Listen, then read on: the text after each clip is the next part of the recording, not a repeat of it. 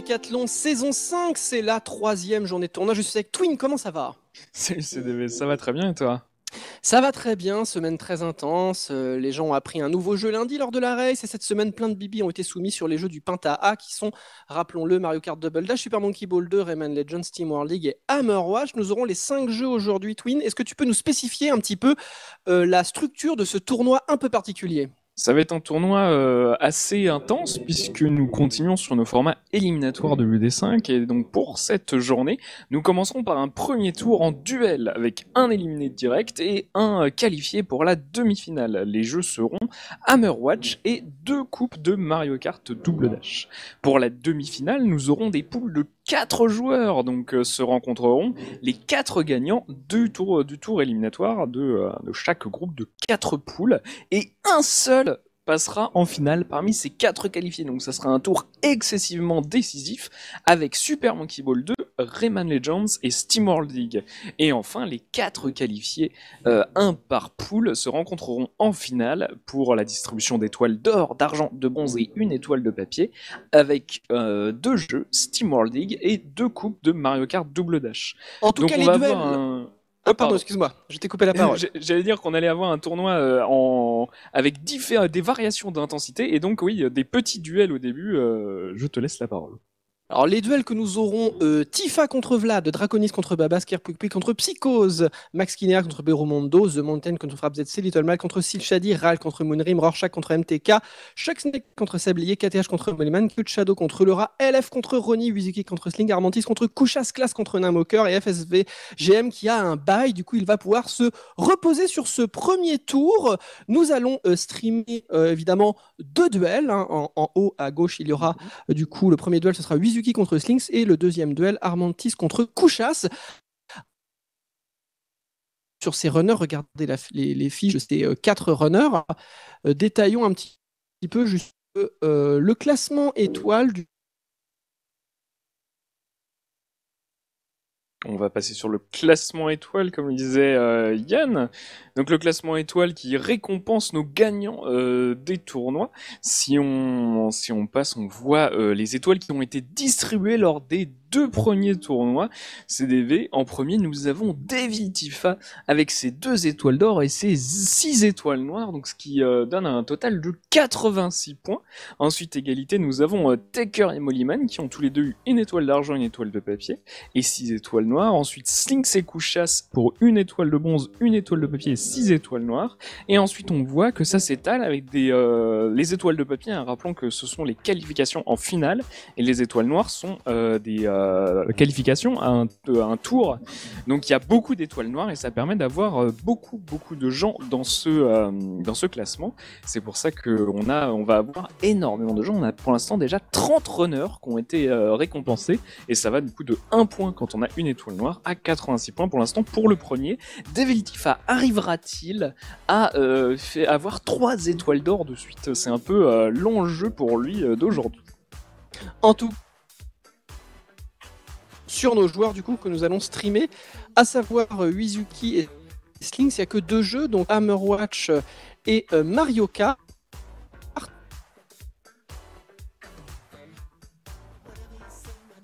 Contre Nadal, Twin. Euh, effectivement, alors tu euh, coupes un peu, euh, donc je, devine que tu nous parles de ce premier tour de Wizuki contre Slinks sur Hammerwatch. Slinks, Slinks Wizuki, c'est effectivement nos deux champions sur le jeu pour l'instant. donc c'est des, des, PB très très proches. Si on, montre leurs fiches, on va pouvoir voir que Wizuki a un temps sur Hammerwatch à 27 minutes 56. Il s'agit pour l'instant du record record du monde. Il a donc la double flèche. Il est orné, le record de l'UD, pardon, le record du monde est par Karagnir. Euh, le record de l'UD avec ce, cette petite badge en or. Et euh, c'est un tour très favorable pour lui puisqu'il a aussi Mario Kart double dash avec un 34 minutes 30.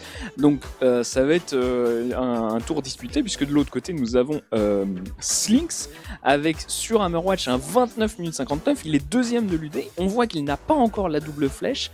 Arrivera-t-il à compenser ce petit désavantage avec un meilleur Mario Kart Double Dash C'est la question de ce premier duel. alors le record est rebattu hier du coup parce que Slinks Wizuki avait rebattu le record du coup avec la nouvelle route. Et du coup c'était le 20 minutes, enfin le, 27 minutes 56. Je sais pas que ça avait été rebattu hier du coup Twin avec la, nouvelle route.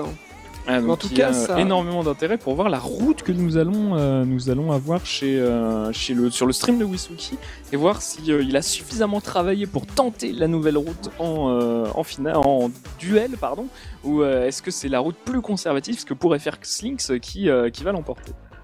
Ouais, alors après, c'est marrant qu'après, il y a aussi Mario Kart, donc celui qui gagnerait Hammerwatch, ils ont quand même euh, tous les deux des gros temps. Euh, peut-être qu'ils vont être très très proches et que ça va se départager sur un Mario Kart, même si on sait que c'est plutôt un jeu de la régularité. Et quoi qu'il en soit, pour notre deuxième match, Kouchas Armantis. Alors Kouchas, on sait que c'est un runner extraordinaire qui s'est illustré maintes fois dans plein de décathlons, qui a plein d'étoiles, qui est très bien positionné dans le classement étoile de cette saison. Et Armantis, on sait que c'est un runner solide, mais nous n'avons aucune info. Donc la, fiche de, de Kouchas, elle brille de mille feux. Mais euh, la, fiche d'Armantis va être très incomplète car il n'a pas encore soumis de temps, Twin. Effectivement, il a soumis apparemment juste un petit temps sur Steam World League, mais rien sur Hammerwatch et Mario Kart. Alors je sais qu'il s'est entraîné sur Mario Kart puisqu'il y a joué. Peut-être est-il complètement à l'aveugle sur Hammerwatch, ça m'étonnerait. Euh, il, est, euh, il a été très présent depuis l'UD2, hein, donc c'est un joueur très solide.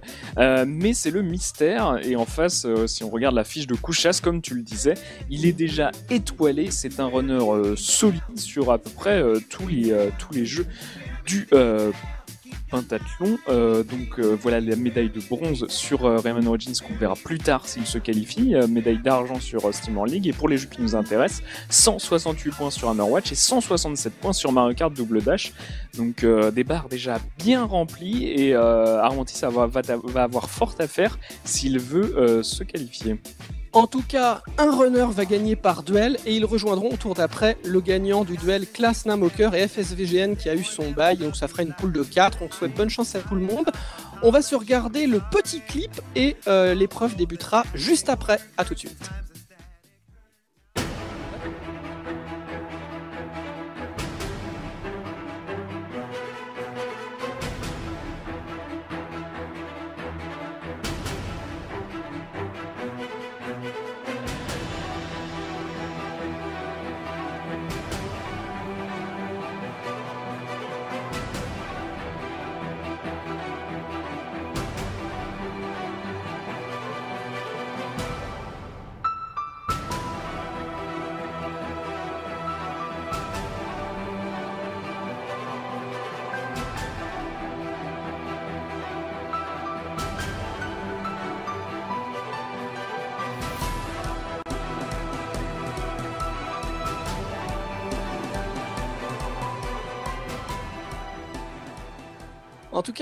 Premier duel, comme on le disait, euh, Wizuki peut-être euh, léger avantage, même si Slink, ils se sont un petit peu renvoyé la balle, ils ont pris plusieurs fois le record du monde, avec aussi un autre joueur, Runner Kragnir, qui est, pas francophone, qui est extérieur de la communauté, qui avait le record initialement au début de saison, qui était à 30 minutes 01 de mémoire.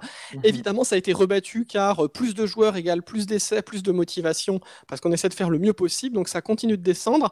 Euh, on sait même que parmi les trois routes en fait qui sont possibles maintenant, euh, même si la plupart des runners, je pense, ont bossé la deuxième route, qui était celle de l'ancien record, euh, je pense que maintenant, on peut largement viser ce que me disait Wizuki hier, ce qui m'a coaché sur le jeu, parce que voilà, c'était, c'est dur de se motiver tout seul. On peut viser le 27-30 en record avec cette nouvelle route. Apparemment, il a euh, fait 27-25 hier soir. Ah, 27-25, c'est pas à jour. Hein. Du coup, il a pas encore ouais. Bah voilà, il a, il, il a dit qu'il pourrait, il l'a fait. C'est des runners excessivement talentueux. 27-25, donc du coup, on sait que maintenant, quand les runners nous disent qu'on peut faire quelque chose, faut toujours enlever un peu de temps. Quand on fait l'expérience, quand on demande aux gens, ils disent qu'ils peuvent faire 28, ça veut dire qu'en fait, qu'ils sont sûrs de faire 28. Et donc, faut enlever 30 secondes ou une minute pour voir le vrai temps qui est, qui est un, challenge pour, pour nos runners extraordinaires. Ça devrait commencer dans très peu de temps. On rappelle des poules de deux pour l'instant, des duels, un seul qualifié et euh, euh, quatre duels, donc quatre qualifiés pour faire des poules de 4 au second tour. Euh, il y a trois épreuves sur ce tour-ci. Rappelons que le seul jeu de ce Penta qui est un petit peu particulier, Twin, c'est Mario Kart Double Dash, car même si nous faisons le grand chelem en fait dans le championnat, euh, nous le découpons en coupes pour la lisibilité, et du coup, euh, comme nous en mettons deux systématiquement, nous avons mis chaque coupe sur 100 points. Effectivement, donc euh, ça, fera deux jeux pour deux épreuves pour un total de 200 points et ça fera que euh, notre Superman, euh, notre Mario Kart Double Dash, c'est pas du tout Super Mario Kart, attention, ne pas confondre, sera équivalent en termes d'importance à Hammerwatch, même si c'est découpé en deux sous-épreuves. donc c'est pour ça que l'avantage que Wisuki a sur Slink sur Hammerwatch ne pourra pas être totalement contrebalancé avec un avantage mineur sur sur, euh, sur, euh, sur Mario Kart Double Dash pour Slinks. Donc attention. Donc pour la lecture de ce stream, c'est un peu nouveau. Donc nous avons en haut Slinks contre Wizuki et en bas Armantrix contre Kushas. Donc attention à bien euh, regarder les duels correctement. Et donc même si Armantis devait arriver devant Slinks ou Wizuki, attention, ça n'aura aucun effet pour la poule d'en haut. évidemment, les runners sont sur l'écran de sélection. Ils ont mis les vies infinies et ils jouent le paladin sur Oui, le paladin qui, euh, à l'heure actuelle, dans la connaissance du jeu du speedrun que l'on a, est le meilleur personnage. Car si c'est pas nécessairement euh, ce personnage qui a le plus grand DPS, il a un dash. Un dash, comme son nom l'indique, ça permet d'aller vite, ça permet de traverser les ennemis, faire des dégâts. Donc c'est plutôt pas mal. Pour l'instant, en tout cas, euh, c'est l'optimal. on, en, on dans quelques mois. Je pense pas que ça bouge, mais on peut avoir des surprises. le jeu est découpé twin en 4 actes, à chaque fois de 3 étages et un boss. Le premier étage, un peu une formalité, ça devrait se jouer à quelques secondes, je pense. Effectivement, euh, les développeurs ont été suffisamment euh, gentils avec les speedrunners pour mettre ce petit euh, passage secret ici qui amène directement au troisième étage. Donc on a coupé quasiment tout le premier acte et on voit que pour l'instant c'est très très très serré. Slinks Wisuki, un autre duel majeur pour l'instant. on voit qu'ils sont en train d'activer les premiers interrupteurs. C'est euh, serré, c'est fou. Ouais, ils sont hyper proches, donc ça va être un peu comme Zelda euh, ça, Link to the Past euh, pendant l'UD4 si vous avez vu ce jeu. Donc c'est déjà à peu près la même perspective, ça se voit du dessus et c'est des optimisations de mouvement, sachant qu'elles sont moins nombreuses que dans Zelda. Donc là, les runners peuvent être extrêmement proches. Ça va se jouer à, au nombre de tâches, donc à la gestion du mana qu'ils ont en bas. Hein. Vous voyez bien les 75 points de vie de chaque runner et les points de mana qui sont sur 50 au max, sachant qu'un dash prend 10 points de mana. Il y a une petite gestion comme ça vraiment des ressources qui est très très essentielle.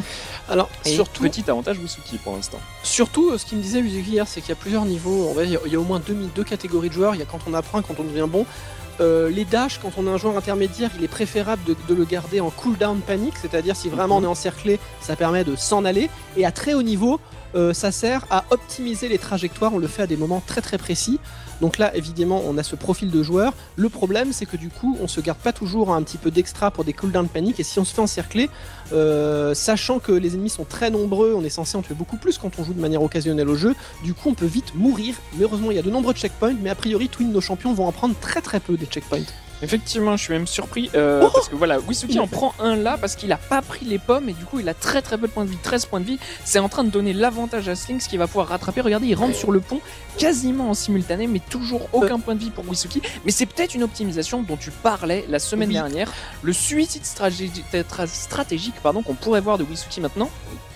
Et il récupère la clé et en il fait, effectivement. En fait, ce qui se passe, c'est que ça fait, euh, gagner du temps certaines conditions, mais le truc, c'est que Slings disait que si la clé est placée de manière optimale, ça en fait perdre. Mais, souvent, je persiste à dire que ça fait gagner un peu de temps, et je pense que là, on a vu qu'avec une clé positionnée, euh, comme c'est souvent le cas, Wizuki, du coup, euh, on en a reparlé hier, et du coup, du coup là, il le fait. petit gain, Slings est resté sur la strat, on va dire optimale si on a de la chance avec la position de la clé, mais en fait, on n'a pas toujours de la chance. Les trois interrupteurs, donc il faut déclencher, évidemment qu'il faut allumer, c'est fait. On va arriver au boss. Et là, le truc le plus important, ça va être le routing dans le jeu, c'est aller chez les marchands. Là, Twin, on va privilégier en fait des consommables dans le début de ce speedrun. Tout à fait. On, a vu les runners ramasser énormément d'argent un petit peu partout. C'est pour acheter euh, toutes euh, les upgrades et les potions. Les runners utilisent ici une potion de dégâts qui double leurs dégâts. Ils font 28 dégâts par hit. Et donc euh, nous avons Slinks et Wisuki voilà, qui sont sur le boss. Le but c'est d'utiliser l'auto-fire et de le tuer le plus vite possible pour le tuer avant la première attaque du boss. Et c'est fait chez les deux runners. C'est très bien. On voit euh, qu'ils vont se diriger vers la fin de l'acte. Côté euh, Kushas contre Armantis, Kushas vient de finir le boss alors qu'Armantis le commence simplement. Ils font évidemment la même route. C'est très serré, mais c'est moins, euh, c'est déjà pas mal de retard que sur Wisuki et Slinks. Wisuki qui commence l'acte 2. La petite opti, le dash pour casser les tonneaux et appuyer sur l'interrupteur qui est pas mal, hein, c'est mieux qu'un coup d'épée. On va récupérer une clé de bronze ici dans le nouveau routing, normalement on va descendre et ensuite on va prendre la clé d'argent. Euh, les clés de bronze vont surtout servir pour farmer, on meurt intentionnellement, euh, voilà, on est les gens sont autorisés à jouer en vie infinie, euh, donc on va abuser de la mort euh, pour retourner au début du donjon, petit gain de temps, et là on va encore utiliser un consommable qui est une potion d'invulnérabilité, avoir suffisamment de thunes est très important, on voit qu'il a 19 thunes, c'est passé à très très peu, et surtout ça lui permet de passer sur ses pics et d'aller directement en fait beaucoup plus loin dans le niveau pour activer des interrupteurs. C'est une optimisation vraiment majeure. Euh, la, la, potion d'invulnérabilité, tout le monde va le faire ici. C'est quasiment euh, un sinon ça oblige à faire des gros détours, à la fois dans l'étage euh, actuel, l'étage 4, et l'étage 6 qui arrive plus tard. On voit Wizuki ici d'ailleurs qui continue à en profiter à faire un petit peu de farming sur cette zone qui est très riche en ressources. Il s'est aussi paré d'une potion de, de vie. Les potions, on peut en avoir qu'une seule, on les utilise d'une simple pression sur le bouton L1 et il faut exactement savoir quand les utiliser et où les utiliser vraiment pour, euh, les, pour en tirer le, maximum. Ici on tourne autour d'une tourelle chez Wizuki pour récupérer les clés et on active le premier glyphe de euh, cet acte 2. Voilà, évidemment, encore un suicide pour retourner au début du donjon. L'avantage du coup, comme vous le voyez, c'est qu'on retourne avec euh, toute sa vie. Des fois, on fait aussi des morts intentionnelles pour warper ou aussi simplement pour récupérer sa vie et ses manas. Et là, au niveau du routing essentiel, on va passer en speed 1. Donc, la vitesse de notre personnage va être euh, augmentée. Vu que c'est un speedrun quand même long, hein, on rappelle, hein, le, record du monde, on est maintenant, on le disait, en dessous des 27 minutes 30. Hein, nous, 29 euh, minutes 30 pour le temps des, 200 euh, points. L'épreuve dure 39-30, c'est ça, de mémoire Et donc, euh, donc on voit bien qu'on fait beaucoup de déplacements, on tue pas d'ennemis inutilement, on tue que les boss. Du coup, on va esquiver beaucoup plus facilement car beaucoup, là je crois qu'on est passé de 0,9 à 1 de vitesse pour le paladin. Or, beaucoup d'ennemis sont à 0,9 donc on est un peu plus rapide et du coup on peut esquiver beaucoup plus facilement.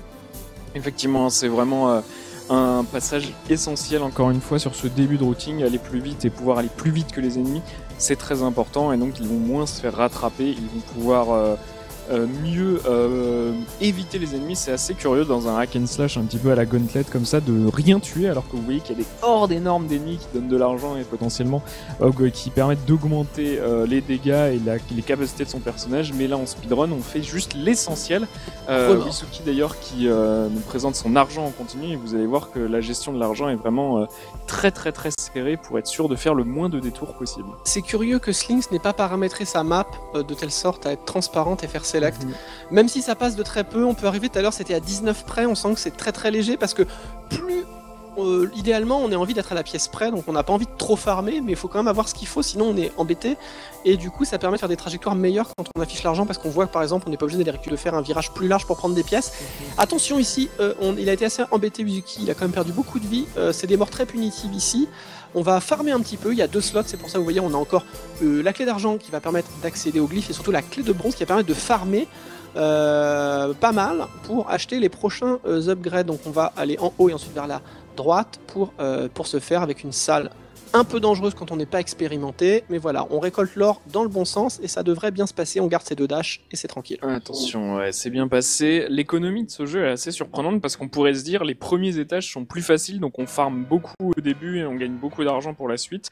Mais bizarrement, en fait, on a toujours à peu près pile ce dont on a besoin pour le prochain achat. Donc ah bah là, oui, a farmé, il va utiliser quasiment tout son argent pour acheter la potion de dégâts pour euh, le euh, pour le boss suivant. Évidemment, à chaque fois, on essaye de doubler les dégâts pour le boss, sachant que Slinks rentre dans l'étage du boss au moment où Wizuki va commencer à taper ce boss. Ça va aller très très vite en maîtrisant euh, les strafes un peu et le double dégâts. Et c'est déjà fini avec une, une upgrade d'armure. Il faut aller la chercher cette upgrade d'armure Non, non, non, c'est une perte de temps. Ah bah c'est pas une perte de temps parce qu'il a attendu. Je trouve que ce choix est extrêmement discutable de la part de Wizuki. C'était une blague de ma part, hein. je pense qu'on peut se permettre de perdre de zone, surtout ça sécurise en fait. Mais je pense que Wizuki, faut qu'il fasse attention à son decision making parce que même si c'est à l'heure actuelle un des meilleurs joueurs du monde, il a peut-être peur parce qu'il se dit s'il y a un joueur qui peut me battre au premier tour, c'est Slinks, et peut-être que du coup il va jouer très agressif, mais s'il meurt, Slinks peut repasser devant. Donc peut-être une agressivité excessive de la part de Wizuki qui est peut-être confiant, mais qui est peut-être qui a peut-être la pression parce qu'il est tombé contre le Deuxième meilleur joueur de l'UD, donc une chance d'être éliminé, donc peut-être un routing agressif. Je suis quand même très surpris parce que encore une fois, il avait le temps avant que le passage s'ouvre de faire ce petit détour. Donc à moins qu'il euh, qui se soit dit, ça va compliquer euh, le fait de mourir intentionnellement à plusieurs endroits, d'avoir trop d'armure, parce que en fait chaque point d'armure diminue d'autant les dégâts qu'on prend pour chaque chose, par chaque coup. Et donc évidemment ça, rallonge un tout petit peu, mais il y a tellement d'ennemis, on meurt quasiment instantanément quand on s'arrête. Ah Je trouve ça extrêmement surprenant. Euh, c'est pas la nouvelle strat de jouer sans armure, c'est la nouvelle strat de pas acheter d'armure. Mais si on a de l'armure gratuite, une upgrade gratuite, c'est voilà rien, rien, rien n'est moins cher que gratuit. Euh, donc euh, évidemment, il pouvait se le permettre. En tout cas, c'est le choix qu'il a fait. On verra. J'espère que ça va, ça revient, il reviendra pas à regretter ça. Slink, c'est vraiment juste derrière lui. Il arrive à, à maintenir l'écart. Il perd euh, quelques instants de, de temps en temps, mais vraiment pas grand chose. Bah, c'est surtout que là maintenant ils ont optimisé. Avant on pouvait aller plus loin pour choper un peu plus de pièces. Là ils, ont, ils se sont contentés du coffre mhm. euh, parce que ça passe. Ils vont récupérer tout à l'heure le speed 2 et beaucoup plus tard dans le niveau ils vont augmenter l'attaque également du coup. Euh, donc pour l'instant cette clé hop la key, l'interrupteur qui permet de débloquer la partie sud de cet étage, de cette pièce en tout cas. On va arriver à un moment assez décisif avec beaucoup d'esquives. Voilà, on peut prendre ce checkpoint complètement gratuit. Passage voilà, très difficile maintenant hein, côté Wisuki, c'est vraiment vraiment le, je trouve un des passages les plus compliqués niveau esquive d'ennemis parce qu'on va, on est continue dans ce labyrinthe avec euh, une longue distance à parcourir à pied et à chaque fois il y a des hordes d'ennemis voilà qui finissent par vous suivre et qui euh, continuent de se euh, stacker les uns sur les autres. En tout cas, on rappelle Slinks et Wizuki, respectivement en rouge et vert, qui sont en haut, qui font un duel, et en dessous, Armantis Kouchaf, c'est un autre duel. Donc ne soyez pas troublés si vous voyez que les deux en haut font un duel serré et arrivent avant en bas, mais les poules faisant euh, que euh, ben, le deuxième joueur, enfin le deuxième joueur qui arriverait en haut, bien qu'ayant bien joué, pourrait être en difficulté car ce sont des points perdus contre l'adversaire.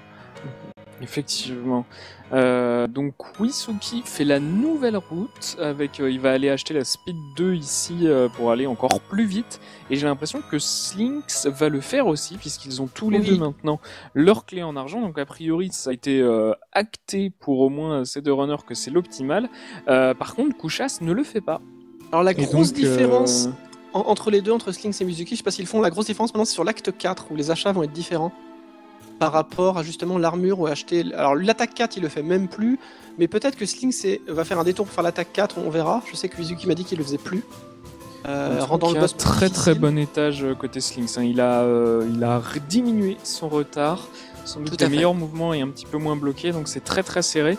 Pour le duel en bas, on voit. Ah si, Kuchas fait la même chose, pardon, excusez-moi, euh, petite erreur de ma part. Kuchas a aussi acheté la Speed 2, il, il a quasiment un étage d'avance sur, euh, sur Armantis. Euh, Kuchas qui avait l'avantage théorique d'une part, et euh, on n'avait aucune information sur les PB d'Armantis, donc je suis pas très surpris de ce résultat pour l'instant. Après nouvelle strat, ça peut faire rire dans le jeu car le routing change tous les quelques jours. Et donc du coup, il suffit de se déconnecter pendant quelques jours, les gens vont dire ah tu fais pas la nouvelle strat mhm. parce que le routing forcément c'est un jeu qui est certes intéressant euh, mais dont la communauté speedrun était très peu développée. Du coup, là avec tous les gens de l'UD qui le font, des nouvelles strats sont trouvées. Il y a fort à parier que dans quelques semaines ou quelques mois, il y a encore des petites opties trouvées. Hein, c'est possible. Mhm. Très jolies esquives hein, chez Wisuki et Slings au niveau de ses pics. Là, on les a vus un peu tourner autour des euh, missiles à tête chercheuse de ces boules d'énergie oh, euh, qui en plus ralentissent et euh, font des dégâts sur la durée. Donc, on essaie vraiment de jamais se faire toucher par ces ennemis de ce type-là. Et donc, ça joue extrêmement bien des deux côtés. Slink, Wisuki hein, vraiment en avance pour l'instant sur cet étage, encore une fois. et là, on va aller faire un petit détour, encore une fois, pour trouver une pièce cachée remplie d'argent l'économie toujours très essentielle dans, euh, dans ce speedrun. Bah, c'est ça le speedrun, c'est vraiment perdre du temps pour en gagner car euh, on va certes faire un détour, mais c'est un des plus gros spots d'or. Euh, du coup, c'est optimal car ça va nous permettre d'acheter, de passer tous les upgrades d'attaque à la fin de cet étage. On va passer normalement, enfin tous sauf un, c'est-à-dire attaque 2, attaque 3. On va vraiment booster le truc à fond pour faire de gros dégâts. Peut-être même Vizuki, on en parlait hier, c'était pas là sur son ancien record, mais en fait, il a dit, euh, quand on a fait le coaching, il a, euh, on a réfléchi, discuté un peu, et déjà, il disait que peut-être il allait prendre le combo, s'il lui reste 200 de plus, il peut commencer la, le build combo à ce moment-là aussi, donc je sais pas s'il va mhm. le faire. Sur l'ancien record, c'était pas le cas, mais il y avait un élément de réflexion hier, donc s'il a, s'il un peu large en thune, il pourrait prendre le combo en plus, qui permettrait de faire euh, gagner un peu de vitesse, en tout cas, s'il arrive à avoir des packs d'ennemis, on le saura bientôt. C'est vrai qu'en race, c'est très très intéressant parce que la différence entre le grind et la race, c'est que le grind, on peut évidemment se permettre de faire un reset si on est trop juste en argent. En race, je pense qu'on va avoir tendance à être un peu plus large en argent. Et si on est suffisamment un peu plus large en argent pour pouvoir s'acheter le combo, ça semble être une dépense évidente.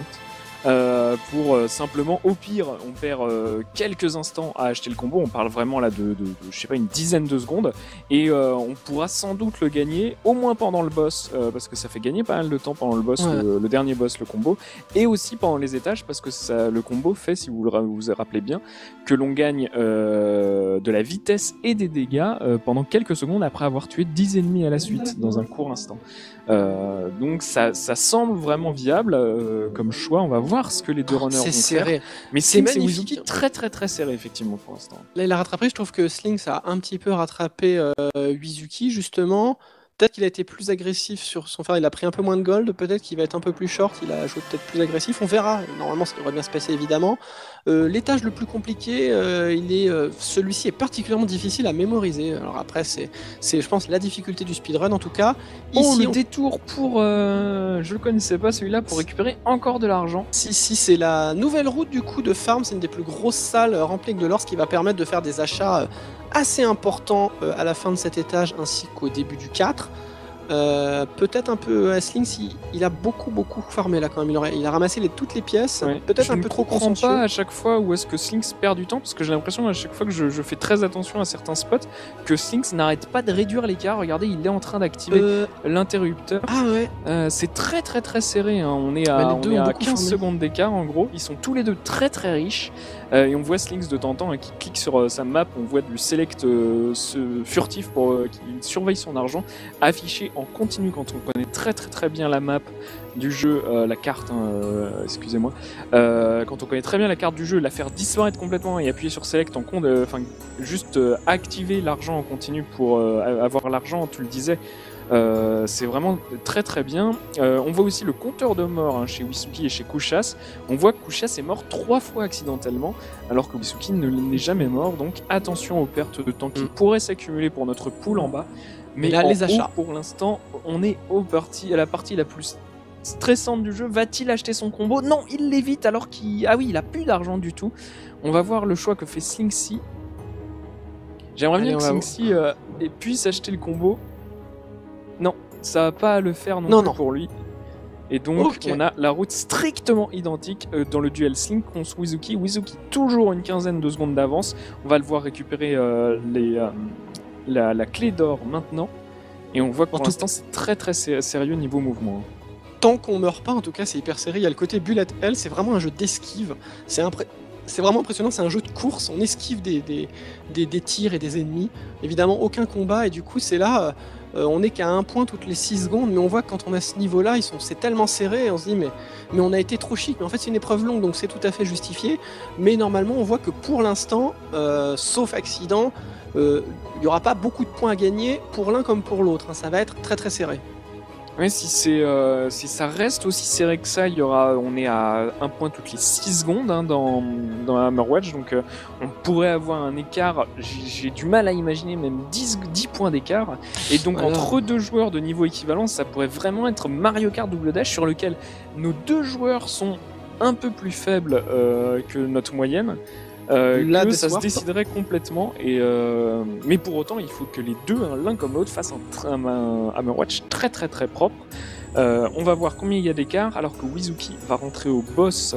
Moi, je... Maintenant, on est à peu près à 17 minutes 26. On va voir ça tout de suite. La grosse différence, et je sais pas si Sling ça fait la dernière version de l'étage 4. le deuxième plus optimal, c'est d'acheter l'attaque 4 de mémoire. Et maintenant, Wizuki le fait sans l'attaque 4. Il fait ah, pas le détour. On est à 14 euh, secondes d'écart et euh, Wizuki est déjà en train de taper sur le boss. L'avantage qu'a Slingsy par rapport à Wizuki, rappelons-le, c'est que euh, Wizuki n'a pas ramassé son armure, son upgrade gratuite à la fin du deuxième boss. Alors ce qui est, ce qui est intéressant aussi, c'est que là, il a fait la technique de la double popo. Il a acheté une popo qu'il a consommée directement pour doubler ses dégâts et ensuite ils ont acheté une potion euh, d'invulnérabilité qu'il utilise direct parce que ça va permettre de faire un petit skip. Ici on va marcher sur des piquants, on la time dès le début du niveau car on peut se suicider immédiatement après. Voilà, une Death Warp. Ah, cette, amélioration est absolument stylée. Hein. C'est très très très bien pensé. On n'a qu'un seul slot de potion, rappelez-le, rappelez-vous. Hein. On ne peut en avoir vraiment qu'un seul. Mais si on, on l'effet reste actif, même si on achète une deuxième. Et donc avoir cumulé ces dégâts plus euh, cette potion d'invulnérabilité, ça a permis de faire ça ici. Donc on a évité tout un détour pour aller désactiver ces pics. C'est très très intelligent comme idée de routing. Par contre, ça a l'air un petit peu plus dur sur la liche au niveau du timing. Et c'est pour ça que Slinks est mort. Donc il a perdu un petit peu de temps sur le boss malheureusement.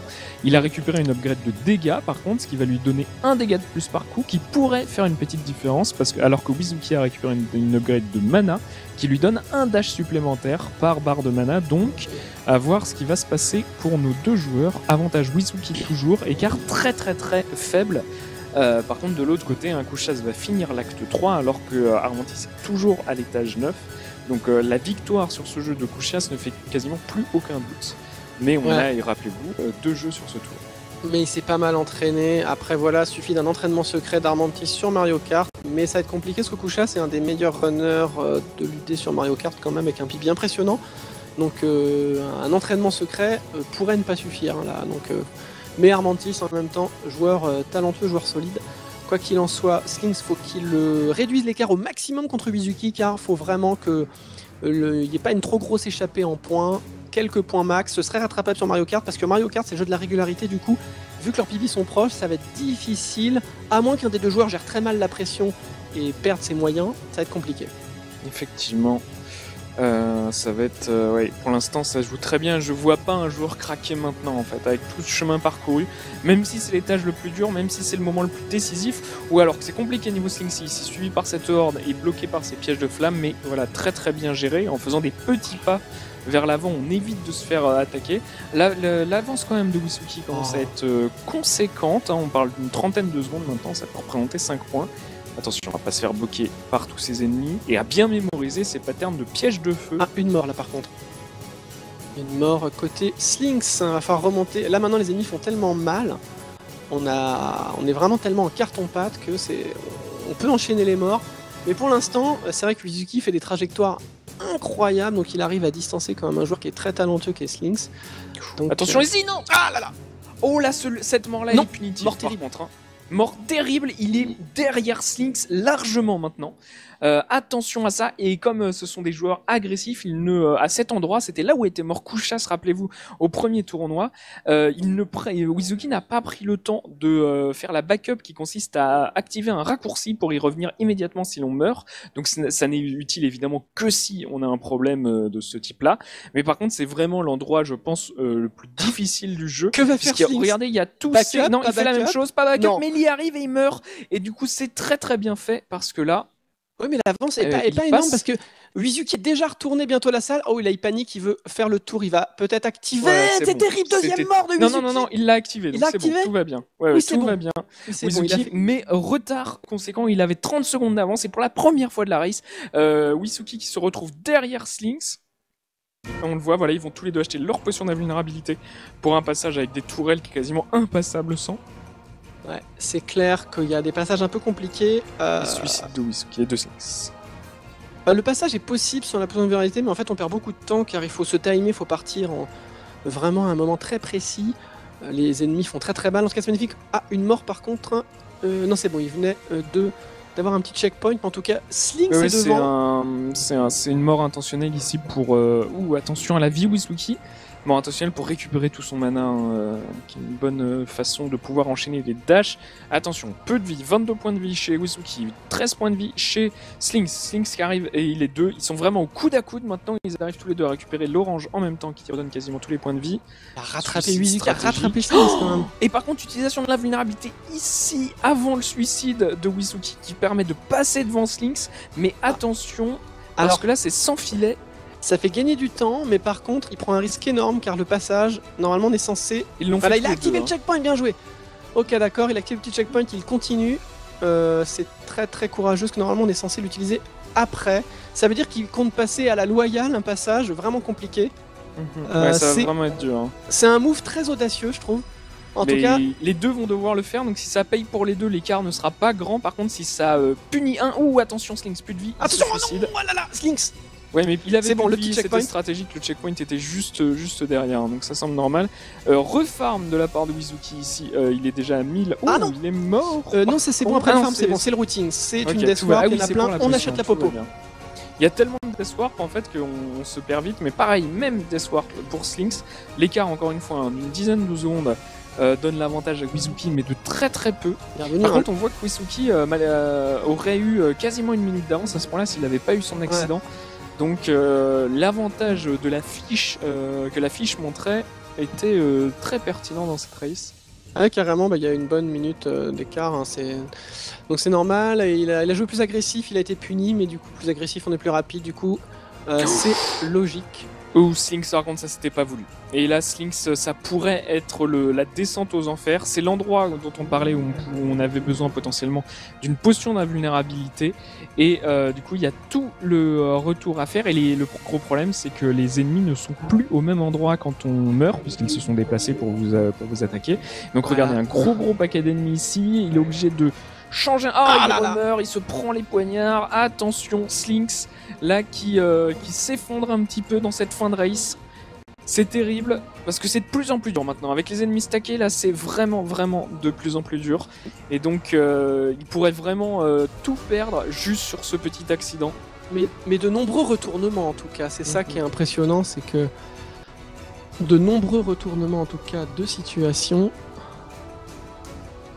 Et dans le chat, effectivement, hein, on souligne le fait que jouer euh, la première expérience de jeu quand on ne joue pas en speedrun euh, est extrêmement différente de ce que vous voyez. Donc là, on est quasiment sur un jeu de d'évitement des ennemis. On est, ça ressemble un peu, on l'a dit, à un, shoot 'em up où on serait en train d'éviter des boulettes. Et c'est vrai que ça ressemble beaucoup plus à ça que euh, l'expérience de base ressemble plus à un Gauntlet ou un Diablo où on est en train de tuer tous les ennemis et d'améliorer son personnage et énormément. Euh, donc ne vous laissez pas surprendre par Sans, cette façon de jouer. sans la dimension alé- aléatoire, par contre, c'est vrai que c'est un jeu Effectivement. très ouais. déterministe, d'où le routing. Euh, le jeu serait intéressant aussi avec beaucoup de variances, avec euh, des, des loots, mais ce serait très différent. Euh, quoi qu'il en soit, c'est un boss euh, très très long. Il va falloir casser ces espèces de cercles, là, vous voyez, ces espèces de dômes. On casse le cercle, ensuite on va sur les marches. Il y a deux spots à connaître par cœur. Il y a la deuxième marche parce qu'il a pas de gauche, pas de droite le dragon. Pas de droite, on recule. Pas de gauche, on peut euh, être collé à lui et, ta- et attaquer. Et quand il met son coup de tête, sa troisième attaque, il faut monter sur la marche tout en haut pour ne pas se prendre les flammes. Donc il faut connaître ces deux spots et euh, réagir en fonction de ce que fait le boss. Ouh, Mort, Mitsuki par contre, qui là. meurt là, Euh, mais juste avant euh, le deuxième deuxième phase du boss.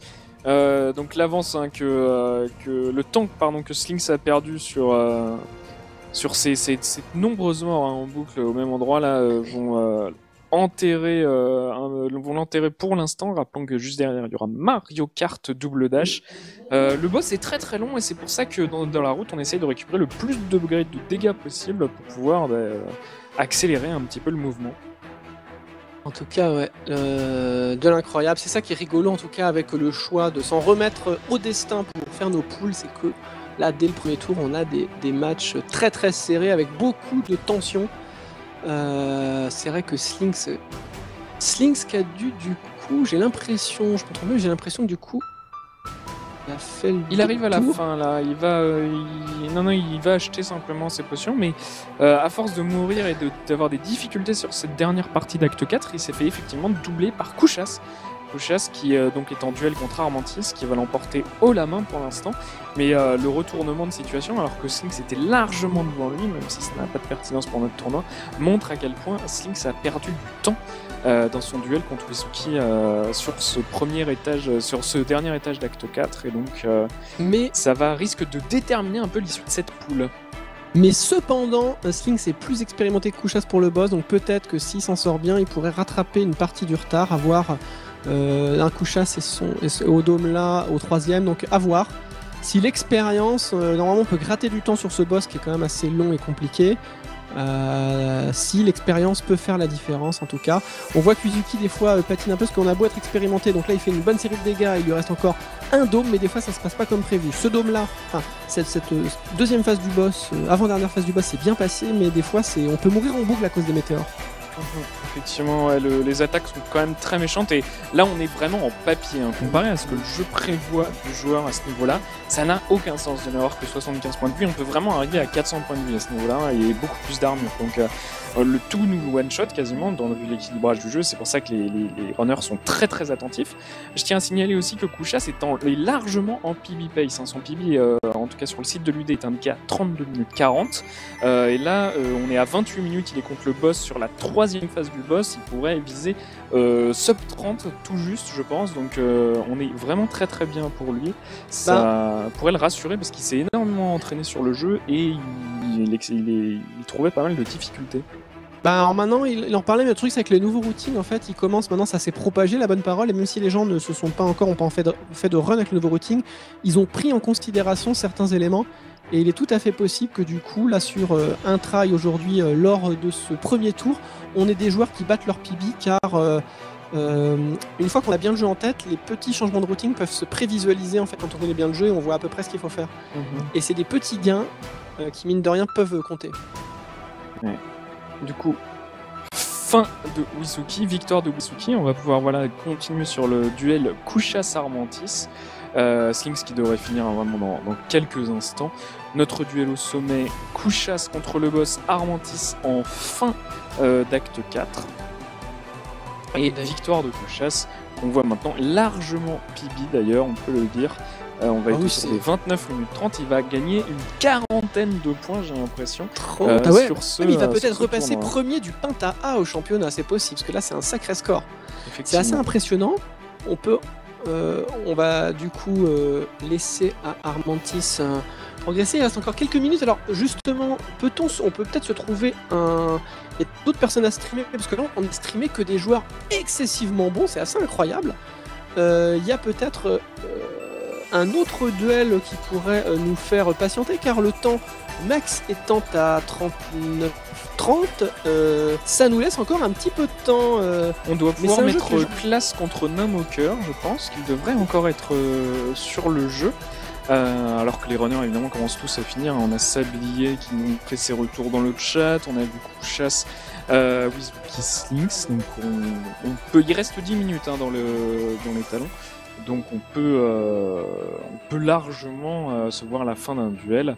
Euh, donc classe contre Namoker par exemple. mais pour l'instant effectivement le tableau devrait se remplir doucement.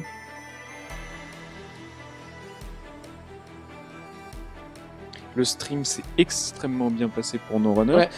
Prosper, est-ce que tu peux nous mettre ce classe Namoker si tu l'as dans sous la main? C'est merveilleux, on va pouvoir s'observer la fin euh, de cette race. Euh, du coup, nous avons quelques runners, hein, très peu qui ont fini.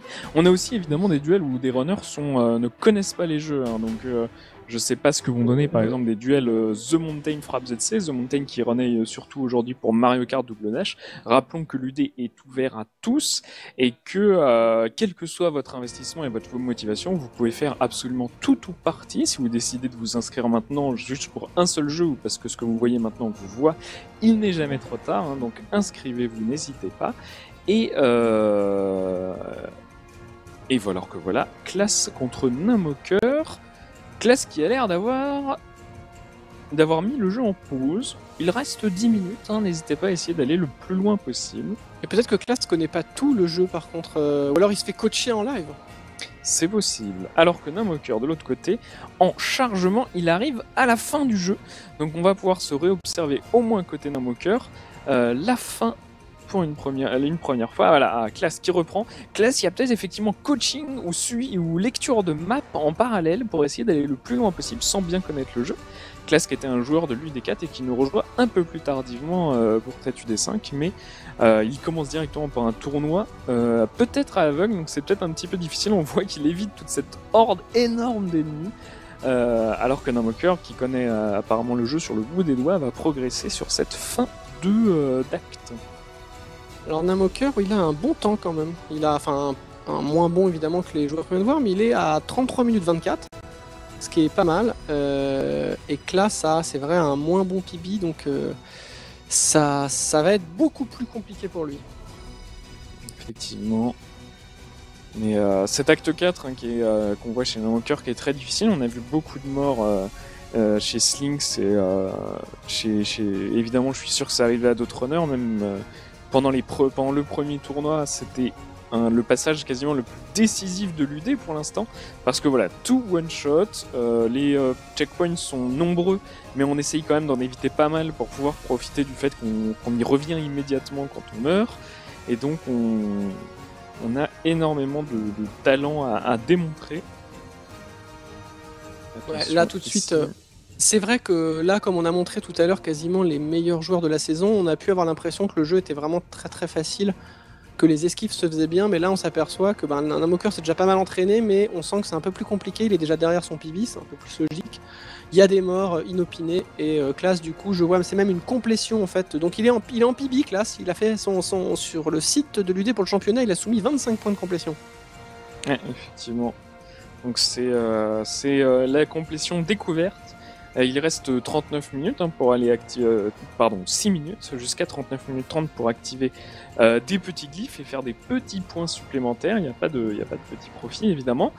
Donc il faut, il faut essayer d'y aller le plus vite possible. Apparemment dans le chat, Sing Sing nous dit qu'il testait en live la nouvelle route, donc il n'était pas habitué à la nouvelle vitesse de déplacement. hein. Il y a encore 10% supplémentaire de vitesse de déplacement par rapport à la route habituelle, donc effectivement ça peut être un peu déstabilisant. Et euh, apparemment, euh, Ti- Devil Tifa a aussi fait un PB, Kushas a fait un PB. Bah Donc voilà. c'était le moment pour, avec cette nouvelle route, pour tous ces runners de reprendre un petit peu le jeu. Je pense que ça va remotiver un petit peu le grind. Et euh, sans doute qu'on va voir les points encore plus monter. On va presque être à 1000 points sur ce euh, premier pentathlon. Ouais, ça va être euh, assez étonnant. Ça me fait rigoler parce que du coup, il y a des gens qui sont contents pour le championnat, notamment. Ça fait du coup, euh, ça fait des trucs très très intéressants. Mais là, on va voir maintenant plein de gens, vu qu'il y a un nouveau routing et que les gens ont beaucoup progressé, plein de gens qui vont faire 200 points. Euh, mais le truc, c'est que plus le tournoi avancera, plus la saison avancera, euh, voilà.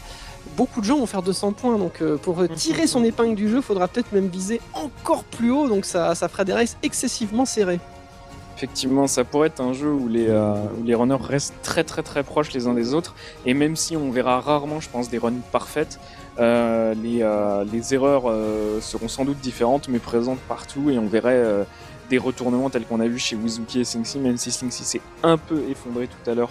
au dernier acte, l'écart était relativement faible. On va voir s'il arrive à rattraper ça sur deux coupes de Mario Kart Double Dash, sachant que c'est possible.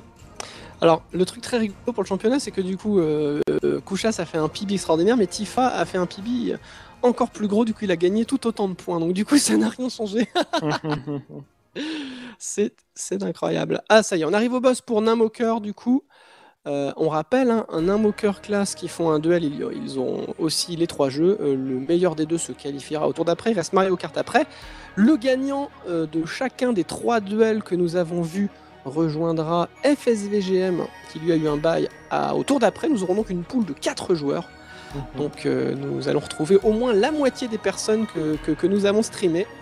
Donc euh, c'est c'est grosse pression en tout cas sur eux.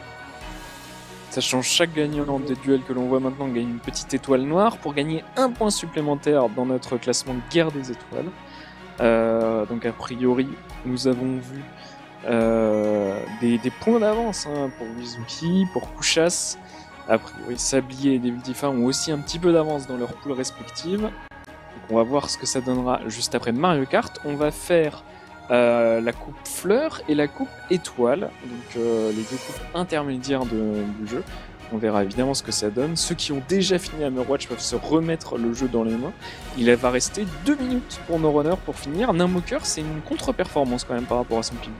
Ouais, ouais, mais il y a dû avoir des morts. euh, soit il a testé la nouvelle route et il a eu moins de succès, soit il a juste. euh, quand on est un peu moins expérimenté, c'est typiquement le genre de jeu sur lequel on est régulier quand on commence à être très fort, mais dans la phase encore d'apprentissage où on fait 36, 35, 34, on peut. Peut-être que sur notre PB on n'a pas fait de mort et là on a eu quelques morts et une mort. euh, Si, surtout si elle n'est pas intentionnelle, évidemment, on va perdre des fois beaucoup, beaucoup de temps. Donc c'est logique, j'ai envie de dire, mais je pense qu'il il va gagner en régularité au fur et à mesure de la saison. Mais c'est pas grave, foncièrement, même si c'est une contre-perf, il est euh, pour le coup devant l'adversaire, il, est- devant euh, pour son duel. Donc j'ai envie de dire, euh, ça se passe mal, mais ça se passe bien. C'est pas de panique côté Namoker. Effectivement, donc il faut, le but pour beaucoup là, c'est juste de passer au tour suivant. Donc évidemment, les éliminations et les poules créent des, frustrations pour certains dans le chat. Mais euh, voilà, c'est juste des, des duels bêtes et méchants, on, nous dit Kouchas. Mais vous inquiétez pas, les, formats, des tournois dans, dans cette UD sont tous différents à chaque tournoi. Donc cette fois-ci, nous avons des duels et en demi-finale des poules de 4. On aura des poules encore la semaine prochaine et peut-être pas de poules euh, dans deux semaines. Donc une sacrée basse-cour qui nous attend. Euh, et pour l'instant, Namoker sur cette dernière phase de dragon. Il reste 1 euh, minute 15. Euh, A-t-il le temps de finir ce boss? Ça me semble un petit peu juste. Ah oui, oui, là, là c'est compliqué. Il va rester une minute. à mon avis, ça, ça risque de faire une complétion. Ce qui du coup fera moins de points d'avance, mais ce sera quand même dur à récupérer sur Mario Kart parce que Namoker Class, ils ont tous les deux un PB à peu près similaire aux alentours des 120 et quelques points, donc des 35-50. Euh, ça va, à moins que quelqu'un fasse un PB incroyable, euh, ce qui est toujours possible, surtout quand on a 36 minutes. Après, ça se stabilise vite. Euh, mais ça va faire quand même, ça va être des points difficiles à rattraper pour, pour classe. non, ça va plus être possible. Le, dragon Namoker, c'est trop tard. Là. Là, le dragon est trop résistant. Pourra pas. effectivement, il n'y a pas eu de gros upgrade de dégâts, a priori à 26 par coup ça manque un petit peu de punch, il va rester 15 secondes. Les crayons vont devoir être levés tout bientôt. Ouais, Avantage majeur ouais, pour Namokur quand même par rapport à classe dans ce premier jeu. Et c'est fini. Bip bip bip. Hein. Bravo à tous les runners euh, d'être d'avoir fini ou pas euh, Hammerwatch. Et on va enchaîner très vite avec Mario Kart, évidemment. Alors juste pour prévenir les runners, pendant que le, tableau se remplit progressivement, pendant que les runners soumettent leur temps, on va regarder du coup, euh, on va regarder un petit peu, un petit peu ce qui s'est passé.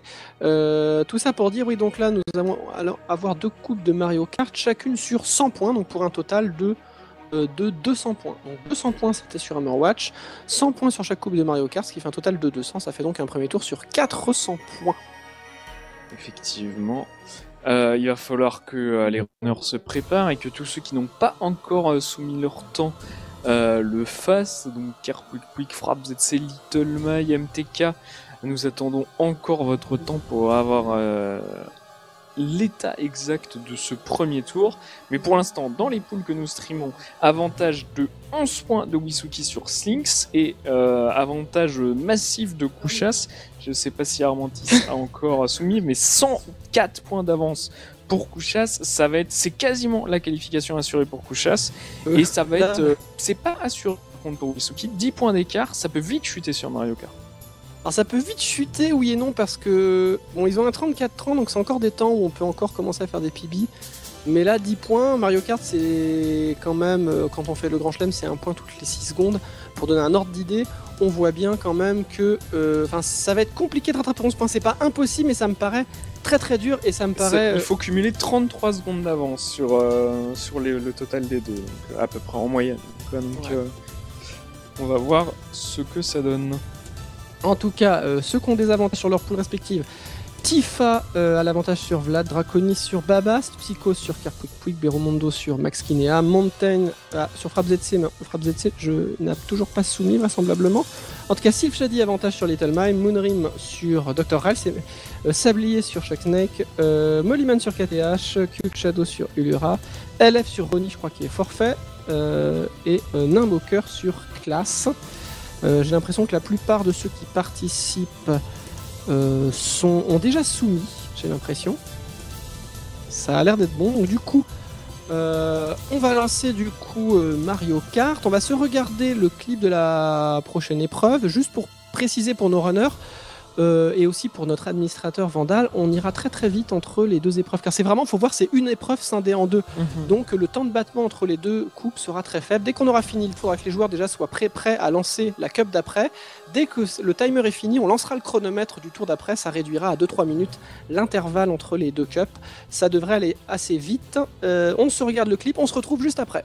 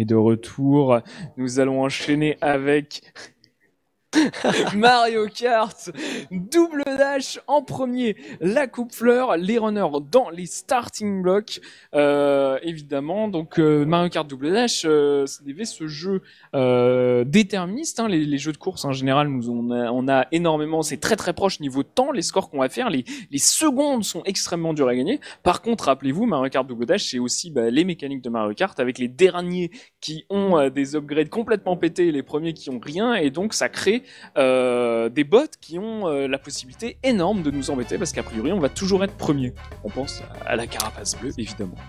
En tout cas, voilà une épreuve comme très courte, un 6, 6 minutes 22 pour les 200 points. Et surtout un point. euh, alors là, c'est un point toutes les deux secondes en fait, euh, puisque ça a été. euh, euh, ça a été lissé un petit peu justement pour euh, que ça soit coefficienté de la même manière. Comme nous avons du coup euh, deux épreuves, ça permet du coup qu'au total des deux, l'écart de points, euh, l'écart de points dû à un écart de niveau soit respecté. Euh, sinon, c'est vrai que ça coefficientait euh, Mario Kart, ce qui aurait pu générer entre guillemets un petit peu de frustration en tout cas chez, chez certains, chez certains joueurs. En tout cas, bon courage. Je vois qu'il y a des gens qui sont, qui sont, qui sont tout tristes. Du coup, ils sont là, mon dieu. Je suis tombé dans une poule de la mort, c'est terrible. Ah, c'est l'effet poule évidemment, hein. donc c'est il y a toujours cette frustration qui peut être causée. Il y a des runners très très bons qui vont être éliminés très vite. On voit avec le duel Devil Tifa Vlad qui sont tous les deux des têtes de série de cette euh, de ce premier pentathlon. Hein. Tifa premier, Vlad troisième. En plus ça tombe sur son pire jeu, Vlad quasiment euh, Mario, Hammerwatch au tout début, puis Mario, Mario 4 Double Dash, alors que ses meilleurs jeux viennent juste après avec Monkey Ball, Rayman Legends et Steam World League. Donc évidemment, injustice potentielle. Mais voilà, nos runners sont prêts. Sur la coupe fleur, le duel Slinks Wisuki au sommet. Attention Kouchas, faut pas oublier de lancer le jeu parce que l'avantage que tu as sur Armantis ne suffirait pas si tu ne faisais pas la run évidemment. Il a joué à la cool, euh, Kouch- Kouchas. Il dit ouais, c'est bon, il va faire une complétion, Armantis. Euh, il devrait. arriver, Puisque l'overlay on va peut-être se mettre simplement le focus sur Slinks Wizuki, notre duel au sommet, rappelons-le, 10 points, 11 points pardon, d'avance pour Wizuki. On commence évidemment par le pont champignon. C'est parti. Euh, du coup, euh, alors, on joue en 4 tiers côté Wizuki et en étiré du coup sur émulateur pour eux, Slinks. Ça fait comme des petits mini turbos. Petite particularité, c'est assez rare. Bon, ce qui est pas rare par contre, c'est de jouer avec euh, soit Toad Toadette ou les Koopas. Euh, Toad Toadette, c'est si on se prend un bad beat, on peut avoir un champignon doré ou des champis, c'est super cool. Et euh, les Koopas, c'est des triples carapaces. En tout cas, déjà, euh, par contre, ce qui est original, c'est pour Slinks Twin, c'est euh, le kart. Même si on sait qu'on peut faire des bons temps également avec, la plupart des gens jouent en général la locomotive. Et c'est marrant, les joueurs à gauche jouent avec le kart. Effectivement, donc joueur à gauche, carte bleue qui est qui a une meilleure accélération mais une moins bonne vitesse de pointe et à euh, droite le euh, carte du euh, speedrun qui a les meilleurs mini turbos, une bonne vitesse de pointe et une accélération un tout petit peu moins bonne. Mais l'accélération ça sert surtout euh, quand on se prend des piles et a priori le meilleur speedrun se fait freiner le moins possible. Donc c'est pour ça que la locomotive c'est le meilleur carte. Mais ouais tu le disais à ce niveau-là c'est pas ça qui va compter. Première carapace bleue c'est Slinks qui se la prend. Il est donc un tout petit peu derrière Wizuki. On voit qu'ils atteignent tous les deux le dernier tour quasiment en même temps. L'écart est très très faible. Euh, L'écart est faible. Hein. Les PB, en tout cas, euh, Wizuki euh, 34-30 et Slinks, euh, il a un 34-17. Donc c'est vraiment un écart euh, très très faible. Euh, on voit quand même pas beaucoup, de mini turbo. Il y en a quelques-uns, mais euh, c'est des petites erreurs. Pas mal de véhicules percutés chez Wizuki quand même. Et euh, en ligne droite, on va pas faire de snaking, on va y aller vraiment à la cool. On hésite, là on rate un petit mini turbo, on va plutôt rester tout droit. Mais euh, ça va faire un avantage réduit, parce que pareil, Slinks, euh, il va mollo sur les mini turbos, mais ce qui est logique pour des joueurs qui sont plutôt aux alentours des 36 minutes. On est Déjà On a bossé- 5 secondes d'avance quand même pour Slinks. hein. ah bah là c'est sûr à un point toutes les deux secondes, ça fait déjà euh, deux, deux points et demi. Donc, euh, donc, euh, attention, il y a que 4 circuits hein, sur cette cup, donc ça va quand même euh, relativement vite. hein. Effectivement. Rappelons-le, on est in-game time, on utilise le temps du, euh, du jeu euh, pour le total de, cette, de ces courses. Donc le menuing qu'on voit entre chaque course ne compte pas. Donc on est vraiment sur, euh, Ah. sur juste le temps. Très bonne chance de Slinks qui récupère directement Champignon qui lui permet de faire le raccourci. Champignon doré aussi pour Wizuki qui lui permet d'aller vite. Attention, pas mal d'erreurs de conduite quand les runners ont des champignons. J'ai remarqué ça. On va avoir plus de, de hors-piste. Alors le hors-piste est pas puni quand on est évidemment euh, en champignon. Par contre, il est très puni quand on perd son champignon et donc on perd toute sa vitesse immédiatement si on est sur l'herbe. Donc attention aux erreurs de conduite. Belle avance de Slinks qui finit son premier tour en 35 secondes. Euh, on est à 37 secondes pour Wizuki qui fait encore du hors-piste, qui perd encore sa vitesse. Attention, attention.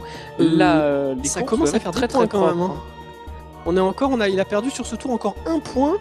Euh, donc euh, faut faire attention parce que ça veut dire déjà on est à 5, 6, 7, on est à 7 secondes, on est à 3 On est à points. 3 points et demi déjà en une seule course. Attention au cadeau évidemment, Wisuki. Mais euh, Slinks qui fait des, euh, des bonnes tentatives d'évitage de carapace rouge. Il a lancé sa carapace verte en arrière un tout petit peu trop tôt. Euh, et on voit que la conduite euh, pour le duel en bas de Kouchas est bien meilleure que la conduite d'Armantis.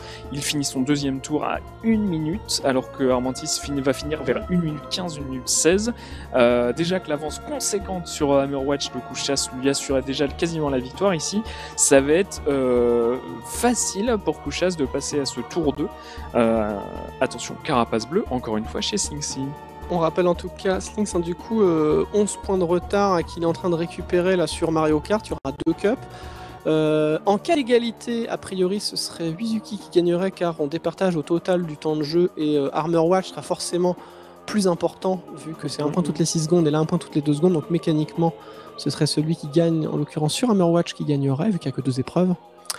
Euh, mais euh, en tout cas, voilà, c'est terminé. Une 58, une 57. Alors finalement, non, ça Ouais, c'est très la fin mauvais de dernier circuit tour mal de. Slinks. Ouais, il s'est pris une carapace bleue, il a fait des petites erreurs de conduite et plus que deux points d'avance pour euh, Slinksy sur ce Mario Kart double dash. On rappelle évidemment ce nombre de points à chaque fois parce que c'est ça qui va compter au total.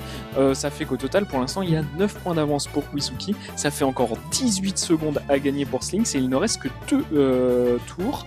Ça commence directement quatrième, ça commence cinquième pour Wizuki. Les départs ont l'air laborieux, mais ça leur permet de récupérer des petits champions. Petits champions pour Slinks qui lui euh, donne un avantage, un petit boost de confiance ici, et aussi un boost de vitesse évidemment. Allez, on essaie de faire des petits mini turbos. Alors, il y a un passage un peu piégeux, je pense, c'est ce virage-là. Attention, le virage à gauche ici, on peut tomber si on n'a pas assez bossé. C'est bon, ça a été suffisamment travaillé, parce que c'est typiquement, en fait, euh, un endroit où on peut perdre du temps. Euh, donc, quand on tombe, on n'est pas content. Évidemment, il y a une backup, on peut récupérer. faut coller ce virage au maximum, un petit peu large là, peut-être. Musique, il faut coller au maximum. Allez, les Attention, verts. il se fait toucher. Oula, cette verte balancée devant. Mais Alors par contre, on l'a vu tout à l'heure au premier tour, c'était assez euh, euh, amusant. Euh, Wizuki avait fini troisième et Slinks avait fini premier, mais il n'y avait que 4 secondes d'écart entre les deux. C'est là qu'on voit qu'il faut pas s'énerver à essayer de finir premier, il faut simplement essayer de moins se faire de toucher deux fois possible et donc utiliser ses consommables vers l'avant. Donc je pense des carapaces rouges, des carapaces vertes, des bananes. Euh, c'est une mauvaise décision et donc simplement balancer une carapace verte en avant euh, ou une carapace rouge évidemment, c'est euh, pas du tout à faire. Tentative d'évitage de carapace rouge par Slinks un petit peu raté, attention encore une fois. en fait, Mais euh, Slink, vu Wisuki qui était tombé est en train de perdre beaucoup de Oh là là, beaucoup une, er- une erreur aussi là, un cadeau. Euh, une erreur que font beaucoup de joueurs par contre, ils oublient le bouton pour inverser les personnages qui permet, quand on chope pas un double cadeau, d'avoir quand même deux bonus en chopant deux cadeaux. Et je les vois pas beaucoup, euh, je les vois pas beaucoup intervertir les personnages, mais ça peut aider à avoir justement une carapace ou une banane supplémentaire. Effectivement, oui. Ou éclair simultané pour Slinks et Wisuki, à croire que le- il y a eu un bot qui a touché les deux joueurs en même temps. Ah, C'est parce qu'on fait tourner le jeu sur un serveur. Voilà, c'est ça. Ce serait très marrant que tous les événements euh, soient identiques euh, pour voir qui s'en sortirait le mieux, euh, pour diminuer cette impression de RNG. Euh, très très belle avance. Il a fini à 1,57 euh, le pack Bodesi. Euh, et Armantis euh, est en train de se prendre une carapace bleue, lui à 1,57 sur le dernier tour. Alors ça par contre, euh, ce cadeau, voilà. Attention à pas le mettre sur sa propre trajectoire, il faut s'en débarrasser, ça n'a aucun intérêt. Ah, il a jeté sa banane au lieu du cadeau, Wizuki, donc ça perte va. de 7 secondes sur euh, Daisy. 7 secondes de perte de plus. On est à 11 secondes au total. 5 points et demi. Attention, Et- attention, Wisuki en danger malgré un Hammerwatch euh, victorieux. Alors là, par contre, je pense win pour cette cup. Je pense que c'est le circuit le plus euh, qui va faire la plus grosse différence. Le Waluigi Stadium, il y a beaucoup de temps à perdre ou à gagner.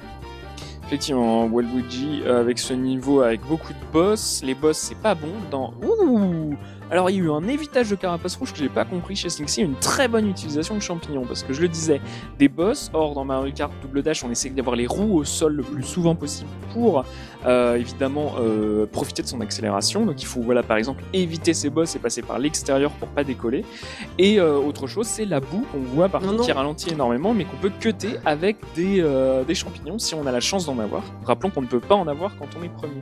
Autre élément, il y a un petit cut, si on regarde côté couchasse ici au deuxième tour.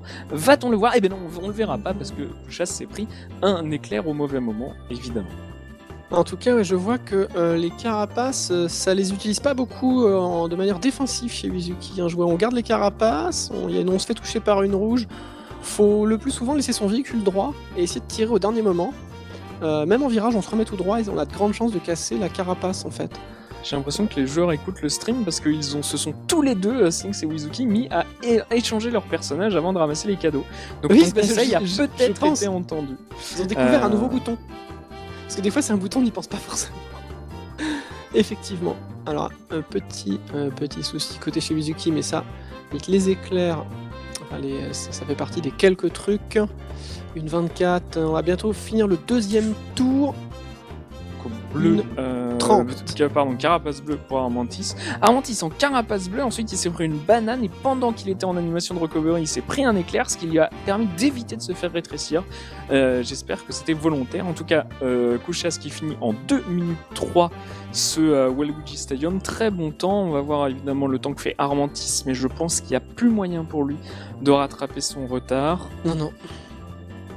Non, non, non, non. Mais par contre, ouais, Wizuki, euh, Slings, du coup, ça risque d'être. Euh, on peut mettre du coup le focus sur le duel euh, Slings-Wizuki, parce que du coup.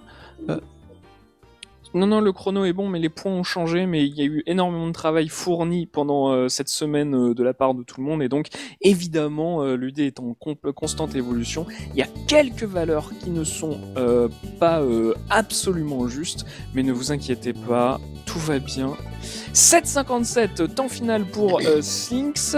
On va voir le temps final de Wizuki. Le temps final de Wizuki, rappelons qu'on est à 1 point toutes les 2 secondes. 11 points d'avance pour l'instant après Hammerwatch pour Wizuki. On va voir ça, 32 points, hein. il a vraiment été loin derrière. On voit que Kusha, ça fait 7 minutes 24, plus de 30 secondes d'avance sur un runner comme Slings. On va voir le temps évidemment d'Armantis en 7,59, 2 secondes derrière Slings, c'est pas mal. Ouais, c'est clair, ça fait des, euh, ça fait des gros gros, euh, des gros gros écarts. Nos runners, euh, préparez-vous directement. du mhm. coup, non, ce que le, du coup le temps, le, temps devait être juste, mais c'est normal parce qu'il y a du temps réel. On a rajouté du temps, c'est bien logique puisqu'on prend l'IGT. Et là, on a vu des runners qui étaient pour certains à plutôt aux alentours des 140 points. donc c'est euh, c'est un point pour les deux secondes pour la coupe qu'on vient de voir et pour celle qui va arriver pour la star, c'est un point toutes les 4 secondes. Mais, mais ça ne change pas en fait la durée de l'épreuve puisqu'il y a 50 points speedrun et 50 points de complétion pour simplement que ça fasse 100 et 100 quand on en met deux. Donc du coup, le, les temps sont bons, c'est juste que c'est un point toutes les 4 secondes pour celle qui arrive. Euh, alors les runners, préparez-vous. J'ai peur que ce soit passé un truc terrible pour Wisuki. J'ai peur qu'il soit passé juste sous les talons euh, il a fait 8 minutes 14 et donc il va avoir euh, 75 points de complétion et donc ça va le mettre largement derrière, ce qui prouve que quand on est un tout petit peu trop faible sur Mario Kart Double Dash, cette coupe fleur est essentielle euh, pour, euh, pour gagner. Donc voilà, ça va être 38 points pour Wizuki, on va le voir apparaître à l'écran, et contre 52 pour euh, Slinks et en un tour de Mario Kart, Slinks est largement repassé devant. Donc malheureusement, la, coupe, euh, la course sur Hammerwatch était trop serrée, euh, vraiment trop serrée pour que Wisuki puisse y aller. On va se lancer tout de suite la Star Cup, donc on va enchaîner. Les runners restent évidemment sur le même émulateur, ça ne bouge pas. On fait le petit menuing pour sélectionner la coupe suivante et on lance immédiatement la race. les runners se préparent, évidemment. Et Wizuki ne craque pas, attention, il faut revenir dans la course, mais euh, ça a l'air d'être vraiment très très très difficile cette coupe fleur. Donc voilà, on voit Kushas, euh, Wizuki, Slinks et Armantis qui se remettent bien sûr le, bon, le bon menu. Encore une fois, désolé pour les runners qui se feraient éliminer ce tour-ci. C'est la dure loi de ce format du tournoi. Il y a des runners qui attendent évidemment une semaine avant de faire les tournois. Si c'est pour partir au bout de deux épreuves, c'est toujours un peu terrible. Et bonjour évidemment à ceux qui nous rejoignent. On est au premier tour. C'est le tour un peu euh, éliminatoire initial de ce tournoi. On avait Ma Hammerwatch tout à l'heure et maintenant on finit Mario Kart Double Dash. Et ensuite la demi-finale, ça sera le moment décisif, le moment rempli de suspense de ce tournoi avec Super Monkey Ball 2, Rayman Legends et Steam World League pour une seule qualification pour 4 runners. Ça va être tendu. Nous continuons évidemment euh, à attendre un peu le top départ. La Star Cup euh, est composée de Sherbetland, suivi de Mushroom City, suivi de Yoshi Circuit, suivi de Deka Mountain. Donc attention à euh, Deka Mountain qui sera décisif. À chaque fois, hein, j'ai l'impression que les dernières races sont les plus, les plus essentielles, les plus importantes. Euh, de l'autre côté, euh, Yoshi Circuit, une course je sais que CDV et moi aimons beaucoup. Mushroom City et Sherbetland, par contre, souvent c'est des courses un peu moins aimées à cause de la physique de la glace de Sherbetland qui est potentiellement un peu dérangeante. Et Mushroom City, c'est la position des voitures. Il y a beaucoup de phénomènes euh, dans, dans ma carte de blodage, donc des, événements qui changent de position au fur et à mesure de la course. Et en fonction de là où on arrive, si on prend un peu de retard ou un peu d'avance, ça peut être déstabilisant. Ça va commencer euh, dans 4 secondes. Le top départ, accrochez vos ceintures évidemment. On y va, Sherbetland pour Slinks, Wizuki, Armantis et Kushas. Les runners s'élancent. L'avance sur notre pool euh, suit principalement pour Slinks, malgré un merveilleux Hammerwatch de Wisuki. Et euh, pour en bas, c'est Kushas qui a l'avantage sur Armantis. Euh, nous allons voir si ça se confirme. Attention à ne pas craquer, encore une fois, parce que cette fois-ci, l'inverse se passerait entre Slinks et Wizuki, et Wizuki pourrait repasser devant. Donc, évidemment, euh, à, faire attention. C'est clair que du coup, c'est modérément catastrophique, vu qu'il y avait que 100 points en jeu, en fait, les écarts sont moindres. et donc, du coup, on est, on est effectivement sur un 245-242 qui est très très serré. Nous avons euh, des spécialistes apparemment, joueurs et speedrunners de Mario Kart Double Dash dans le chat pour encourager nos petits poulains. Euh, pour ceux qui voudraient voir euh, le niveau augmenter, vous n'hésitez pas à suivre toute la saison. Hein. Il y aura des races, des tournois toutes les semaines, tous les samedis. On arrêtera un seul, il me semble, le 23 septembre pour une petite pause. Mais suivez évidemment l'Ultime Décathlon et rejoignez le, le tournoi, l'Ultime Décathlon, si vous le souhaitez. Si vous voulez soumettre des temps sur Mario Kart Double Dash ou sur les 10 jeux. C'est libre, gratuit, ouvert à tous et ça durera jusqu'à début décembre pour l'ultime finale. Donc vous avez le temps de vous y mettre et euh, de vous y attacher. Euh, c'est une très mauvaise Sherbetland à la fois pour Wizuki et pour Slinks. Ça se prend des carapaces et ça fait beaucoup d'erreurs de conduite. Les temps et les écarts sont très similaires alors que euh, Wizuki est troisième. Ça me fait toujours rigoler.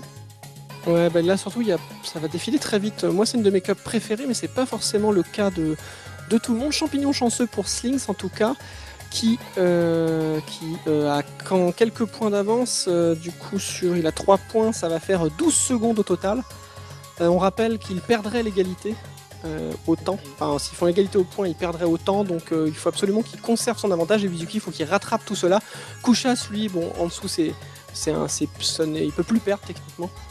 Donc, le, le point de tension, c'est vraiment le premier match effectivement le premier match avec par contre avance de deux nouveaux points de Slink sur Wisuki avec ses 8 secondes d'écart sur euh, euh, Sherbetland, le royaume sorbet, donc attention évidemment. Wizuki doit se euh, s'y remettre. Slink a une bonne chance hein, avec encore un champignon doré. Ou attention à pas se prendre de voiture. Les erreurs de conduite arrivent très très vite quand on, a, quand on est décontenancé par le fait d'avoir ce champignon. Attention attention à l'exécution, c'est les erreurs de conduite qui comptent bien plus que euh, la chance dans ce speedrun, j'ai l'impression, en tout cas en ce début de saison.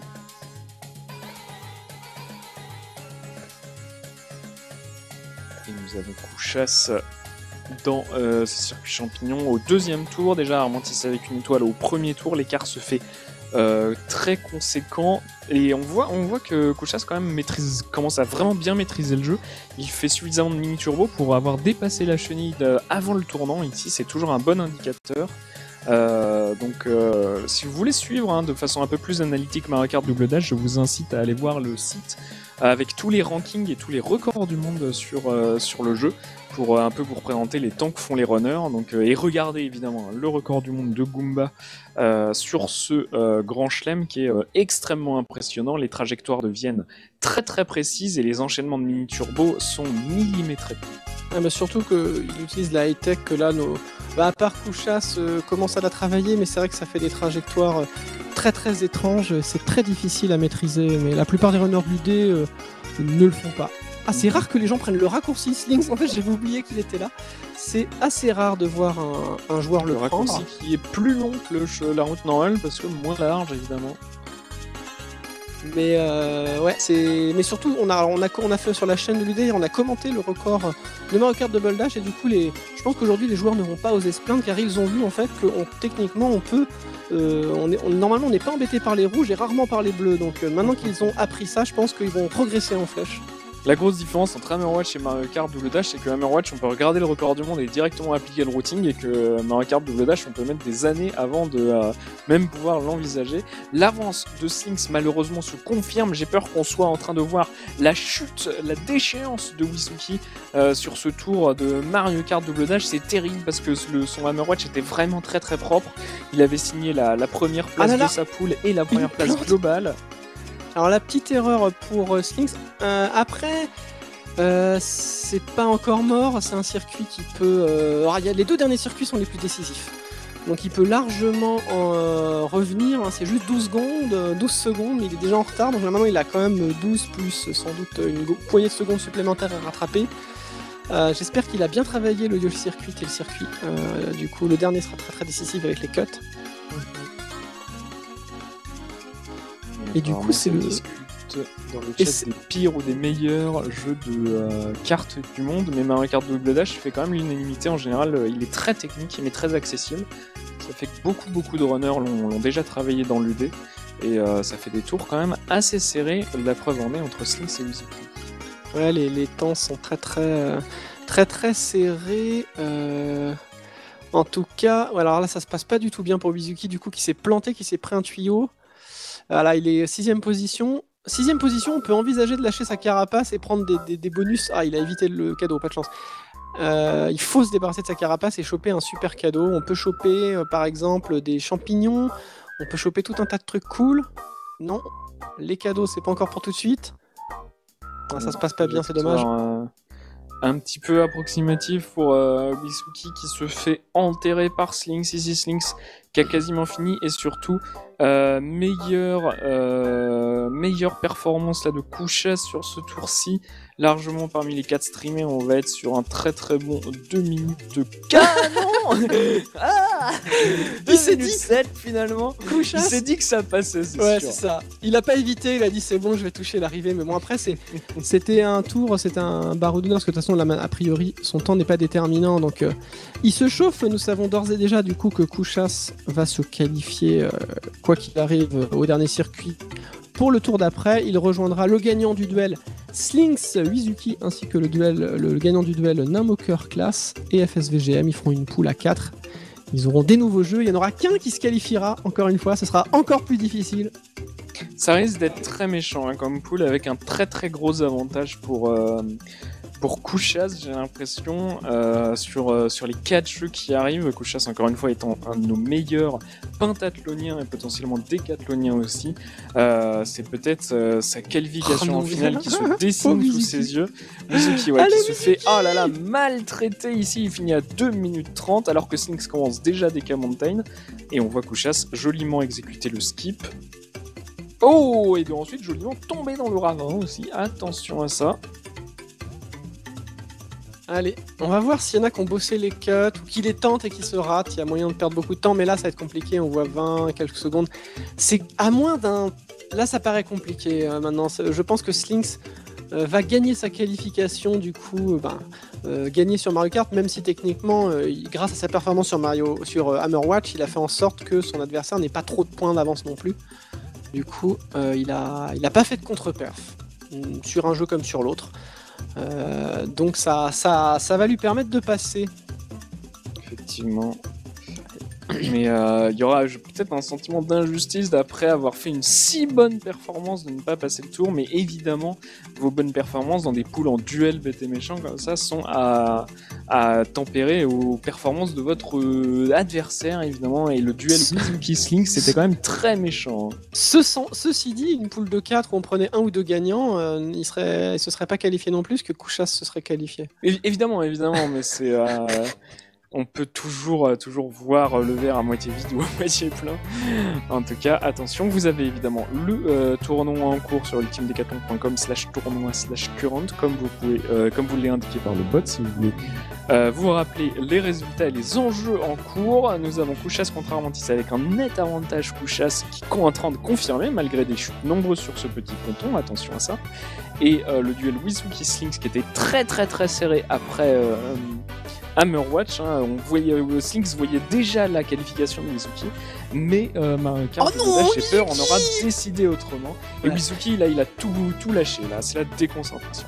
Encore jusqu'à la première carte de Mario Kart, c'était encore serré parce que même s'il avait perdu des points, il y avait 3 points d'écart, mais là, Slinks va confirmer.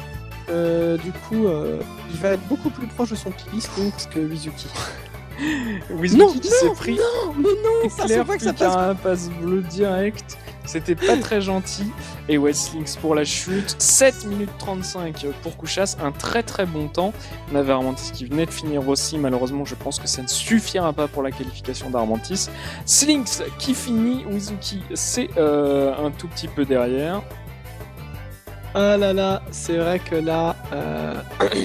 2,25 c'est très très euh, c'est très correct en tout cas euh, par rapport à son PV j'entends c'est cohérent en tout cas par rapport à son 35-36 minutes sur Mario Kart. Euh, du coup, Wizuki a fait plus, d'erreurs. et du coup, ben, Mario Kart l'aura sans doute, achevé.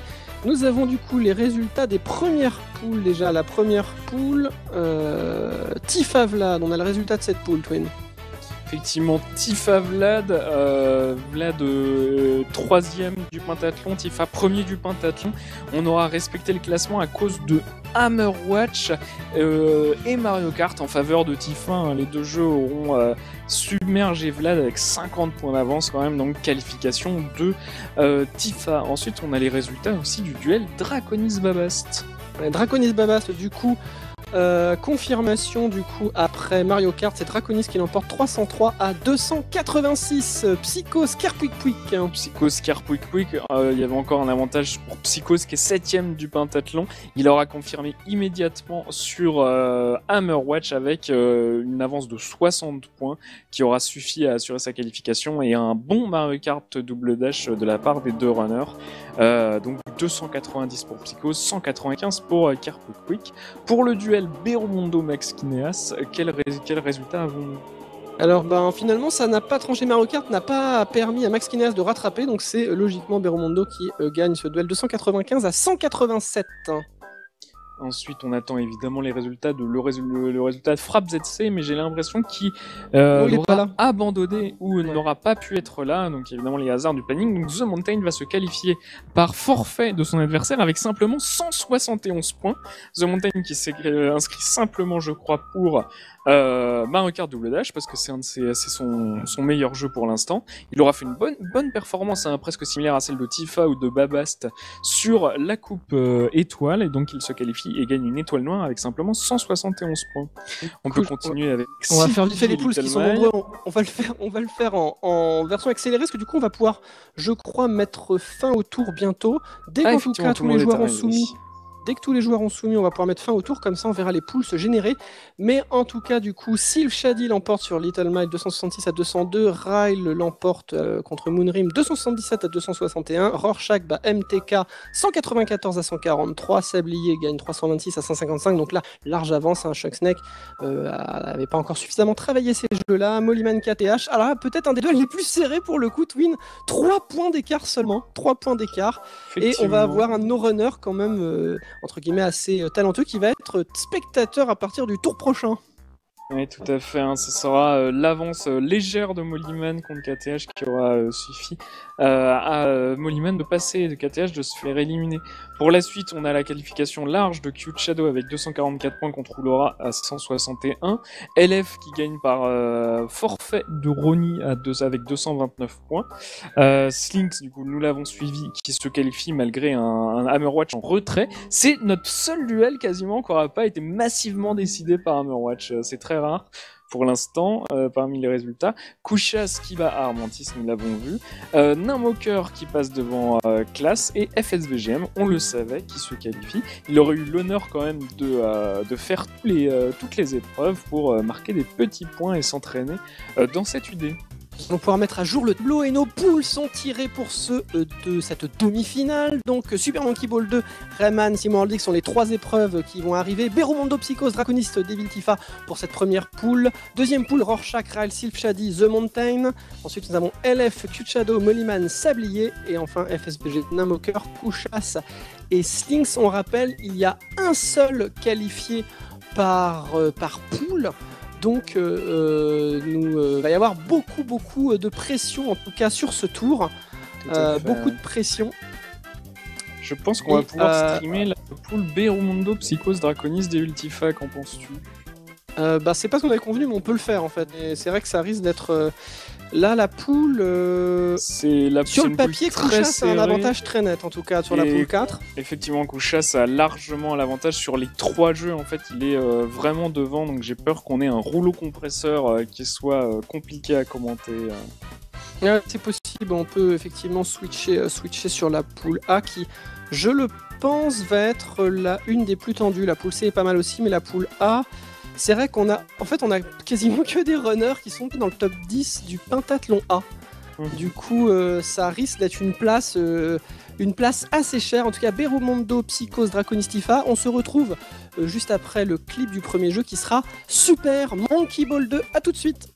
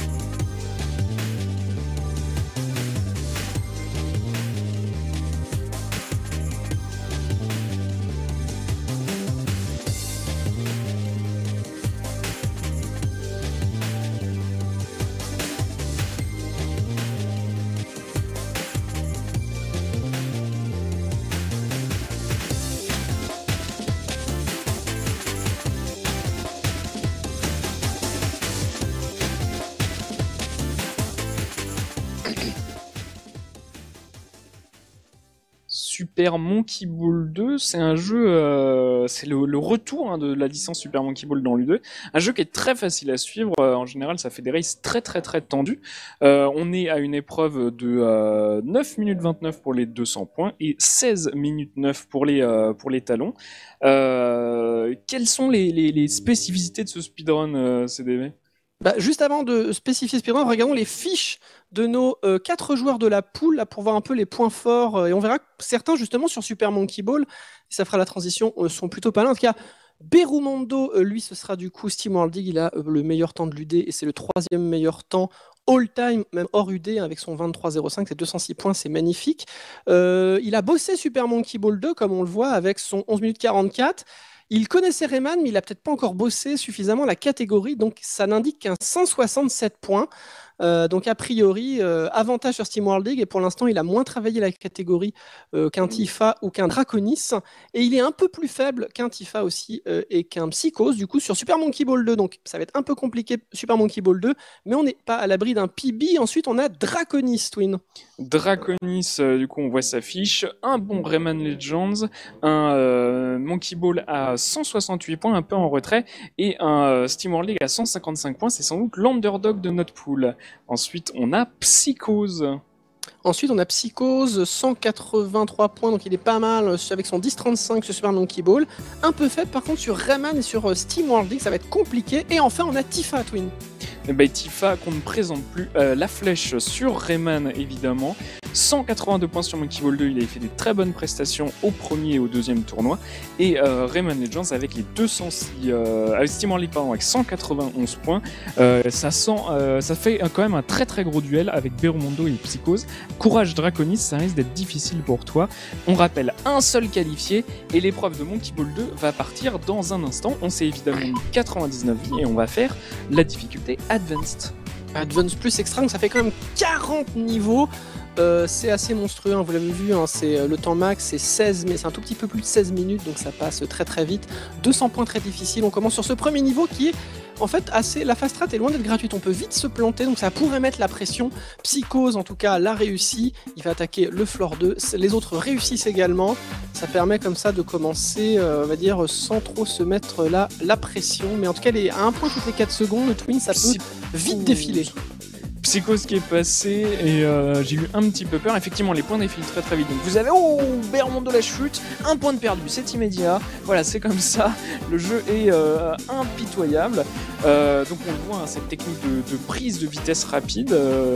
On gagne. Et, oh, Bermond de deuxième chute. Tifa qui rate la sortie. Attention, attention, faut vite, vite, vite se mettre dedans. Ça peut être la plus grosse difficulté en fait de ce speedrun, c'est reprendre un petit peu les contrôles en main. Ouais, c'est encore que la manualité se fait, mais c'est aussi, il y a un gros exercice au niveau du routing, au niveau de la mémoire des chiffres. J'ai eu peur pour Psychose, il est passé vite, j'ai cru qu'il allait se prendre le poteau. Il passe de manière classique, car en fait, c'est pas plus rapide que passer que faire l'autre strat que fait Tifa. C'est à peu près, c'est sensiblement la même chose s'il fait euh, beaucoup de rebonds. Par contre, le record du monde, il va directement à l'arrivée. Là, ça fait gagner du temps, mais, mais du coup, vous allez voir au niveau des temps, c'est sensiblement la même chose. Et je trouve du coup euh, cette strat que fait Tifa plus compliquée effectivement, c'est vrai que c'est euh, un, peu curieux de soit pas faire la fast strat, soit pas faire la, la strat normale. On voit Beromondo hein, dans ce, ce, coaster sur la strat normale et ça passe pas. Et peut-être ah que c'est pour là, ça là, que Tifa préfère les rebonds. Euh, allez savoir, en tout cas. Euh, Psychose, belle avance pour l'instant. Il attaque euh, Coaster, le niveau 7, le pardon, Gravity Slider, le niveau 7. Euh, encore une fois, dans Monkey Ball 2, on gagne plus de vitesse en l'air et en rebond. Et donc, on essaye de passer le plus de temps oh sans toucher le sol. Berumondo, il meurt en boucle Que se passe-t-il? En fait, je pense que Berumondo, il a vu qu'il n'avait pas l'avantage dans cette poule et peut-être qu'il s'est mis un petit peu all-in. Il tente toutes les fast strats et il perd des vies, ça va être remonté. En tout cas, le niveau 8, un niveau décisif, on va passer, on va essayer de faire la warp max. On se positionne et on fonce. Normalement, on ralentit au dernier moment et on prend la warp pour aller directement au. Oh, ça passe pas Ça passe pas. Psychose qui va euh, prendre un peu de retard et c'est Draconis euh, qui va passer devant. Par contre, Draconis ne fait pas la meilleure warp, donc il va perdre une vingtaine de secondes à devoir aller euh, se suicider dans le prochain niveau bonus. Alors, du coup. Euh... Du coup, euh, Tifa qui est au 8. Euh, du coup, truc la warp. Voilà. Psychose. Psychose qui est au 8 aussi. On va voir ce qui se passe, si ça passe. Psychose, c'est son troisième essai sur le 8. Il s'est fait dépasser par Tifa, du coup.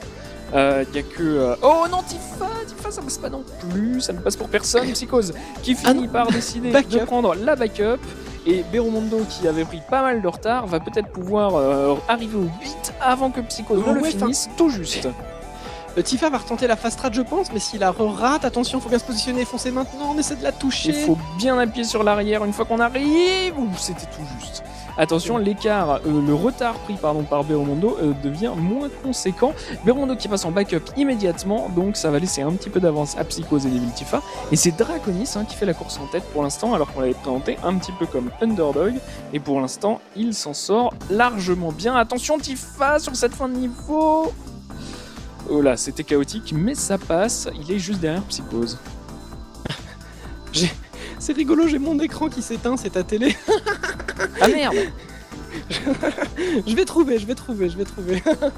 Le l'écran de, commentateur, de commentateur, c'est vrai que on n'a pas dû le brancher sur le bon euh, port euh, qui fait qu'il fonctionne en continu. Euh, alors, attention, attention, Berumondo qui perd beaucoup de temps sur ce niveau, c'est pas terrible tout ça. Euh, Il faut rappeler que Monkey Ball, hein, c'est compliqué à gérer, sachant qu'on ne peut pas du tout euh, on n'a pas du tout de air control puisqu'on bouge le plateau sous ses pieds et on ne bouge pas le personnage, la boule principale. Oh, Psychos qui essaye de sur Stepping Stone, là, euh, le cut, hein, où on ne prend pas le dernier rebond euh, le plus droit, mais ça ne passe pas. C'est donc Tifa qui repasse deuxième, Draconic toujours en avance, sauf si Tifa ici essaye les pause buffer. Regardons ce qui va se passer. On va essayer l'éjection pour Tifa, ça passe pas. Euh, ça ne passe pas. Attention à pas trop perdre de temps en essayant cette fast strat. Tifa, c'est terrible. Il s'était pas mis euh, les vies supplémentaires. il a un continu. Il pourra pas faire l'extra. Ah, il a pas. Alors il pourra. Il s'en rend compte. Il s'en rend compte maintenant. Non. Il reset. Obligé. Il a que deux vies. Ah ouais, c'est du decision making de folie là, genre. Euh. oh là là la prière de Vlad, entendu, Vlad qui a espéré la malchance et il Tifa qui a fait un il est pas sympa. Tifa nouveau setup, nouveau setup de euh, Tifa. Techniquement, il pourrait continuer, il perd du temps mais s'il a débloqué les niveaux, il peut les faire un, il perd énormément de temps à faire ça, mais il peut les faire de manière individuelle en backup. Il perd beaucoup de temps car il faut faire du menuing mais il peut potentiellement continuer en backup, mais s'il n'a pas débloqué les extras sur sa sauvegarde, il pourra pas les faire non plus. Il peut tous les faire s'il nous entend. Voilà, donc euh, backup, euh, il faut. C'est pour ça que sur votre sauvegarde, il faut 99 vies et en backup, si vous avez un crash de la console, vous pouvez du coup les faire à la suite. En fait, ça fait du menuing en plus, vous perdez du temps, mais en backup, ça peut dépanner. Ah, Mon petit cœur qui se brise évidemment parce que euh, bah, les runners, rappelez-vous, hein, ils fournissent énormément de travail pour euh, voir ce que vous voyez là. Quel que soit le niveau, il y a énormément, énormément d'entraînement euh, à l'écran. Enfin, il y a des heures et des heures hein, de pratique, de compréhension, de d'établissement de tuto, de compréhension de backup, de pratique. Et donc, c'est vraiment terrible. et du coup, enfin moi, c'est le genre de situation où j'ai énormément, j'ai pas beaucoup d'empathie dans la vie, mais là, le travail qui, qui se termine et du coup sans la déception de Tifa euh, me, fait pas mal de mal. Attention par contre, Berumondo qui est en difficulté alors que Psychose et Draconis commencent les niveaux 20. Ouais, alors là, attention, on a le pause buffer sur euh, Pro Skater, faut le faire bien, alors 80 ou jusqu'à 78 et ça passe tranquille, juste avec avant, si on a bien calibré, pareil pour Psychose. Alors par contre, Berumondo qui galère un peu à Madring, il va essayer de prendre la Warp euh, Max, je sais pas ce qu'il a bien travaillé le avant-avant, neutre-neutre, après chacun son petit setup, il y en a qui ont bossé aussi des, des pause buffers, mais ce qui se passe, c'est qu'effectivement, on est encore beaucoup des fois à le passer un petit peu au pif, et du coup, des fois, ça passe pas. Il fait la fast trap psychose, en tout cas sur le 23. Euh, c'est très très beau. Ah, mais ça passe pas. En tout cas, du coup, cette poule, euh, entre guillemets, c'est paradoxalement, Tifa avait un énorme avantage et le favori de la poule, euh, qui, à cause d'une erreur, d'une erreur en amont de la run, du coup, ça relance aussi. Du coup, c'est plus difficile de savoir qui va se qualifier Twin là pour le coup. Ouais, effectivement. Donc pour ceux qui comprennent pas ce qui est arrivé à Tifa, euh, si on a un continu, on ne peut pas faire les extras. Euh, et donc euh, c'est, on, est, on, a autorisé le fait de se mettre 99 vies, mais a priori Tifa sur son nouveau PC n'avait pas débloqué du coup toutes les vies supplémentaires, donc il a simplement oublié, hein, ça lui est sorti de l'esprit. Ou Psychos qui passe finalement, et donc le retard conséquent de Tifa qui est pris. C'est Darkonis qui est premier, hein, qui, qui arrive à Launcher. Et Psychose arrive au labyrinthe dynamique. On va voir ce qu'il ah, fait. Attention à pas se planter. Il va être perdu dans le labyrinthe si ça continue. Ouh là là, c'était très approximatif, mais ça va passer pour la strat la plus rapide. C'était chaud, 46. C'est vraiment un niveau gratuit, 24. Euh, c'est un moment où on a plusieurs niveaux vraiment très simples. Triangle Hall, c'est le niveau 25. Il est, euh, il est hyper gratuit si votre manette est calibrée. C'est un des niveaux les plus durs si votre manette n'est pas calibrée. Alors sur un clavier, c'est gratuit parce que c'est simplement avant. Mais j'ai testé qu'une manette non calibrée, c'est genre l'horreur, ça devient le niveau le plus dur, quoi. C'est genre impossible. 26 Twin, c'est le niveau en tout cas pour euh, a priori pour nos runners, ils l'ont passé facilement, ils sont très forts, mais beaucoup de runners qui apprennent le jeu, c'est le premier gros pic de difficulté, c'est le niveau où on arrive, on se dit bon, pourvu que je le passe, du premier ou du deuxième coup. Effectivement, Tifa apparemment qui reset up du coup son OBS qui va reprendre euh, la course, j'ai l'impression. il s'est mis des, des, des, singes en plus et il peut recommencer. Donc ça va être simplement de la pratique. Je sais même pas s'il va avoir le temps d'aller jusqu'au bout. Euh, c'est vraiment, c'est vraiment terrible ce qui s'est passé. Euh, espérons que ça soit la seule fois qu'ils changent de PC, qu'ils doivent tout réinstaller de la saison. Ceci dit, ça lui arrive sur un tournoi qui est encore un tournoi de début de saison, donc c'est une expérience parce qu'après c'est une erreur qu'a priori on refait plus. Peut-être lors de tournois plus importants, donc voilà, des... malheureusement, mais ça, je pense que du coup ça, ça c'est le genre de truc qui marque euh, on se dit, euh, je, savais que dans la saison ça allait arriver avec quelqu'un, ça, devait arriver à n'importe qui, euh, peu importe. sur d'ailleurs, on a plusieurs jeux qui nécessitent, ça pourrait être Rayman, la, sauvegarde n'est pas débloquée. On a effacé la sauvegarde par exemple, c'est ce genre de trucs qui peuvent arriver. Effectivement. C'est passé pour Bermondo.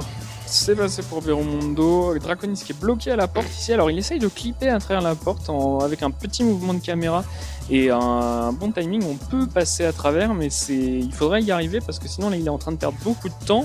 Euh, et donc il pourrait perdre toute son avance. Psychos qui arrive au même niveau. Regardez Draconis qui est bloqué à 20 secondes. Ah ça passe pas et c'est la mort de Draconis. Psychos qui repasse devant et euh, Berumondo qui les rejoint. oh, et Psychos qui meurt Et donc, attention, parce que Berumondo qui arrive au niveau 30, qui est un niveau derrière Draconis, alors qu'il y a eu énormément euh, d'erreurs au début pour Berumondo. Le 54 post buffer. Ah non, il va devoir corriger. Il a raté son post buffer, mais normalement, il peut terminer. Correction ici.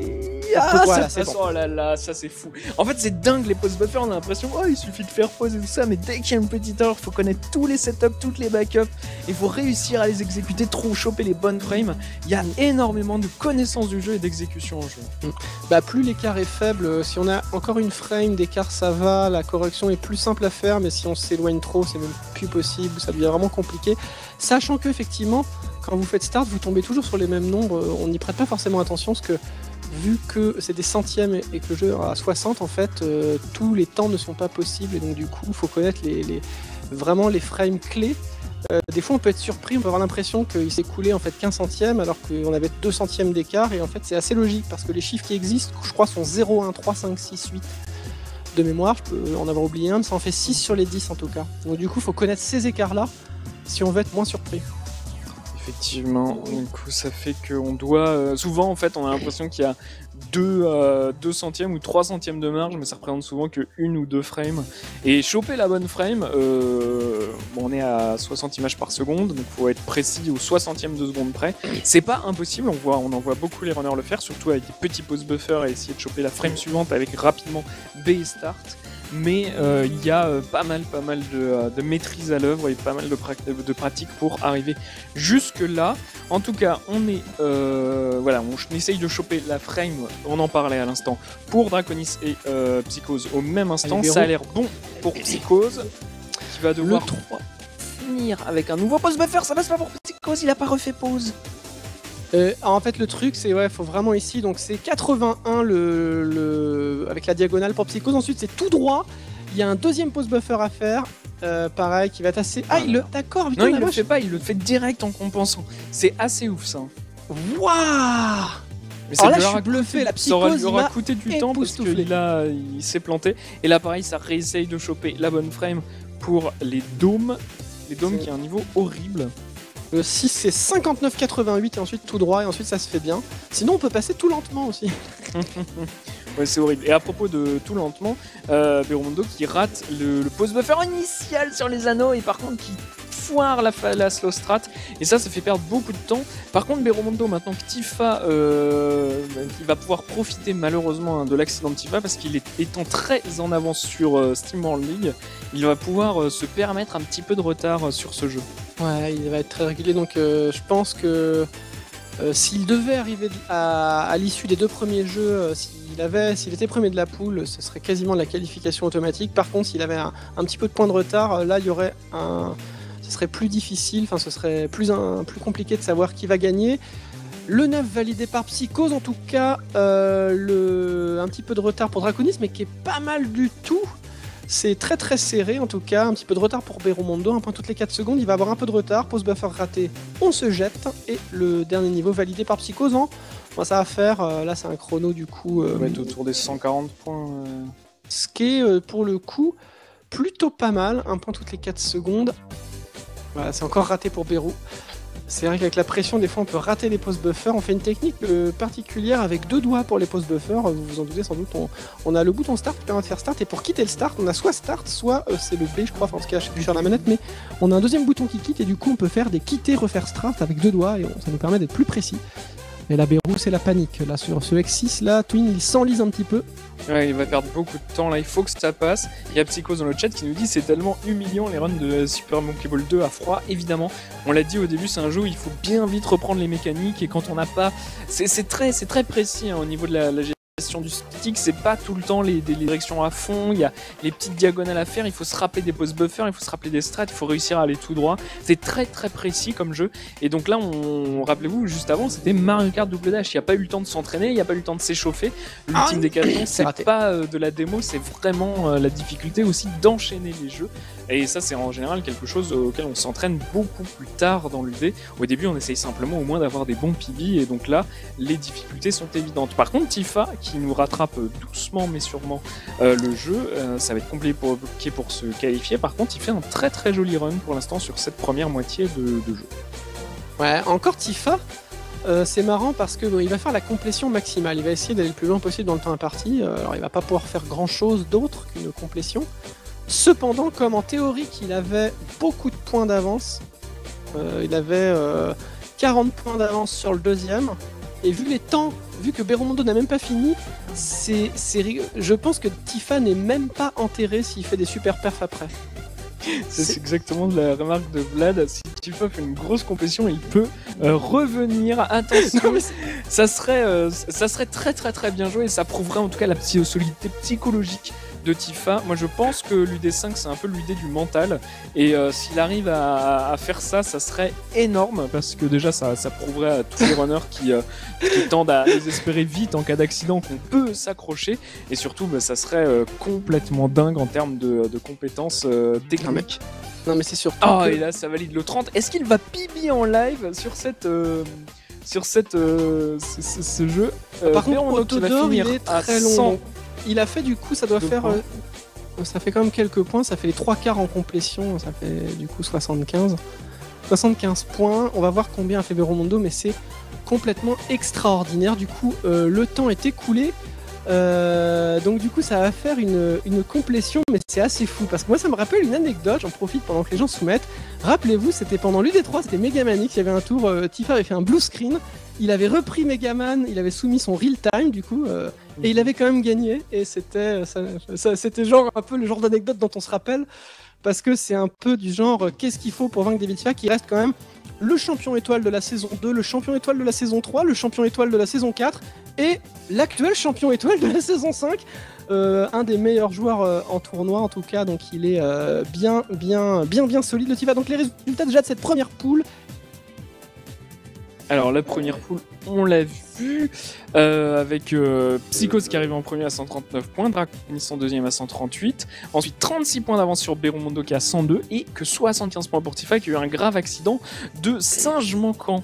Euh, pour la deuxième poule, nous avons Dr. Ryle en premier à 142 points, Shady en deuxième à 132 points. Par contre, beaucoup de retard pour Rorschach et The Mountain à 87 et 62 points respectivement.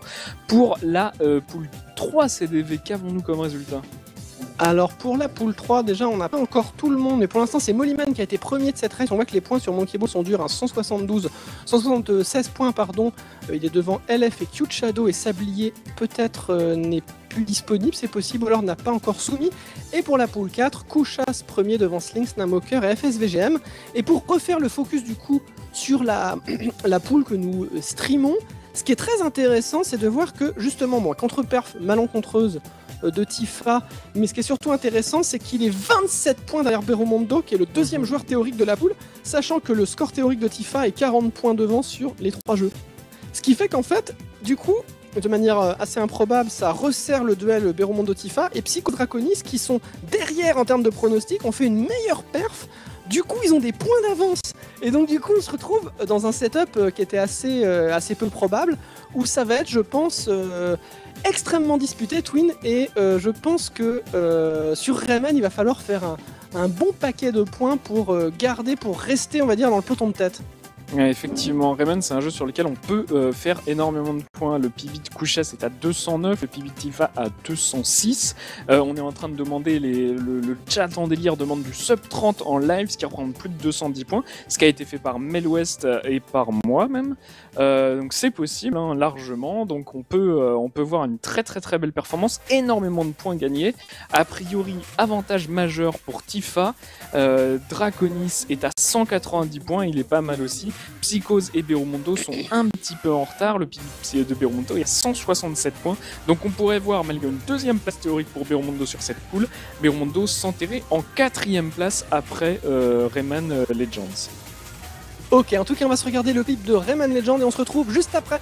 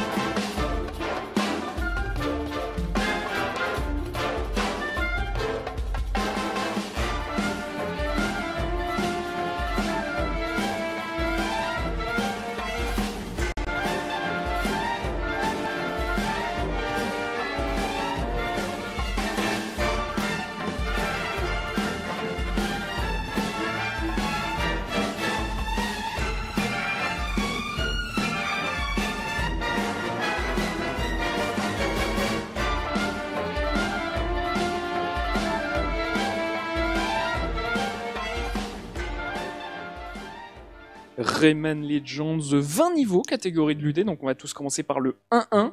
Ensuite, il faudra 18 niveaux euh, au choix des joueurs, donc souvent la routing, le routing se fait aux préférences personnelles, à la difficulté et à la durée des niveaux. évidemment, ensuite, on finit par un boss pour voir les petits crédits de fin en fin d'épreuve. Le temps euh, étalon est à 31 euh, minutes pour les 200 points et 44 minutes, il me semble, on va laisser en real time pour les 100 points, donc il y a largement le temps de finir. Mais attention, les points défilent beaucoup plus vite que euh, on en a l'impression et ça a été une épreuve déterminante dans les tournois précédents CDB. Ouais, un point toutes les 6 secondes, en fait, ça paraît, ça fait partie des jeux sympas, mais sur des épreuves longues, on accumule vite des retards, car sur des jeux courts, si la différence de niveau peut se traduire par 30-40 secondes, là, sur un Rayman, on peut vite avoir 2-3 minutes, 20-30 points. Euh, donc ça va vite. Record actuel du coup c'est euh, Twin lui-même qui a fait ce 29 minutes 16.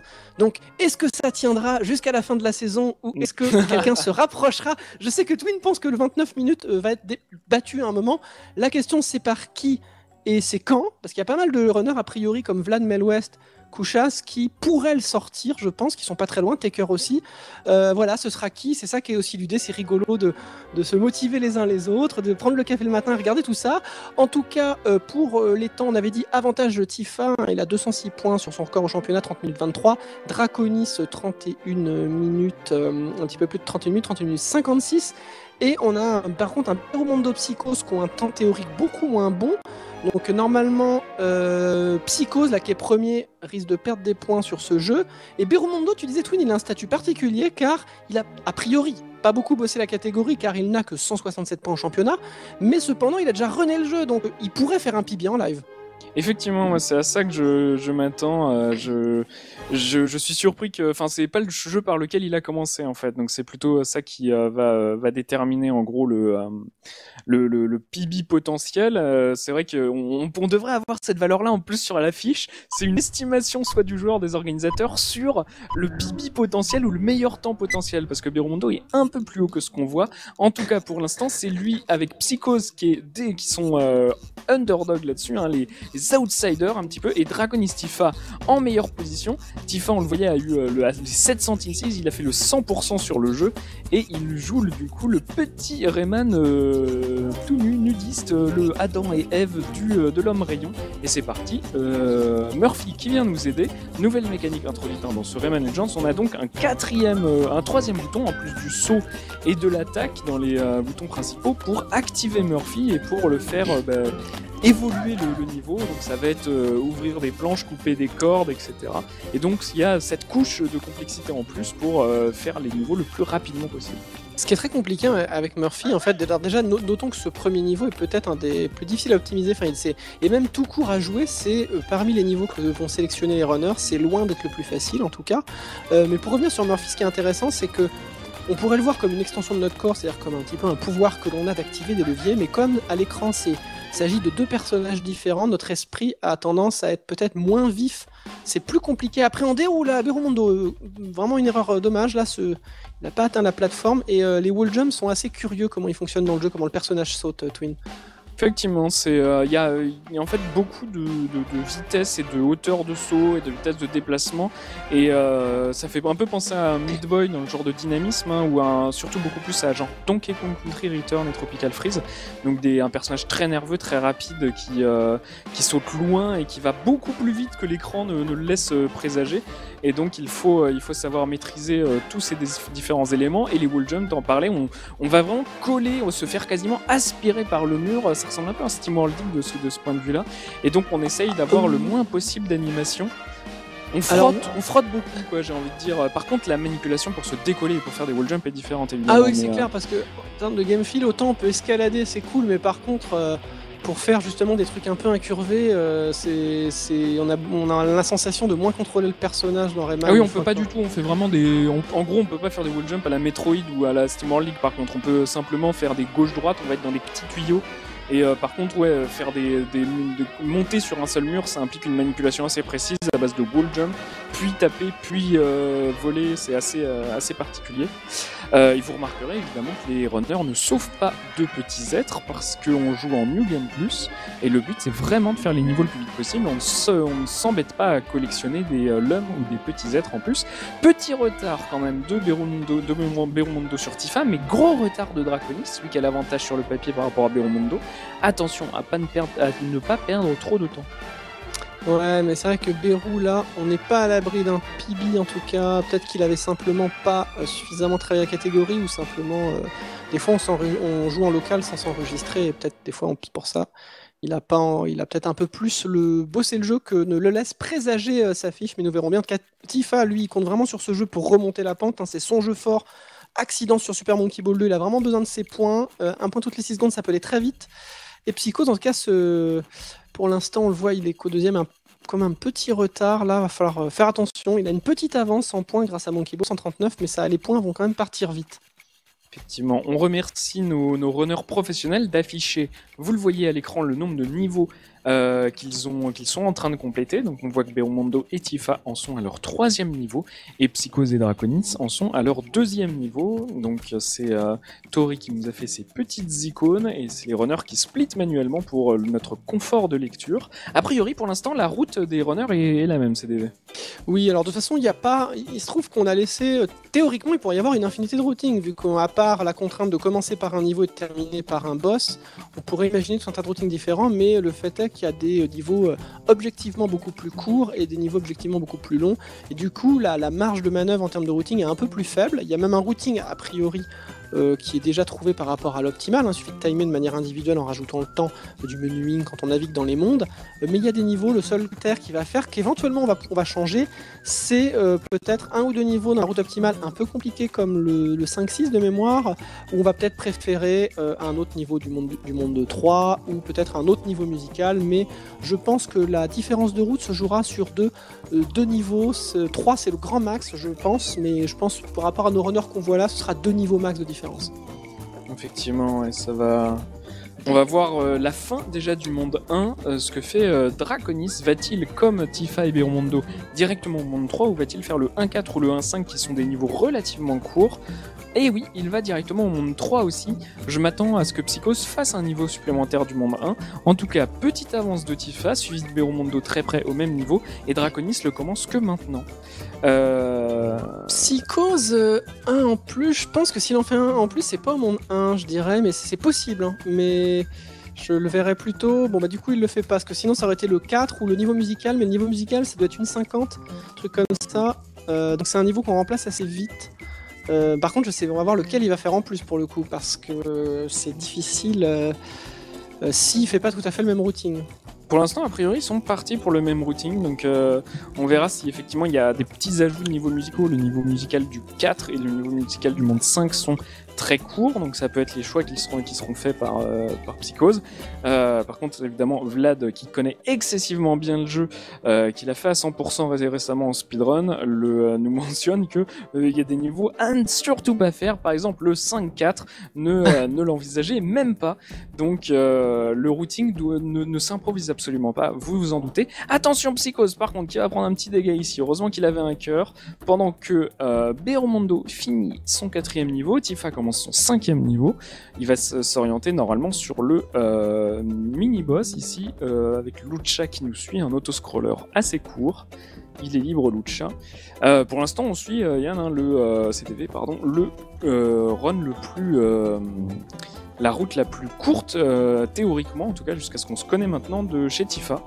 Et a priori, ça peut faire gagner du temps. Par contre, ça y est, Divergence, Beromondo fait le 3-4. Voilà, donc on va avoir effectivement bientôt euh, les premiers niveaux qui peuvent, euh, qui peuvent varier. Euh, de mémoire, Beromondo, qui justement a fait des erreurs sur 3-4, qui est un niveau que bah, pour le coup je fais aussi. Petit dégâts ici, pour gagner un petit peu de temps, c'est très très bien. Quand on le fait parfaitement, il est quand même plus long que d'autres niveaux, mais il est plutôt pas mal. Mais un petit peu dangereux, il y a ah, notamment un skill de raté. Non, non, mais là ça vaut plus le coup là. ah si, si, ok, d'accord. Si, si, il s'attrape, mais là on voit qu'il a, il a, il a pas perdu, enfin il a pas perdu de temps par rapport à s'il avait jamais tenté, mais c'était tout juste. En fait, sinon on est obligé d'attendre que le verre mange le gâteau. Hein. c'est un peu la mécanique globale de ce niveau, mais on essaye. Euh, quand on est petit, vous l'avez vu, on peut dasher dans toutes les directions, et donc on essaye d'en profiter pour avoir euh, été un peu plus libre de mouvement. Ah par bah. contre, quand on est petit, on va très doucement, c'est un peu frustrant. Du coup, on a Psychose qui va, euh, qui rentre du coup dans le niveau dans lequel est Beromondo. Tifa, lui, du coup, ne l'a pas fait. Du coup, Draconis le fait aussi, du coup. Du coup, ça a l'air d'être un routing que font les joueurs qui sont euh, pas encore à 190, mais plutôt à 170-75. Et après, quand on arrive un peu au cap euh, du routing, euh, on, fait un deathless, on se dit ok, on va rajouter les niveaux durs. J'ai l'impression que sur Rayman, les gens font ça dans leur entraînement. Dragonis c'est à 190 points, donc effectivement peut-être que ça va être le moment derrière pour lui, et peut-être après ce tournoi, semaine prochaine, d'apprendre le, euh, le, routing optimal. En tout cas, le 5-6, Jean. Je suis sûr que c'est le 5-6 qui fait pas parce qu'il fait trop peur. ah bah le 5-6, si on le fait mal, il fait perdre du temps. Hein, donc euh, c'est sûr que une mort au 5-6 et le 3-4 vaut mieux le coup. Après, euh, vaut plus le coup. Mais après, faut pas mourir au 3-4 non plus. Donc c'est toujours facile à, à dire. en tout cas, c'est fini pour Beromondo, c'est bientôt fini pour Draconis. Beromondo qui a encore perdu beaucoup de temps au 3-4, attention. Et Tifa qui s'élance sur son sixième niveau, c'est le niveau musical du monde, euh, du monde 3, un niveau, une reprise au kazoo absolument incroyable de Eye of the Tiger. Euh, j'espère qu'on l'entendra dans l'OST que euh, vous a sélectionné Prosper à la réalisation aujourd'hui. Mais la BO, de toute façon, du jeu est vraiment extraordinaire. Le jeu a beaucoup de qualité. Alors on pourrait dire que c'est certes une grosse production, mais là fait, ça a été fait sur plein de points avec beaucoup de finesse, le level design, la direction artistique, la musique. Vraiment, même au niveau du gameplay, c'est très très fluide, c'est très péchu, beaucoup beaucoup de qualité. En tout cas, si vous ne connaissez pas les Rayman, c'est peut-être un des Rayman par lesquels on, on peut commencer si on ne connaît pas la licence, parce qu'il est euh, très très plaisant en tout cas. Moi, s'il y a un développeur d'Ubisoft qui m'entend, il y a quand même quelques défauts qu'on aurait pu éviter avec un tout petit peu de playtest. Donc, euh, engagez-moi, je vous fais du playtest sur Rayman Mercenaries qui va sortir tout bientôt. Et, euh, et, on vous enlèvera avec Vlad. On, vous nous prenez tous les deux euh, à mi-temps sur un mois. On vous fait un speedrun et on vous souligne tous les petits points où on peut rentrer dans les murs. comment on peut mourir dans ce niveau? Si, si, on peut. en fait, le truc, c'est que si tu l'as plus dans les doigts, il faut faire un saut et courir le long du mur. Et des fois, tu as l'impression qu'en faisant deux sauts, tu vas y arriver. Mhm. Et c'est tout bête, c'est que si on n'y pense plus au fait de simplement sauter puis courir, on peut se tromper et on meurt en boucle. Et là, carrément, encore une petite. Oh là là, non, effectivement, là, ça devient euh, délicat. Berumondo, il se fait dépasser par Draconis sur cette erreur. Attention, alors que Tifa s'envole. Rappelons que Tifa, avec son problème euh, grave sur euh, Super Monkey Ball, a quasiment 65 points, 64 points pour être exact, de, de retard sur Psychose. ça fait 63 points de retard sur Draconis. Mais l'avantage qu'il prend sur Rayman pourrait le remettre largement dans la course. Euh, attention, attention. J'ai envie de dire, je pense même qu'après Rayman, il va, il va repasser devant Beromondo, parce que Beromondo, son point fort, c'est le dernier jeu, c'est évidemment Steam World euh, mais j'ai l'impression, alors de toute façon, peu importe le joueur qui gagne, ce serait extraordinaire parce que de toute façon, c'est beaucoup de joueurs très investis. C'est des joueurs. Euh, là, on est en demi-finale de ce tournoi. ils se sont qualifiés. C'est des joueurs qui sont illustrés dans plein de saisons du décathlon. Et euh, Tifa, s'il devait gagner, lui, c'est, ce serait une page supplémentaire dans sa biographie euh, speedrunistique à mes yeux, en tout cas. C'est vraiment le, le, joueur impossible à vaincre, peu importe ce qu'il arrive. Quoi. La foudre Après... tomber sur sa maison qui continuerait à jouer dans sa maison en feu et gagner. Quoi. pour le palmarès, hein, dans le livre d'or, nous avons le Donnez-moi une heure lorsque Millet euh, le bat. Euh, ah non, c'est pardon, c'est Millet qui, qui, qui, qui, qui dit Donnez-moi une heure alors que Tifa le bat sur Towerfall et qui, qui y arrive. Ensuite, nous avons eu oh Tifa qui meurt ici en essayant un petit euh, abus de de, de comment ça s'appelle? C'est une, alarme d'alarme de caméra de surveillance. Euh, attention, petite perte de temps. Mais on aura eu aussi euh, du coup euh, le euh, la pause dîner en plein milieu d'une run de Spelunky, d'une race de Spelunky et qui l'emporte quand même à la fin. Nous aurons eu le blue screen pendant une race de Mega Man X et nous aurons eu maintenant l'oubli des 99 vies sur Monkey Ball, Devil Tifa, runner inattentif ou génie, génie incompris, sa biographie bientôt en vente édité chez Plomb. Ça c'est des anecdotes, n'empêche un jour enfin, enfin on écrit un article, un bouquin n'importe quoi, c'est des anecdotes que je me ferai un plaisir de raconter. Parce que c'est ça aussi, c'est toutes les, les, tout ce qui se passe en dehors des, temps à proprement parler, c'est des, trucs rigolos, improbables. Les tournois sont juste un prétexte en fait, nous ce qu'on aime bien c'est les anecdotes. Allez, le routing optimal pour Tifa qui fait euh, la station, euh, les Deadly Light, pardon, les, les, lumières de la mort. Euh, on y va. Donc c'est encore un niveau avec Murphy. Niveau, qui dit niveau avec Murphy dit euh, manipulation supplémentaire et dit aussi euh, niveau un petit peu plus technique que les autres. Euh, nous l'avons. Attention d'ailleurs, il fallait qu'il s'accroche un petit peu. Et nous avons les trois autres runners, Draconis, Psychose et Berumondo. Sur le niveau musical, ils vont commencer leur huitième niveau tous les deux, alors que Tifa y est déjà bien dedans depuis quelques instants. Rappelons pour les joueurs qui arrivent, c'est la demi-finale de ce tournoi. Nous avons 4 poules de 4 et là nous streamons la poule A, euh, poule peut-être la plus serrée. Un seul qualifié parmi ces 4 joueurs. Nous avons joué Super Monkey Ball, il s'agit de Rayman et la prochaine épreuve c'est Steam World. Seulement une place pour chaque poule en finale. Donc euh, c'est euh, voilà, c'est on peut. C'est un format un peu méchant hein, pour ceux qui nous rejoignent maintenant. Ouais, mais les gens, hein, ce que j'aime bien, c'est que globalement les gens, sont contents des spectateurs. Ils nous, la plupart des joueurs nous ont dit ça en fait. Après, rien ne peut faire l'unanimité, et j'ai envie de dire, rien ne doit faire l'unanimité en termes de format, c'est plutôt inquiétant, mais quand il y a une tendance lourde, c'est rassurant par contre. Je pense que le gros problème de l'élimination, c'est quand euh, c'est les runners qui voulaient faire un jeu en particulier qui n'ont pas pu le faire. C'est évidemment euh, un peu frustrant, j'imagine. Donc Beomondo, Draconis, sur le premier niveau, l'île, la mystérieuse île flottante, euh, et euh, Tifa à la fin du niveau 4-2, les lumières de la mort. Nous avons voilà, cette fin de niveau tranquillement. On est en retard, on est en retard pour le sub 30, on est en retard sur leur PB, ça se passe pas parfaitement pour tout le monde pour l'instant. Non, non, mais, mais là c'est évident je pense, sur ce jeu. Je pense que Tifa, le sub 30, c'est plutôt sub 31, même sub 32, ça pourrait lui suffire pour avoir une belle avance par rapport aux autres PB que je vois.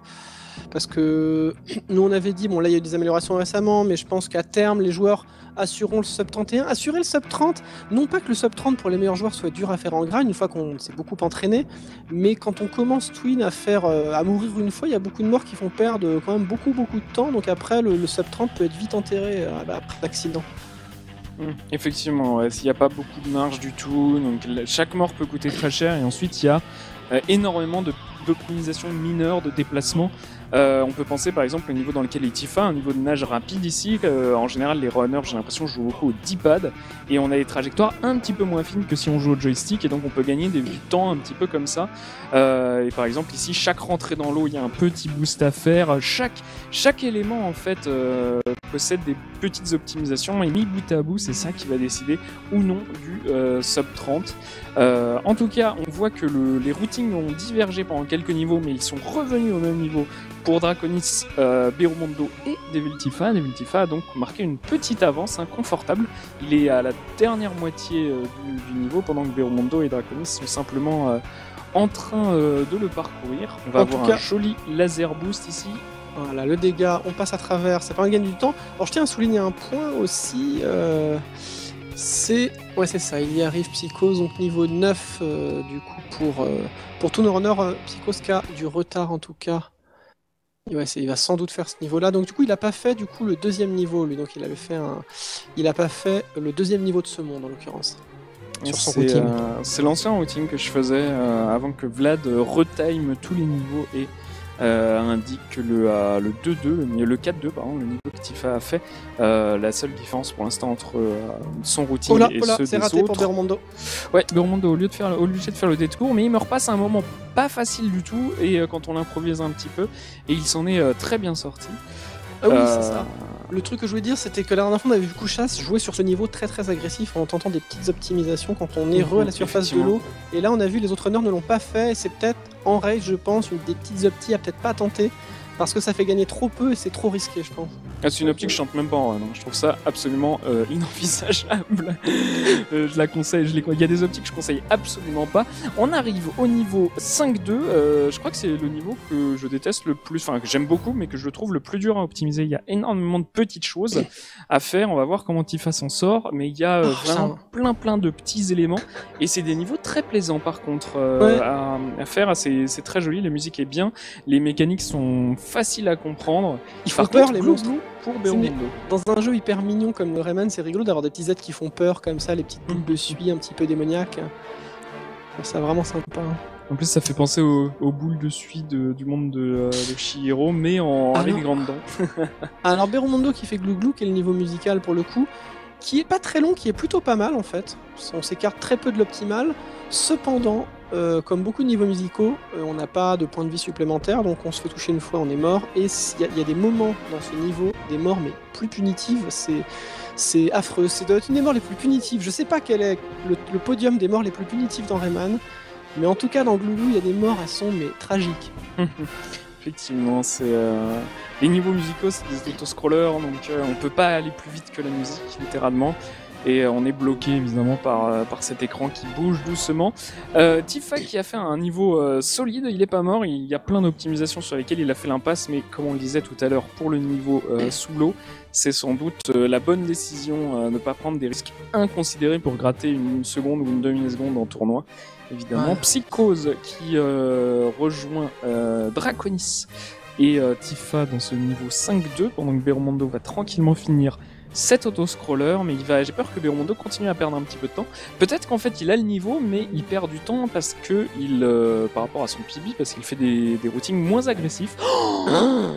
Alors oh, c'est une des moins punitives.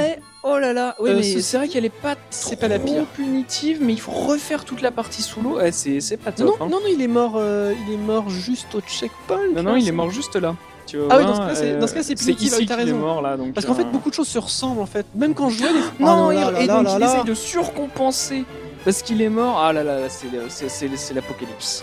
Ah ouais, parce que là, il repasse l'eau, effectivement, c'est plus clair. Moi, ça, il m'a toujours troublé ce niveau, parce que les morts sont punitives, et des fois, je sais même plus si je suis beaucoup en arrière, s'il y a des, trucs qui se ressemblent. Mhm. J'ai du mal à distinguer dans certains niveaux musicaux, donc voilà, faut pas. Là, c'est sûr, là, ça va être plus compliqué, et du coup, euh, ben, là, ces points perdus, c'est des points que il va peut-être se faire euh, distancer parce que pour l'instant il était troisième à l'issue de Monkey Ball dans cette poule, avec un Tifa quatrième, Traconis Psychos devant lui à 30 points devant. Donc du coup, euh, cette poule risque d'être juste avant euh, Steam World ça risque d'être quand même relativement serré. Effectivement, on verra euh, l'avantage que, euh, que peut tirer de son Steam Holding, mais il va avoir quelques points de retard, je pense, sur tout le monde. Ensuite, c'est un runner euh, vétéran de Steam Holding, il fait partie de ce groupe de gens qui ont participé sans doute à, l'émulation et qui a mené à la création du dé sur Steam Holding en 2015. Par contre, l'avantage d'avoir deux ans dans les pattes sur un jeu suffira-t-il à, combler cette contre-performance sur Monkey Ball et sur Rayman? Ça va être compliqué parce que Tifa qui a un PB à Steam League à 190 points, on va dire plus de variance en race, a priori il a moins d'expérience en race, peut-être qu'il va faire au pire 165 si ça se passe pas bien, 200 euh, points euh, s'il assure euh, peut-être 35 points, donc il y a moyen en fait, normalement il est assez régulier Berumondo, donc il peut largement faire un 24 minutes 30 et être même en dessous des 24 de manière assez fréquente on va dire. Euh, donc euh, voilà, on verra ce qui se passe, mais euh, il va peut-être être, all-in sur SteamWorld League, il va tenter toutes les strates hyper agressives, on verra comment ça se passe. Effectivement, il, donc il est à son 11e niveau en même temps que Psychose, Draconis qu'en est à son 12e avec Tifa, donc il y a juste un niveau de retard hein, entre Draconis, Tifa ah. et Berumondo. Mais le niveau d'écart qu'il y a, il, est très court. très bonne exécution là de Tifa qui va euh, finir son monde 5 et il va pouvoir tranquillement se diriger vers le monde 2 qui non, non, Beru, Ah là Re une mort Ah, et re une mort punitive, encore une fois. Il fait des morts euh, qui sont longues et euh, délicates. Mais il est piégeux ce, ce saut parce que son défense saute trop loin ou pas assez loin. On saute entre le- les deux, l'ennemi et le, le tambour. Sachant que dans ce genre de cas, on- il faut pas oublier qu'on peut voler et qu'on peut prolonger son saut avec euh, l'attaque. Normalement, on peut sortir de quasiment toutes les situations. Mais c'est Alors. vrai que après, ça peut être très long hein, de voler mollement et d'aller frotter les murs. Et Tifa sur le 5-6, un niveau Un décisif. Ouais, un des niveaux les plus durs. Alors, un des plus rapides, a priori. Non, et ben euh, voilà, beaucoup de chutes. Alors, il est dur au début, mais après, euh, tu disais, Twin, une fois qu'on l'a, on va dire, euh, qu'on l'a bien dans les mains, il est plus impressionnant que dur. quoi. C'est pas forcément le plus dur optimisé, mais le coût d'entrée est très élevé. Ça, ça va demander quand même du travail pour bien, euh, bien passer. Il est très punitif. Mais euh, c'est vrai que. Exactement, ouais. mais, mais quand on dit coût d'entrée très élevé, on parle de, euh, de, de, de- de connaître le, euh, le, le niveau par cœur. Quoi. Il faut être capable de le dessiner quasiment euh, les yeux fermés pour ensuite, mais ensuite, une fois qu'on l'a, les optimisations, euh, c'est quasiment simplement freiner le moins possible et euh, frotter le, mo- le moins les murs. Par contre, la moindre erreur reste extrêmement punitive. Donc pas dur à optimiser, difficile à apprendre et les erreurs co- coûtent beaucoup. Donc ça reste un niveau très stressant. Ah là là, Tifa, piqué. Bon, mais par contre, voilà, les checkpoints sont pas souvent très loin. Il est mort juste là, donc il, il y est directement. Oh, il frotte même pas le mur ici. Ça, c'est très beau. Ah, les petites optimisations de Tifa. Va-t-il, va-il euh, optimiser bien la fin ou va-t-il euh, mourir croqué par les dragons Une Moi, je seconde. pense, je pense Il qu'il faut faire le glitch pour gratter des points. hein.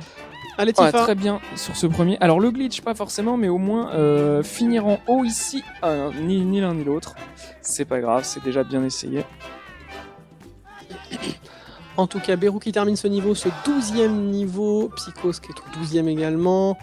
Euh, on est euh, au 13e pour Draconis, qui est le deuxième meilleur théorique de la poule. Donc pour l'instant, les, les PB, hein, les, fiches sont respectées. On a remarqué quand même souvent, euh, ça c'est l'expérience de l'idée, que souvent, bah, évidemment, si les gens ont soumis leur temps, ce que font la plupart des joueurs, évidemment, que souvent, quand un joueur, surtout avec un système de points comme ça, où euh, les gens sont encouragés à grinder, euh, quand quelqu'un est, annoncé plus fort sur le papier, enfin, si la différence est significative, souvent ça, traduit souvent aussi euh, des, meilleures performances en race, sauf quelques jeux si ça nécessite des ajustements pour la régularité, la variance, mais souvent quand même les joueurs très bons au championnat sur un jeu s'en sortent quand même assez bien en race.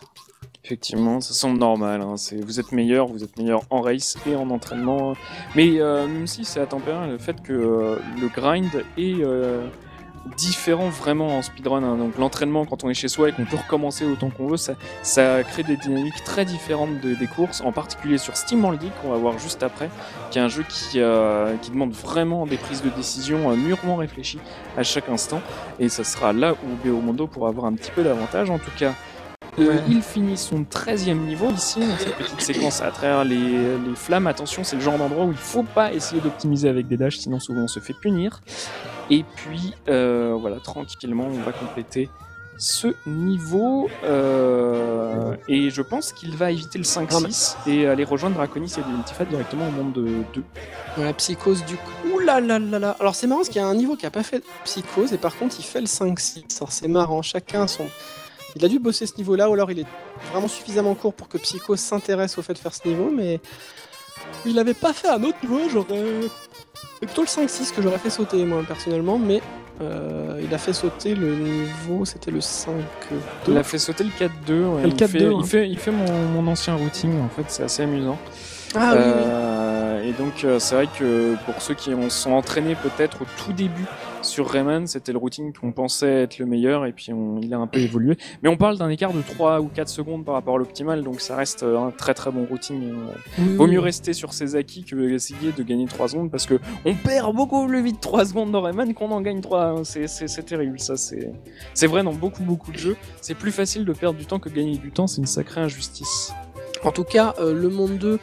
Alors c'est marrant, le monde 2 c'est particulier, on y retourne pourquoi? Parce que la catégorie spécifie que euh, le 20 e niveau, donc la run doit se terminer par un boss, et le boss le plus court c'est celui du 2, donc on va euh, faire le monde 2. Beaucoup de niveaux très simples à apprendre, mais très durs à optimiser, Twin. Oui, on le voit chez, euh, chez Tifa sur ce, niveau, ce deuxième niveau du monde 2. Euh, tous ces petits bumpers déjà peuvent être pris en faisant une attaque rodéo, voilà, comme le fait Tifa ici. Et l'autre euh, spécificité de bumper, c'est que l'attaque rodéo, elle étend votre hitbox et donc on peut prendre les bumpers par en dessous. Donc ça, demande une mécanique et une précision assez forte. Parce que si vous ratez le bumper en essayant de faire une attaque rodéo par en dessous, et eh ben vous allez tomber comme une pierre, tel Arthur dans Super Ghouls and Ghosts, et vous allez regarder chez Tifa encore une fois, devoir tout remonter. Et donc, ça, c'est quelque chose de très punitif. Par contre, petit cut ah. chez Tifa, très bien fait. Et donc, deuxième chose, ce que j'allais dire, c'est que euh, on a euh, Murphy. Donc, on a toutes ces mécaniques très précises avec ce mécanique du vent et des bumpers un peu partout. Plus Murphy à gérer, ça fait beaucoup, beaucoup de pression de boutons euh, précises à exécuter. C'est clair, il y a tellement de fast sur pas mal d'endroits ici. ça en fait un niveau difficile. Hein. C'est la raison pour laquelle aussi dans beaucoup de routines, les gens vont pas faire le deuxième. D'ailleurs que dans le routing là, on va voir justement le deuxième, mais beaucoup de joueurs vont pas le faire et vont préférer justement en amont avoir fait un autre niveau. Parce que le 2-2 aussi est pas forcément évident. Effectivement. Beromondo qui arrive au 2-2, lui donc son 15e niveau pendant que Tifa en sort. Donc il y a un niveau complet d'écart entre euh, Tifa et Beromondo. Ça représente à peu près 1 minute 30 d'écart, on est à 1 point toutes les 6 secondes, on parle d'une quinzaine de points. Euh, et euh, mais Berumondo, rappelez-vous, a 27 points d'avance euh, à cause de un petit accident de Tifa sur Super Monkey Ball. Ça pourrait laisser l'avantage ah oui, c'est à beau, Beru, cette strat, je la trouve tellement jolie. Non, par contre, ça, c'est pas top. Sachant qu'il y a une strat encore plus rapide sur celui-là, on ne touche même plus le sol à partir du moment où on a touché des, bumpers. Mais encore une fois, ça, ça demande une grosse, grosse précision et c'est des strats qui sont très coûteuses lorsqu'elles sont ratées. Et donc, euh, même quand on les connaît, il faut prendre des décisions assez, euh, peut-être potentiellement difficiles à prendre euh, sur, sur ce jeu. Parce que souvent on a la mémoire musculaire qui nous dit il faut absolument que je fasse cette strat et de temps en temps on n'a pas du tout la bonne position. On est un petit peu trop en bas, un peu trop en retard, pas assez rapide et donc il faut savoir s'adapter. moi j'adore ce niveau en tout cas où est, euh, Tifa. Je l'adore, je le trouve jouissif. Il est très gratifiant à bas niveau parce qu'on très rapidement on arrive à comprendre quelles sont les trajectoires optimales sans, sans regarder les records, même si on fait moins bien. Mais, euh, mais on va vite sans que ce soit trop technique et c'est hyper gratifiant. Il y a un game feel qui est vraiment très agréable quand on run. Effectivement. Oh, Tifa Oh le, il s'est pris un coup. Il a raté la phase strat et ici il a oublié que le crapaud, le dernier, vous tombe forcément sur le coin de l'œil. Donc il faut absolument initier un dash avant qu'il arrive parce que le, le jeu, heureusement que Rayman euh, Legends c'est pas un jeu de combat parce que la, les points de Rayman touchent largement avant qu'il ne se fasse toucher. Donc ça ferait quelque chose d'assez euh, délirant. Mais sur euh, comme sur les ennemis, comme ça, on peut en profiter à, peu près pas mal de moments. Les, euh, les points touchent vraiment très longtemps et le dash touche vraiment tout autour de soi. Euh, donc ça, c'est quasiment un bouclier euh, impassable. Mais dès qu'on est pris en défaut pendant les, les, récupérations, par contre, on se fait punir tout de suite. Donc il faut bien se rappeler quand taper et pour combien de temps, évidemment. petite erreur de routine ici de Bérou. Euh, alors que Draconis finit le niveau, donc il y a toujours ce niveau d'écart entre Tifa et Berumondo, toujours une quinzaine de points. En tout cas, on rappelle dans cette poule Psycho 139, Draconis 138, Berumondo 102, Tevil Tifa 75, d'où l'importance de ce Rayman et euh, les trois autres poules évidemment. On vous les montre pas, mais euh, il y a quatre poules inqualifiées par poule, donc j'imagine c'est tout aussi dans pour les autres matchs. Ouh, Berumondo, attention, beaucoup d'erreurs, difficile, difficulté à remonter ici. Peur. C'est des niveaux. Le monde 2, en fait, c'est bien qu'ils soient en dernier, c'est quasiment le plus dur en fait en optimisation en speedrun. Euh, alors après, peut-être c'est le plus dur aussi parce que c'est celui qui arrive en dernier dans la run et donc il est un peu éprouvant évidemment. Euh, ici encore une optimisation que Tifa ne fait pas. Oh, très joli par contre ce petit dash. À chaque fois, ce jeu, c'est dingue, quel que soit le niveau, quel que soit le temps qu'on est euh, sur le jeu, on pourra découvrir des optimisations partout. Il y a tellement de liberté de mouvement. Parce que, pour l'instant, tu penses qu'on peut faire, combien Le sub 29, c'est acquis, mais tu, on peut descendre jusqu'à combien avec euh, en faisant toutes les strates propres Le sub 29, c'est chaud, ma Sum of Best c'était pas sub 29. Alors je sais que c'est possible parce que il y a du temps à gagner partout, mais 28, 45 ah ouais, donc c'est ouais, donc c'est 29 difficile à aller chercher. ah oui, oui, vraiment très difficile. Après d'expérience, euh, je sais qu'il y a toujours plus de temps à gagner à gratter que ce qu'on pense. Oui, ça c'est clair. Mais euh, il y a 20 niveaux. Même si on rajoute une seconde de plus par niveau que mes gold, ce qui représente euh, vraiment, il y a des, moments où ça fait des optimisations extrêmement dingues. Oh là là, non, t'as colis Ouais, c'est ça, 28-40 en, en, parfait, parfait à la manette, quoi. Mais J'irai pas le gratter, honnêtement, ça me semble vraiment trop dur. Ah, bah, on arrive à un moment où c'est compliqué, il s'agit même pas de faire le deathless, on rate une phase strat, c'est limite le reset, enfin, ça devient hyper éprouvant. Le speedrun aussi, ça peut être ça quand on vise la stratosphère, les meilleurs temps, ça peut être des jeux sympas, peuvent devenir d'un coup très éprouvants. Euh, et ça change complètement la dynamique euh, de, de run. Ou Psychos qui a fait la même, erreur que Berumondo. Oh, attention, qui se fait punir par l'ennemi ici, il a pas tapé assez. Vlad nous estime un, temps parfait à 28-30. Oh là là Et euh, voilà, c'est ça, ouais, c'est bien. En fait, après, c'est toujours bien d'être un peu généreux parce que euh, on sous-estime toujours un petit peu ce que les speedrunners peuvent faire. Donc, euh, Mais je pense que personne n'ira jamais en dessous de 28-30 sur cette catégorie. Ben déjà, on verra qui fera le premier sub 29 là. Du coup, mais, parce que sans doute il y aura un tournoi avec, avec Rayman au premier tour hein, pour ceux qui n'ont pas pu jouer leur jeu fétiche ou d'autres. Hein. Ne vous inquiétez pas. Ne vous inquiétez pas pour ça. Mais en tout cas, ça devrait, je sais pas, ça va sortir. En tout cas, quand on fait le championnat et le récap, toutes les semaines il y a des nouveaux records sur les jeux. En tout cas, c'est assez impressionnant que ce soit fait par des gens de l'UD ou pas. Les jeux sont, il y a une grosse activité et rares sont les jeux qui n'ont pas eu leur record de début de saison battu. En fait, je crois qu'il y en a un, deux, trois. 3, 4. Allez, enfin 4, ça fait, ça fait 4. Donc ça fait quand même la bonne moitié des jeux qui ont été battus. Quoi. C'est quand même impressionnant. Effectivement. Après, il y a des records évidemment qui sont très solides sur des jeux sur avec des communautés plus actives ou euh, plus solides. Mais en tout cas, 19e euh, niveau, le niveau musical pour euh, Tifa. Berumondo va attaquer son 18e niveau. Il y a toujours un, ce niveau d'écart, on le voit. L'écart se creuse de plus en plus. Draconis, euh, quasiment aussi un niveau d'avance sur, sur Berumondo. Berumondo pas mal en retard. Psychos, par contre, il en est à son 17e niveau. l'écart se creuse, l'écart se creuse, mais rappelons-le, c'est Draconis qui risque de largement tirer son épingle du jeu parce qu'il est deuxième à 138 points pour l'instant. Après Monkey Ball 2, donc ça va être euh, terrible. Allez, donc là le niveau gratuit quand même, il euh, n'y a pas beaucoup à gratter pour le coup. Euh, dans ce niveau musical, là où Etifa est très très simple, par contre des fois si on veut essayer de gagner du temps, on prend énormément de risques et ça se solde souvent par la mort en fait. Hmm. Parce qu'il est vraiment, c'est très très scripté, enfin c'est vraiment, on n'a pas. Il n'y a pas de, temps à gagner, il n'y a, a, rien à gagner, c'est le temps à gagner, c'est quasiment juste sur les lums euh, qu'on prend ou qu'on prend pas euh, sur le niveau précédent si on split euh, un peu en avance par rapport au compte de lum ou un peu en retard. Mais optimiser les niveaux musicaux, pour moi, ça me semble être un risque énorme à prendre. Après, évidemment, il y a toujours des frames à gratter. Quoi. Si vous voulez le sub 28-45, évidemment, c'est ça qu'il faut faire. Mais là, on parle vraiment de. Je sais pas si c'est une catégorie qu'il faudrait vraiment optimiser autant que l'ont été des speedruns complets ou des catégories euh, plus naturelles, parce qu'on a vraiment imposé cette catégorie dans le cadre des, euh, de l'UD pour que ce soit intéressant en race et que le jeu soit pas trop long. Mais euh, quitte à passer 300 heures à optimiser une catégorie, autant que ce soit sur le, le, les 10% complet, allons-y. Ouais, mais il est long quoi. Eh L'avantage de cette catégorie, c'est que c'est une catégorie plus courte en fait. Oui, mais euh, c'est, je pense que la longue, l'optimisation demandée pour faire vos sub 28-45, c'est encore plus long que juste battre le record du monde de l'ENI%. Je pourrais me tromper. Bah oui, mais sauf qu'après, si le, le NI% devient de plus en plus optimal, après ça devient plus long et plus dur.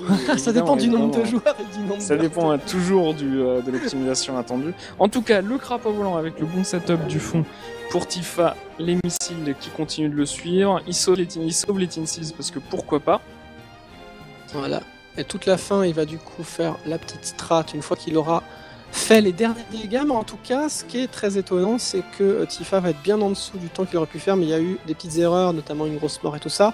Voilà, on quitte, on est directement là et on va pouvoir splitter pour Tifa en concentrant son point. Et c'est raté et c'est terminé. Alors, on a dit qu'un temps à 34 minutes, mais il faut se rappeler que c'est sans les euh, temps de chargement que ça sera compté. Par contre, les 186 points, euh, les 100, ça devrait faire à peu près 190 points pour Tifa. L'estimation est plutôt bonne. Euh, donc, on verra dès qu'il aura rentré son temps. Par contre, on va voir les points défilés. L'écart, lui, sera le bon, puisque évidemment, les, pour les, temps par, les points par seconde restent cohérents. Ouais, c'est bravo euh, Tifa. Il y a globalement une différence de 3 minutes en gros sur notre chronomètre, vu qu'il y a la, moyenne, ça a l'air d'être 3 minutes de temps de chargement, ça donne au moins une indication car on est en real time loadless, donc sans les temps de chargement pour nos runners. Draconis, du coup. Attention, Draconis, pas mourir. Hein. vite. Ouh, c'était juste bien exécuté. Euh, Psychose et Berumondo. Euh, Psychose qui finit euh, son 19e niveau pendant que... Euh, Psychose qui atteint le 19e niveau, pardon, pendant que Berumondo atteint le 20e, le crapaud volant. Donc l'ordre va respecter apparemment effectivement l'ordre des fiches. Alors, du coup, les premiers temps arrivent, les premiers temps arrivent, et en tout cas pour cette poule qui va globalement très très vite. hein, c'est une poule, une poule assez folle. Effectivement, Tifa a priori a fait un 30 minutes 26 et Draconis un 32-37. Donc Et en fait, il y a très bon. deux euh, minutes d'écart. Donc c'est c'est assez impressionnant. Ouais, les points défilent très très vite avec euh, ces écarts-là. On est déjà à 22 points d'avance pour Tifa sur Draconis. Euh, Tifa va-t-il repasser devant euh, Berumondo Psychose va-t-il euh, finir quatrième de cette poule à l'issue de, ce, de ce deuxième jeu? On rappelle que juste derrière, il y aura Steam World League, un jeu euh, largement différent hein, de euh, Rayman et de Monkey Ball 2 euh, que nous avons vu jusque-là. Donc il va falloir mobiliser des nouvelles ressources hein, de, de speedrunner, en particulier la prise de décision rapide et immédiate et l'observation dans Steam World League en tout cas. Berumondo, c'est fini, coup d'épée sur le boss, on arrive au crédit de fin et on va juste voir Psychose finir sa run. Ouais, ouais. Et du coup, c'est vraiment très très intéressant, en tout cas, euh, pour, cette, poule, hein, car euh, on avait quatre joueurs extrêmement talentueux euh, et plusieurs joueurs qui ont fait quand même plusieurs saisons, qui sont très expérimentés en race, et donc du coup, ça va, ça va être très très très très serré. Euh, c'est l'avant-dernière épreuve de, cette, euh, de ce tour. Il restera juste Steam World League après. Je pense même Psychose, et du coup, qui va bientôt terminer. 37-44, on, aura, on pourra peut-être même. si- Ah non, il reste encore ça, donc on... il nous restera un petit Il y en peu a de temps euh, après. 2 minutes pour le boss. euh, il va rester 5 minutes pour euh, peut-être montrer une, la fin d'une autre race peut-être. Mais, on- verra, parce que ça se trouve, euh, on verra qui aura déjà soumis son temps, mais peut-être qu'effectivement, pour voir ce qui se passe, en tout cas dans les, dans les autres poules, hein, il y a beaucoup de joueurs qui ont terminé hein, euh, pour l'instant. Ça continue de remplir, euh, de remplir ses temps ou de renaître le cas échéant. Allez, le crapaud, c'est une formalité. Effectivement, faut bien connaître les patterns quand même et c'est très très très punitif de se faire tuer donc il faut pas euh, il faut pas rater de cycle non plus parce qu'à chaque fois les premiers cycles sont des demi-cycles en fait euh, donc on perd euh, énormément de temps si on rate un cycle aussi et encore Oh, plus oh, évidemment oh. si on meurt parce qu'on recommence tout. Oula, c'est la, la position euh, ouais, ça va passer, c'est bon, c'est bon, c'est bon, c'est bon, c'est bon, c'est bon, c'est bon. Ouh. Oh, ça va, la hitbox est, est généreuse. Voilà, je trouve. hitbox généreuse encore une fois, mais on- quand on se fait toucher, en fait, on se fait aussi enchaîner. Il n'y a pas de frame de vulnérabilité dans Rayman, donc. euh, Oh là là, oh là là, Non, oh là là Non Psychose Oh là là, psychose Oh là là Ah ça, par contre, euh, il fallait, on peut tirer sur les bouts de feu si vous ne le savez pas. hein. On peut vraiment leur tirer dessus, les casser en, leur tapant dessus. Ah ouais, là, c'est. Alors, il y a des gens qui ont dit mais là, carrément, du coup. Euh, Alors, on évite de donner les résultats, en tout cas, dans le chat, au niveau surtout des poules et tout ça. hein. Vous pouvez consulter les tableaux. Mais pensez à ceux qui veulent suivre le show sans être spoilés. Donc, les tableaux sont là à votre discrétion. Pouvez annoncer vos pibis, évidemment, mais euh, essayez de pas donner les scores, en fait, parce qu'il y a des spectateurs qui, du coup, euh, ne veulent pas être spoilés. Enfin, spoliés, plutôt. Euh, spoilés, non. Spolier, c'est autre chose. A priori, euh, les, les, bien, les, les, les gens, les spectateurs regardent le secret Psychose, qui finit euh, grosse, grosse, grosse perte de temps hein, sur ce, ce crapaud volant. que s'est-il passé? Ouais, là, il a quasiment perdu une minute complète, euh, 10 points sur une erreur. En tout cas, le coup final, le split pour Psychose. Et euh, ouais, les, runners annoncent leur PB, un Mollyman qui PB, euh, Wizuki qui PB, c'est très bien. Et il va rester 4 minutes pour les euh, runners, euh, pour euh, ceux qui n'ont pas fini. Ouais, c'est vrai, il y a à peu près la moitié des joueurs des poules en tout qui ont, qui ont, qui ont terminé. Donc, euh, On soit on a. voir le résultat de notre première poule, en tout cas à l'écran. Ouais. Ah bah oui, c'est déjà terminé. Comme quoi, on, on l'a vu, donc on peut déjà commenter le résultat euh, de cette première poule. Et du coup, chose très très drôle, c'est Dra Draconis qui pour l'instant 321 points, il a fait deux perfs euh, euh, intéressantes en tout cas sur les deux jeux. 321 points, il est devant Psychose et Tifa qui sont très très serrés, en 288-280. Lui Tifa remonte grâce à son 205 sur Rayman. Euh, Berumondo euh, contre-perf sur Monkey Ball, contre-perf sur Rayman et un petit 267. Mais en même temps, c'est celui qui va faire sans doute le meilleur score sur Steam World League. J'ai envie de dire qu'il a, largement 13 points d'écart en termes de. Il peut, rattraper Tifa et Psychose, hein, en tout cas, Berumondo, mais la Draconis, qui a le joueur le plus faible, pour le coup, sur Steam World League, 28-13, ça fait quand même beaucoup de minutes à rattraper, Twin. On est sur un point toutes les 6 secondes également on va être sur 7, 8, 9, 10, 11, 12, 6, 5 et demi, 5 minutes et demie.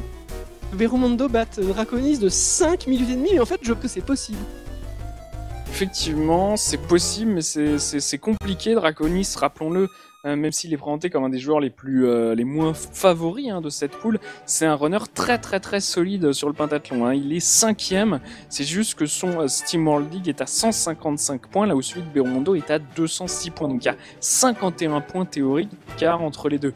mais ça reste un excellent un excellent runner. Hein. Il est a priori meilleur que Psychose et Beromondo au classement, mais ils sont 5e, 6e et 7e.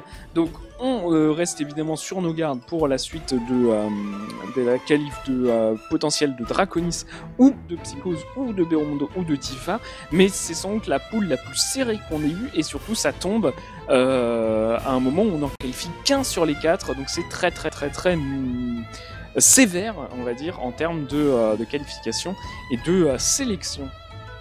on a pas mal de gens qui complètent.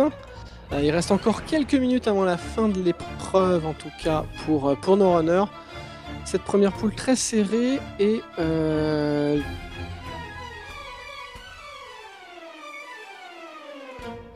les résultats qui arrivent. 290 pour Dr. Ça le passerait très bien dans notre pool streamée.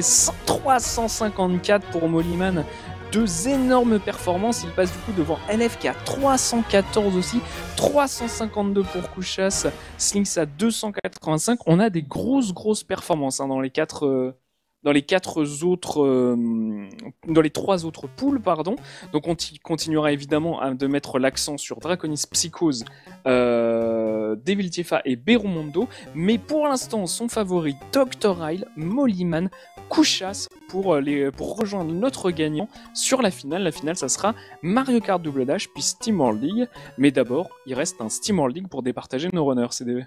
Bah c'est clair que si on regarde Steam World League par rapport au pool qui reste, Couchas est premier de sa poule et il a le meilleur Steam World League de mémoire. Donc a priori, Couchas, un des meilleurs runners de l'UD, a peu de chances de se faire rattraper. Sur la poule Mollyman LF, il y a un duel, euh, mais je crois que les deux ont Steam World League, donc euh, trop de retard pour LF peut-être pour remonter. Un Mollyman, un, excellent runner aussi. Donc je pense pas qu'LF réussisse à faire la différence sur Steam World League, bien qu'il ait le jeu dans les mains. Hein. Parce que je sais qu'il a un, Steam World League peut-être dans les, je peux vérifier, mais dans les, dans les 27-28 LF, 162 points au championnat. Mais Mollyman, je pense qu'il doit avoir également, il a un 175 points, donc ça va être compliqué de faire la différence. Et pour Riles the Monde, trop de points d'écart, je pense. J'ai pas regardé leur PB, mais rattraper autant de points sur Steam World me paraît vraiment compliqué. Et pour le coup, la, poule pour laquelle c'est le plus euh, difficile de savoir qui va gagner, c'est peut-être la première que nous streamons. Bah, du coup, par chance, mais en fait, on avait vu que ça risquait d'être très tendu. Euh, avec Draconis, va-t-il ou pas, euh, du coup, conserver son avance euh, on va voir ça. Alors ça va jouer évidemment à l'expérience, mais c'est aussi, faut pas mourir un euh, Twin dans, dans Steam World League, car c'est un jeu où la mort est punitive, donc il faut des fois jouer un peu plus safe peut-être, prendre un quatrième point de vie, faire attention, parce que la mort, on peut vite perdre peut-être une minute parfois, voire euh, enfin il y a même des morts pires, donc là c'est la catastrophe.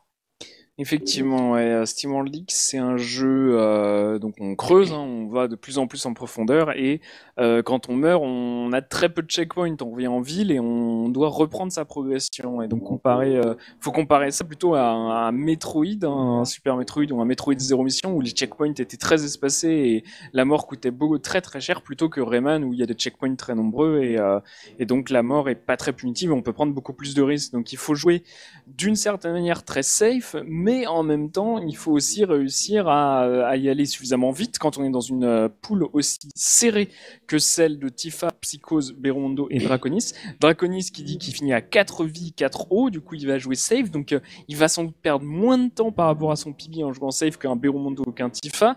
Ah donc c'est ça qui est dangereux, on va voir. Voilà, on a un runner qui du coup avait un souci euh, plantage de jeu, je crois, du coup, qui soumet son temps, des gros temps de chargement et tout ça. Donc 33, le 33 minutes 41 de Sylph Shady euh, fait que ça va être très tendu avec Ryle, je pense.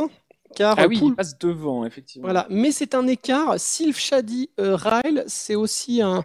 En tout cas, si notre pool devait terminer, je pense, devant, euh, peut-être qu'on montrerait ça en backup si stream. Je regarde Steve Shady, il a un 154 sur Steam World League.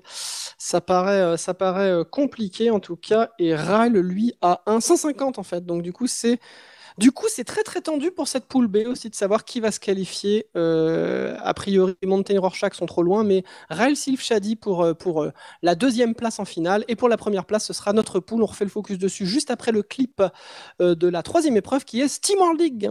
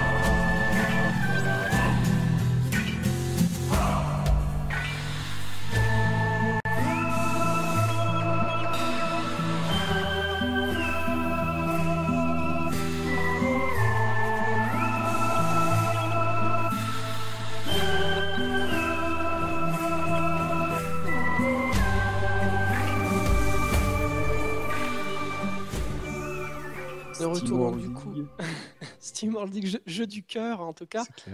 Jeu qui était là à l'UD1, euh, la première saison du Décathlon, qui était la mouture de ce qui est devenu ensuite vraiment le Décathlon. Un jeu qu'on est content en tout cas que nos petits runners, euh, tous ceux qui participent en tout cas, euh, le font un point toutes les 6 secondes. On est sur un record à 22,45, c'est donc très très élevé. C'est difficile de faire quand même 200 points. Et Twin, du paradoxalement, c'est un jeu qui s'apprend assez bien. C'est intéressant de commencer par ce jeu pour apprendre le speedrun, parce qu'il y a du routing, un petit peu d'adaptation et un petit peu d'exécution. Mais quand même, 33 minutes 45, c'est quand même par contre assez difficile les premières fois de terminer dans les temps. Effectivement, c'est assez euh, méchant, on va dire, encore une fois, ces étalons où il faut être euh, un runner assidu et très sérieux pour atteindre les 100 points. Par contre, une fois qu'on a atteint les 100 points euh, et qu'on connaît bien la route, qu'on maîtrise hein, le routing et les arcanes secrètes de Steam World League, on va progresser très très très vite. Et donc, il reste des, des, choses à apprendre, des choses à faire, mais on va pouvoir vraiment rentrer dedans et pouvoir commencer à être régulier au-dessous des 30 minutes et puis choisir évidemment si on, on, on prend les 3, les 4 points de vie Est-ce qu'on prend une barre d'eau supplémentaire Est-ce qu'on prend des TP supplémentaires pour pouvoir avoir des petits checkpoints euh, plaçables un peu partout En tout cas, on a euh, vraiment cette, euh, ces possibilités-là qui s'offrent à nous. Et donc maintenant que tous nos runners ici ont plus de 100 points, on va vraiment avoir un duel de prise de décision, de d'état d'esprit aussi, parce que pour Beromondo et Tifa, c'est un peu all-in. Pour Draconis, c'est la conservation de, de, de, sa vie et la conservation de sa position. en première place pour se qualifier. Donc il y a tout ça euh, qui à prendre en compte. Moi, je, je parierais sur Berumondo pour arriver en premier, sur l'expérience et sur le talent. Paris pas du tout risqué. Par contre, est-ce que ça va suffire pour se qualifier? Euh, Il faut qu'il marque euh, quasiment, c'est ça, 5 minutes d'avance sur Draconis pour pouvoir avoir une chance. Ouais, c'était 5 minutes, c'était 5.30 même, je crois. Enfin, en tout cas, c'est beaucoup, beaucoup de temps. Euh, mais Draconis, bah, qui a le moins bon PB, euh, enfin, qui a du coup un PB Draconis au championnat à 155 points, Psycho 162, Bérou 206, meilleur temps de cette saison, et 191 pour Tifa. Mais c'est un jeu sur lequel, plus on a un bon PB en général, plus on est régulier en race aussi, parce que plus on a travaillé le jeu et on a mieux travaillé son decision making et l'adaptation. Donc c'est un jeu pour lequel c'est assez vrai. Des petits wall jump ratés bah, pour tout le monde, ce coup-ci. Carrément, pouf ah là là, ouais. Beromondo, c'était compliqué. Petit retard ici, c'est Psychose qui creuse en premier et euh, Tifa, un coup de pioche derrière lui. D'accord, mais ce premier wall jump, en fait, c'est pas qu'il est plus technique que les autres, mais personnellement, je le fais pas juste parce que je suis pas encore dans le jeu, j'ai besoin de faire le tuto en fait pour me Mhm. réchauffer, et ça me met la pression psychologiquement en fait de le rater. Ça me met dans de mauvaises dispositions, alors que je sais que foncièrement c'est un écart minime sur l'entièreté de la run, et ça me met dans des mauvaises dispositions psychologiques. Donc, moi, je, je dirais, vous mettez pas la pression au reste, c'est pas trop trop grave. Ah, c'est le jeu du mental. Mais effectivement, ça peut avoir un impact. Il faut aussi euh, réussir à se dire, bah, si je tente ça, si je le je peux le rater. Assumer les possibilités. En tout cas, c'est un des moments les plus euh, amusants. C'est un peu le bingo de ce TD. C'est la roulette russe qui va avoir, enfin pas russe, hein, la roulette normale, qui va avoir du cuivre. Pour l'instant, pas de cuivre à l'écran pour aucun de nos quatre runners. Toujours pas. Que du poubellium, c'est pourri. Alors évidemment, il faut 8 pour acheter une pioche. C'est un jeu où l'argent est très très important parce qu'on va décider, il faut qu'on upgrade du coup nos... euh, Cuivre pour Psychose qui peut remonter Ça c'est immédiatement. bien. Bonne réaction, faut remonter, faut plutôt farmer ceux d'en haut. C'est des petites habitudes, on voit un petit peu ce qui, euh, ce qui nous permet d'avoir le plus de temps. Mais voilà, Psychose qui avait besoin de points, Psychose qui est à 288, il est deuxième de la poule pour l'instant. Ce petit cuivre qui lui donne 2, du coup, va lui permettre d'acheter cette pioche. euh, il va avoir quelques secondes d'avance. C'est minime, mais c'est plutôt psychologique. Et bien entendu, le copper aussi pour Bérou. Voilà. Il va pouvoir repasser devant Tifa. Tifa qui est le seul à ne pas avoir eu de cuivre. hein. Donc pour l'instant, on pourrait se dire il y a 25% de chances de ne pas avoir de cuivre. En tout cas, voilà, c'est parti la pioche. Bérou, euh, alors, alors, Psychose interroge la, du coup la fille pour savoir où est le donjon. Ce que fait aussi Bérou, du coup, une petite perte de temps, mais du coup qui permet de, de, de savoir où on va. Voilà. Effectivement. Ah, faut il va bien faire la pioche réussir plus. à creuser. Je pense parce qu'il. Ou alors, peu- c'est peut-être une erreur, mais on va voir. Je serais intéressé. Je l'ai jamais vu Bérou le faire, mais peut-être que. Pourquoi vrai, tu penses qu'il ferait ça Parce qu'il a donné un petit coup de pioche à droite. Euh, mais après, ça peut servir aussi pour, la backup. En fait, si on, on le rechoppe, c'est un petit coup en fait qui permet de plus facilement aller chercher la citrine. Ah, effectivement. En fait, c'est un gain de temps, c'est plus facile à choper. On verra. A priori, la plupart des gens vont faire un routing classique, je pense. La seule question plus tard, ce sera est-ce qu'ils vont prendre un quatrième PV ou pas. On peut courir maintenant, c'est la base de Steam World League, c'est cool. Et on va arriver, Twin, à euh, notre premier truc très très cool, notre premier euh, wall jump, notre premier séquence break. Effectivement, le truc qui sauve un petit peu euh, ce jeu de la lenteur d'un creusage éprouvant, c'est le fait de euh, récupérer énormément, énormément d'argent très très tôt dans le jeu. Et pour faire ça, regardez chez Berumondo, chez Psychose, tout le monde va le faire. Il y a ces petits wall jumps de la précision à exécuter, c'est très bien fait euh, pour Berumondo, pour Psychose, qui permettent de monter. On voit euh, la difficulté illustrée un petit peu par Tifa qui prend un petit peu plus de temps pour y aller. Euh, Draconis aussi prend un peu plus son temps.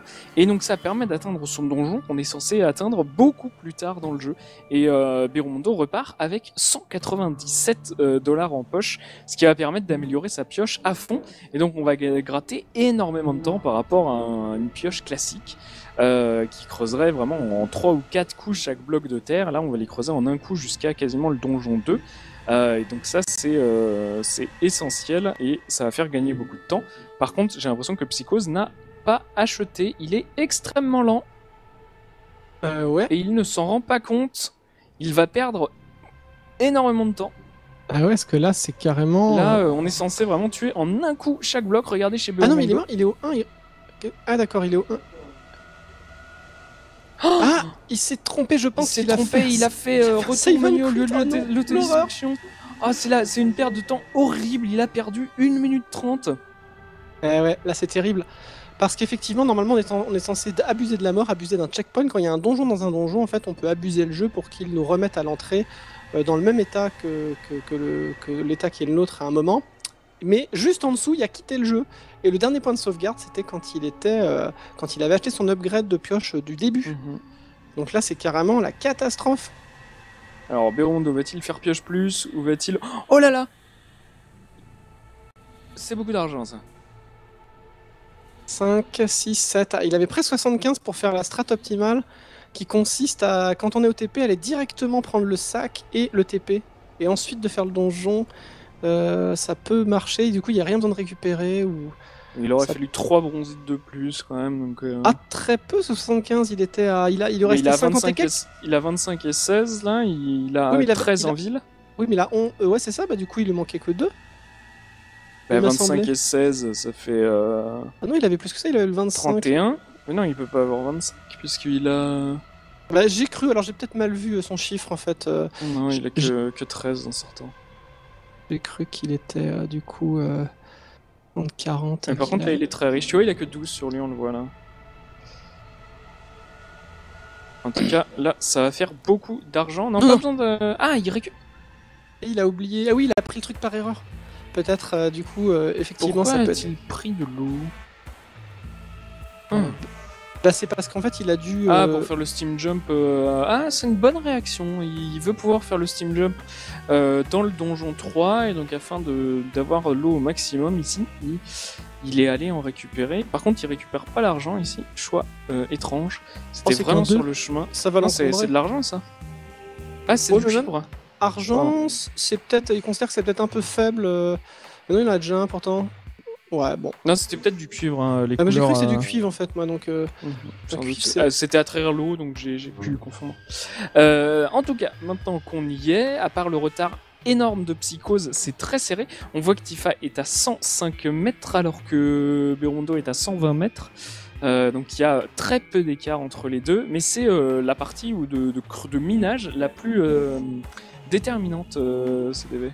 Ouais, tout à fait. C'est vrai qu'entre le donjon 2 et le donjon 3, euh, il va falloir, un, bon, compter un peu sur la chance, mais surtout compter sur ses décisions, la capacité à, à varier du fait de, de creuser tout droit. Tout droit est l'optimal, mais des fois, il n'y a pas de minerai, du coup, il faut varier pour choper de l'argent, et il faut être capable de déterminer est-ce que les détours valent le coup, identifier les roches un peu poreuses qui se creusent plus facilement, euh, des fois revenir sur ses pas après avoir creusé pour rester un petit peu au centre du niveau, car en fonction d'où est le donjon 2, donjon 3, on pourrait se retrouver du mauvais côté.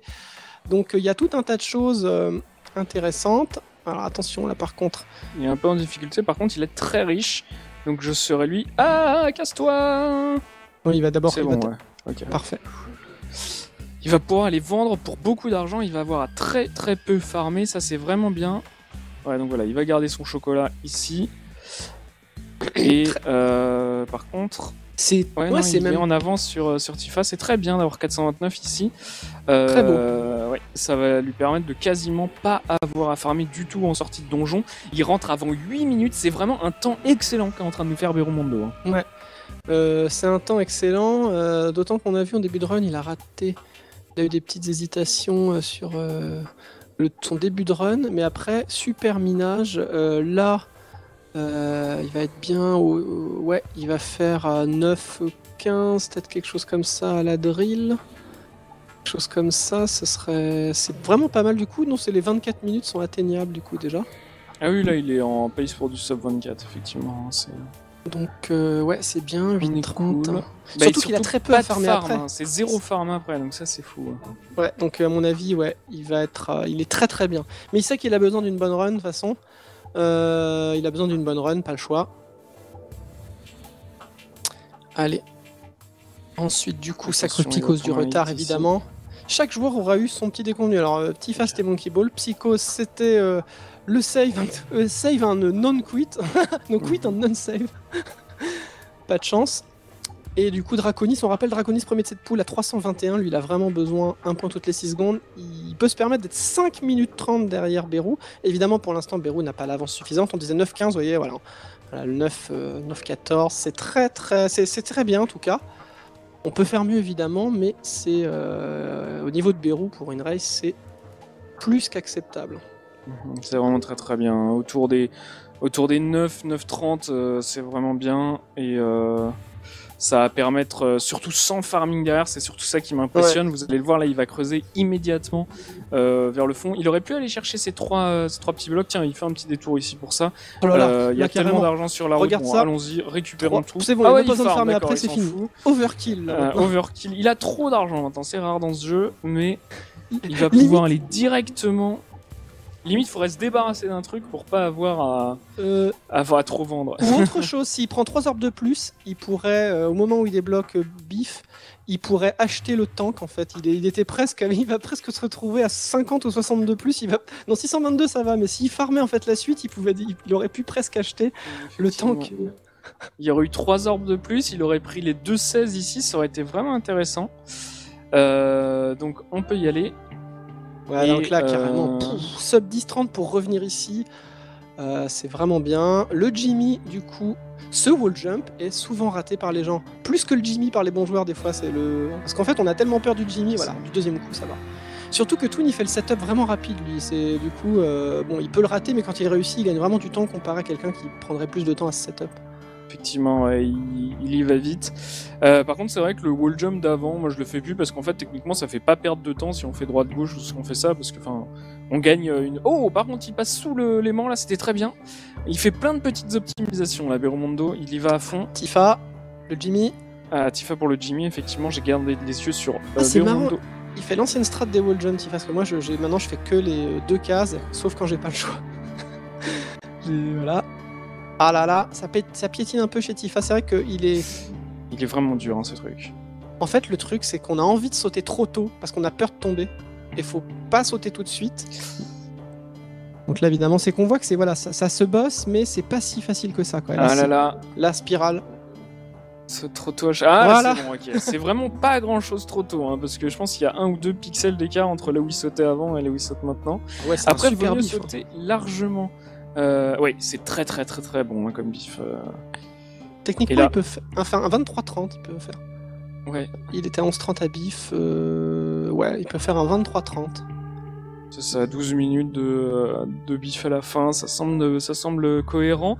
On essaye de creuser à gauche, euh, donc suffisamment à gauche pour pouvoir euh, ne rencontrer aucun zombie, mais pas trop à gauche sinon on est bloqué par euh, les bords des, euh, des cavernes. Et euh, voilà, il fait un petit écart ici pour pas se retrouver avec l'ennemi à ses trousses. Il faut se rappeler qu'on a énormément de, euh, énormément, vraiment peu de points de vie et ils font beaucoup de dégâts, donc attention à euh, gérer sa vie et les dégâts qu'on prend. Berumondo, vu la base qu'il a, Et de il la fait... vie Trop cool Il va prendre ici, du coup, les petites orbes. Ouais, Draconis. Là pour Draconis en tout cas. Hop, pardon. Et, Et- il va arriver. Oula, Ah c'est ah, c'est nul ça comme pattern. Une entrée un peu nulos, mais oh, ça c'est très bien par contre. Ok, on est bien. Il a eu pas mal de chance sur sa couche rocheuse. Ouais, c'est vraiment bien. Ah, Psychose, il va prendre des dégâts pour choper de... pour... Qu'est-ce qu'il était parti faire? Psychose qui était en galère, qui a eu un souci au début. Tifa qui arrive du coup, euh, qui va devoir euh, creuser euh, après son bif, hein, du coup là. C'est parti. On fait. Ça, c'est le. le- La personne, c'était Anxès qui avait pris l'habitude de ce, de ce minage, en fait, vraiment tout à gauche, tout droit. Puis après, les gens ont Mhm. pris le pli. C'est vrai que c'est très confort. C'est confort, ça, ça, c'est pas forcément plus rapide, mais euh, si on perd pas, de- si on, si on perd pas de temps, on, on peut pas en gagner, mais pas en perdre, c'est déjà très très bien. quoi. Ah ouais, bah moi je sais que je un des meilleurs en faisant ça. Je pense qu'avec une chance parfaite, on peut le faire au centre, mais en fait le truc c'est que ça n'arrive jamais. Enfin moi j'ai jamais réussi à creuser tout droit au centre. Effectivement. Euh, Beormondo qui a récupéré son point, qui a fait un bon skip. On est sous les 14 pour le point, c'est vraiment vraiment bien. Ouh, pas de chance du tout. Ça faut remonter. Faut pas paniquer. Allez, non, ça sert à rien l'échelle. Ah, double échelle. Oh là là. Ah ça c'est beau. Le decision making, là, le sang-froid, parce que des fois on pense pas aux échelles. hein. Et comment il a acheté deux échelles par contre? Ah, il a claqué tout son argent en trop en échelle? Ouais. C'est possible, hein. ça peut être très bien. Est-ce qu'il a 5 échelles? C'est ça la question. Euh, du coup, et c'est très très bien joué. hein. Je veux dire, euh, c'est bon decision making. Là on voit l'expérience du coup. Même si on voit que même pour un joueur safe, expérimenté, il lui a fallu quelques secondes pour euh, y penser déclencher. Oh là là. Pattern Voilà, pourri. Pattern pourri. Hop, oh là là. C'est compliqué là par contre. Une très mauvaise euh, portion de jeu. Avec euh, des layouts absolument immondes. Après, il a eu de la chance au début, donc on va dire que c'est pas trop grave, faut pas mourir là. Et Romondo s'est tendu. Ok. Plus qu'un Il carreau, rentre dans le grave. donjon, tout va bien. Mais il avait plus d'un carreau, donc il serait pas mort par un zombie. Il y avait un, un millimètre de plus. Mhm. Ensuite, Tifa, du coup, euh, réfléchit. Il essaie de se voler. C'était, tu sentais le stress, genre en mode ah oui, il avait beaucoup de points de vie, Tifa non plus. Il est en mode genre, mais retourne-toi, le zombie, que je puisse passer là- tranquillement. Tifa, il a quasiment 3 minutes de retard sur, euh, sur. C'est ouf. C'est mais- complètement fou. Ça veut dire que Draconis, il a. Il ça, Berumondo en tête pour se qualifier. Si Berumondo meurt pas, il a mis en tout cas toutes ses chances de son côté. C'est complètement sûr. Technique de Berumondo à la pioche pour creuser la terre friable le plus rapidement. La technique de Devil Squirrel pour euh, faire cette partie de donjon le plus vite. Il profite de, euh, du robot pour faire des dégâts au générateur. Euh, c'est très bien chez Berumondo. Et Tifa Ouais, qui c'est beau. évite le skip de, de CDV, comme on l'appelle, et euh, il est obligé voilà, de faire le tour, d'utiliser le point pour casser le bloc ici, perdre de temps de partout. Et Psychose, Ah même oui, il pas était bas, en encore plus, cassé le générateur. Il, était pas- très bas, regarde. Et oui, ben ouais. Et ouais, Bérou, il a acheté 5 échelles, mais quel génie du crime Non, mais c'est mo- c'est monstrueux en fait ce qu'il va faire comme temps. Il est, c'est un temps C'est sub incroyable. 16 avec Tron, ouais, c'est fou. hein. Euh, le temps de Jimmy, quand il avait fait 26 minutes, et son Vectron était pas dingue, il n'y avait pas toutes les optis, il était à 18 minutes 30. Ouais. Donc Non, on mais peut même, faire... il- euh, il, peut faire un 23-30 là, facile. il peut faire sub 23. Ouais, sub 23. Après, ça dépend. c'est- Après, il faut un dépend. parfait, donc bon... euh, voilà. Parce que, parce que moi, je voyais sur mon, mon meilleur split, c'était 16-20 et je pouvais, je pouvais faire un 23-30 ou un 3-45. Donc, euh, ouais, c'est là, c'est vraiment une run prodigieuse. hein, c'est vraiment, euh, c'est vraiment un truc de fou. hein. Franchement, Ouais, si- c'est- si- S'il C'est- bat, le- s'il bat le record du monde en live, là, ça serait complètement dingue. Déjà pour le tournoi et pour... euh, Et pour euh, bah, le jeu en général, parce que c'est un jeu quand même qu'on a beaucoup au moins le record saisonnier. 23-05 parce que le 22-30 il va falloir vraiment euh, je sais plus quel était le temps de Hank Cest quand il était rentré à Vectron Je sais pas non plus. Je me rappelle pas mais En tout cas, il joue, euh, il joue conservatif ici, il joue doucement sur ce début de Vectron, ça semble bien. Euh, il va essayer. Oh, ah, ça c'était un, un choix, d'accord, de la sécurité. Ça joue la sécurité maintenant. Beromondo, il joue le tournoi, plus que le PB, j'ai l'impression. Il sait qu'il a énormément, énormément d'avance. On va voir le temps que font les runners à l'entrée de Vectron, mais ça m'étonnerait qu'il fasse moins de 20 minutes, et donc ça veut dire largement 4 minutes de plus d'avance pour Beromondo on qui évite évite ici le, euh, le, le petit, la petite upgrade, ça fait perdre 7 secondes à peu près, c'est euh, c'est le temps d'un... c'est pour ça qu'il a pris le cœur en fait il anticipait il savait qu'il allait pas prendre Mhm. ça il a préféré perdre Ouais mais il y a deux réserves complètes.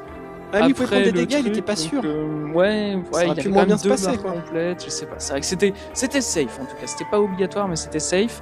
Euh, Berondo qui sort plein de vie, attention au petit robot qui reste de temps en temps ici. Et c'est maintenant euh, la deuxième partie, la plus Oh non, pas de random chance. du jeu. Euh, il va tuer sans doute pour essayer de récupérer de la vie, ouais, très bonne chance ici. voilà on va c'est là que le decision making twin va être très important la capacité à prendre des informations dans son environnement on prend bleu ici je pense Ouais, ça c'est... Euh. Oui, oui, oui. il aurait pu se retrouver bloqué hein. Ouais, c'est Il- pour ça j'ai eu un peu peur en le voyant, en voyant le bloc tomber. Euh, là, j'aurais creusé à euh, droite, mais attention, ça, c'était la bonne décision. Beromondo, le bon pif.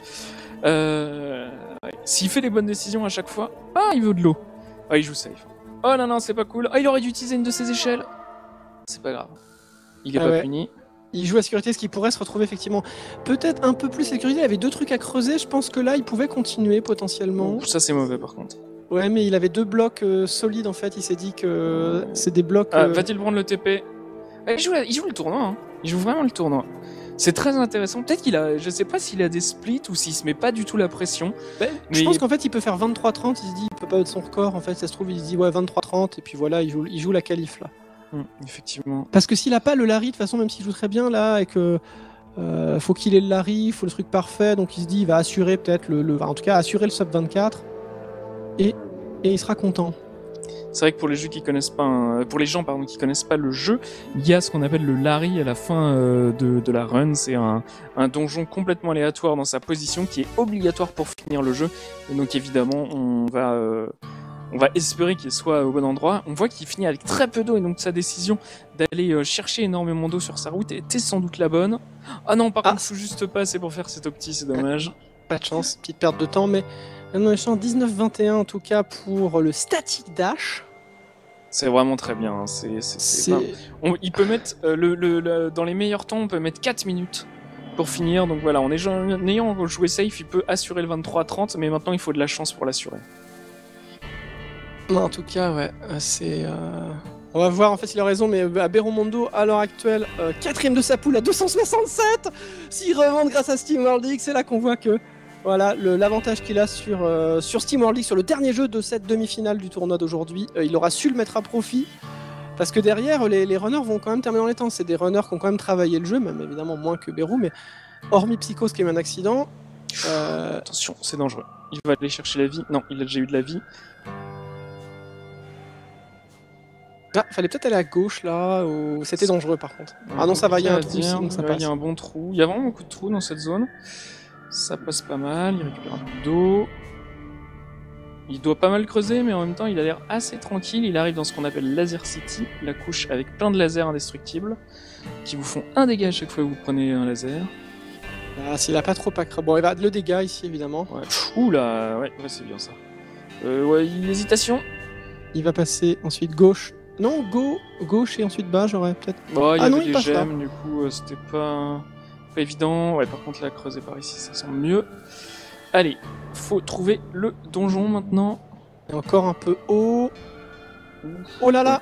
Plus qu'un point de vie. Attention au robot explosif. Euh, que... Ouh, c'est dangereux, c'est dangereux, c'est dangereux. Ok. Par contre, là, il sait maintenant qu'il y a un robot explosif sous ses pieds. Et non. Oh là là là là là Oh, il est là Il est là, go Ah mon dieu Ah là là Non, non, il faut prendre un dégât sur le laser en haut d'abord, voilà. Pour, Et prendre des dégâts ici, freine d'invulnérabilité. Pas de vie par contre. Aura-t-il le temps d'aller chercher ce cœur Je sais qu'il y pense. Il aura pas le temps. Non, il s'est pressé un petit peu pour aller le chercher, mais ça va pas passer. Il va Là, devoir un se de recharger. vie, là. Il va devoir surtout faire la strat très lente en rentrant dans le long. Il va devoir donner un petit coup sur. euh, déjà, s'il arrive déjà. Ouais, il faut pas mourir maintenant, c'est surtout ça le problème. Là, il y a un méchant robot, pas de vie. Il le voit, il le sait. Ouh. Ouh. Attention, c'est vrai que c'est très stressant Simon Lex qu'on peut mourir avant d'arriver au boss et on est brisé psychologiquement. Ah oui, je connaissais même pas qu'on passait comme ça, je me rappelais même pas. Si, si, ouais, on passe par en haut, tu donnes un coup partout, c'est, ça va. Ouais, mais moi je le faisais avec à la pioche et du coup je Ah non, non, temps. il suffit de driller euh, tout droit. Et, euh, la drill, elle fait des dégâts tout autour, ça, c'est. Ah ouais, mais j'avais perdu cette habitude. Bah, souvent je passe en la prenant des dégâts. hein. Oui, bien sûr. Quand on a un Mais- plus d'un point de vie. euh. On va voir surtout, en général les gens se rejoignent à robot, mais il pourrait avoir une telle avance Beromondo que il va terminer son robot avant que les autres arrivent. Bah, là, Draconis, il est vraiment dans la peine. Il est coincé. Euh, je suis pas sûr qu'il réalise qu'il puisse faire ça, mais il ose pas. Là, il faut il fallait qu'il ose. Non, il faut péter au-dessus avec son le point. Le point, c'est bien mieux. Ouais, Ah, c'est bien ça. C'est bien joué. Oh, belle intelligence. Non, non, non, va. Non, oui. Non, non, il peut ouais, Ah, bien joué, bien joué. Oui, oui, oui. Allons-y. D'accord. C'est parti. Beaucoup Ah bah de maintenant, perdu. Pourquoi il remonte du coup Ah, il a il, essaye il d'aller chercher de l'eau. Ah ouais, c'est terrible. Mais où y a-t-il de l'eau? Ah, c'est terrible. Il a. C'est terrible là. Il a d'eau des ennemis. Tuer des ennemis? Ah, Non. TP. Il a Il avait un TP TP. sur lui, d'accord. Il va prendre de l'eau du coup au début de Old World. Ok, c'est pas mal, c'est pas mal. En tout cas, le decision making là pour remonter grâce au bloc friable qui réapparaît, c'était pas mal. Ouais, carrément. Euh, par contre, je me dis qu'il il aurait. retourner à Old World pour se mettre à fond en eau. quitte à être Par là, contre, euh. il aurait dû se suicider peut-être. Parce Ah mais non, coup- parce qu'il aurait, il aurait fallu poser un TP pour. euh, Non, mais il l'avait posé le TP. Non, non, non, il vient Non de. Il Ah non, il l'a posé, j'ai pas regardé. je crois qu'il l'a posé au moment où il est, il est remonté. en fait. Ah, dans ce cas, c'est une bonne décision, parce que j'ai cru qu'il l'avait posé. J'ai vu qu'il y a eu un... ça a frisé un tout petit peu. J'ai cru qu'il l'avait posé. Euh, D'accord, ok. Donc, ça, c'était une bonne décision. Mais Je peux euh, me tromper, hein, évidemment, encore une fois. Je... Difficile de tout suivre en même temps. Tifa. Combien de retard a Tifa sur euh, Beromondo Environ euh, 3, euh, 4 minutes. Un peu plus de 4 minutes. Euh, Psychose. Psychose environ euh, 6 minutes sur Beromondo. Euh, Draconis 5 minutes, entre 5 minutes et 6 Oh, par minutes. contre, faut pas qu'il meure. Euh, Bérou, euh, Ouais, Bérou, faut pas se reprendre un hit, mais c'est bon. Et on est sur le dernier du robot. On va être à 24 minutes. Ah, il faut réussir à le tuer, ça, voilà, très bien. Voilà. 24 minutes pour Berumondo. C'est un temps incroyable en race avec des décisions exceptionnelles pour pouvoir. euh, euh, arriver jusque-là. Et Berumondo qui se qualifie sans doute de justesse la plus folle à euh, cette finale. C'est incroyable. Ouais, c'est clair, parce que là, il y a 5 minutes, on va calculer, ça veut dire 5 minutes 30, ça veut dire 30 minutes. Faut qu'avant les 30 minutes, le boss, le robot soit battu pour Draconis. Peut-être un peu avant, d'ailleurs, Il c'était a pas le static dash, 29-30. il a pas le static dash, c'est complètement inenvisageable. Et là, il est tr- voilà, faut prendre des dégâts, faut pas avoir peur des fois parce que de toute façon, euh, il y a une chance qu'il nous redonne de la vie. Ah, JP JPP de ce jeu sur Oui, il, a, il, a, il a renommé, il a renommé les, les dialogues. Ah, ma version modée du jeu, version pas legit, on vous rappelle, euh, faites pas, j'ai j'ai dit à Béomondo, mais ne vous amusez pas trop à modifier les jeux. Parce que, encore une fois, si c'est rigolo et que c'est pas grave au cas par cas, on peut euh, vous l'accorder, mais les jeux ne sont pas censés être modifiés dans le cadre de l'ultime décathlon. Alors, ce qui, me fait ce qui me fait marrer, on voit quand même que le 200 points en race sur Steam World League est vraiment très difficile, hein, parce que là, euh, fait un 197 points. C'est Oui, donc- avec une run absolument exceptionnelle, hein, on vous le redit. Donc ouais, euh, Il a pris la super run il a fait aussi des. Il a joué la sécurité à 2-3 moments pour. euh, Il n'a pas joué all-in parce qu'il voulait terminer son temps. Je pense qu'en grain, il aurait un peu plus foncé. Il faisait un 23-30 en grain, qui à deux moments, il a perdu beaucoup de temps. Mais en grain, il serait peut-être mort en fait. Oui, oui, en, en grain, il serait sans doute mort, donc c'est ça qu'il faut voir. Donc faut pas, euh, c'est très difficile de- d'estimer euh, les pertes et les gains de temps par rapport à les, aux décisions qui sont prises euh, du runner. Donc tout ce qu'on a à nous mettre sous la dent, c'est le temps final. Tifak a trouvé aussi lui aussi son Larry. Rappelons qu'il a 13 points d'avance sur Berumondo, ce qui représente sur Steam League quasiment 2 minutes. Ouais, c'est ça. Euh, une- 13 points, c'est 1 minute euh, 30. 1 minute euh, 18. 1 minute, 1 minute 18, ouais, effectivement. C'est pas grand chose. C'est pas grand chose. Ça risque d'être gagné parce qu'on est déjà à 26 minutes pour Berumondo contre Tifa au moins. C'est assez incroyable en tout cas. On rappelle, il y a 4 poules. La poule A, c'est celle-ci. Euh, a Berumondo qui était dernier de cette poule, qui remonte à 464 points. Les trois, c'était Draconis qui était premier et qui la patine. Et pour les autres poules, en tout cas, on verra, il y avait le duel Sylph Shady Ryle aussi, qui pouvait être intéressant. Du coup, il y avait seulement 15 points d'écart entre les deux. Un seul qualifié sur les 4 pour rejoindre la finale où nous aurons deux cups de Mario Kart.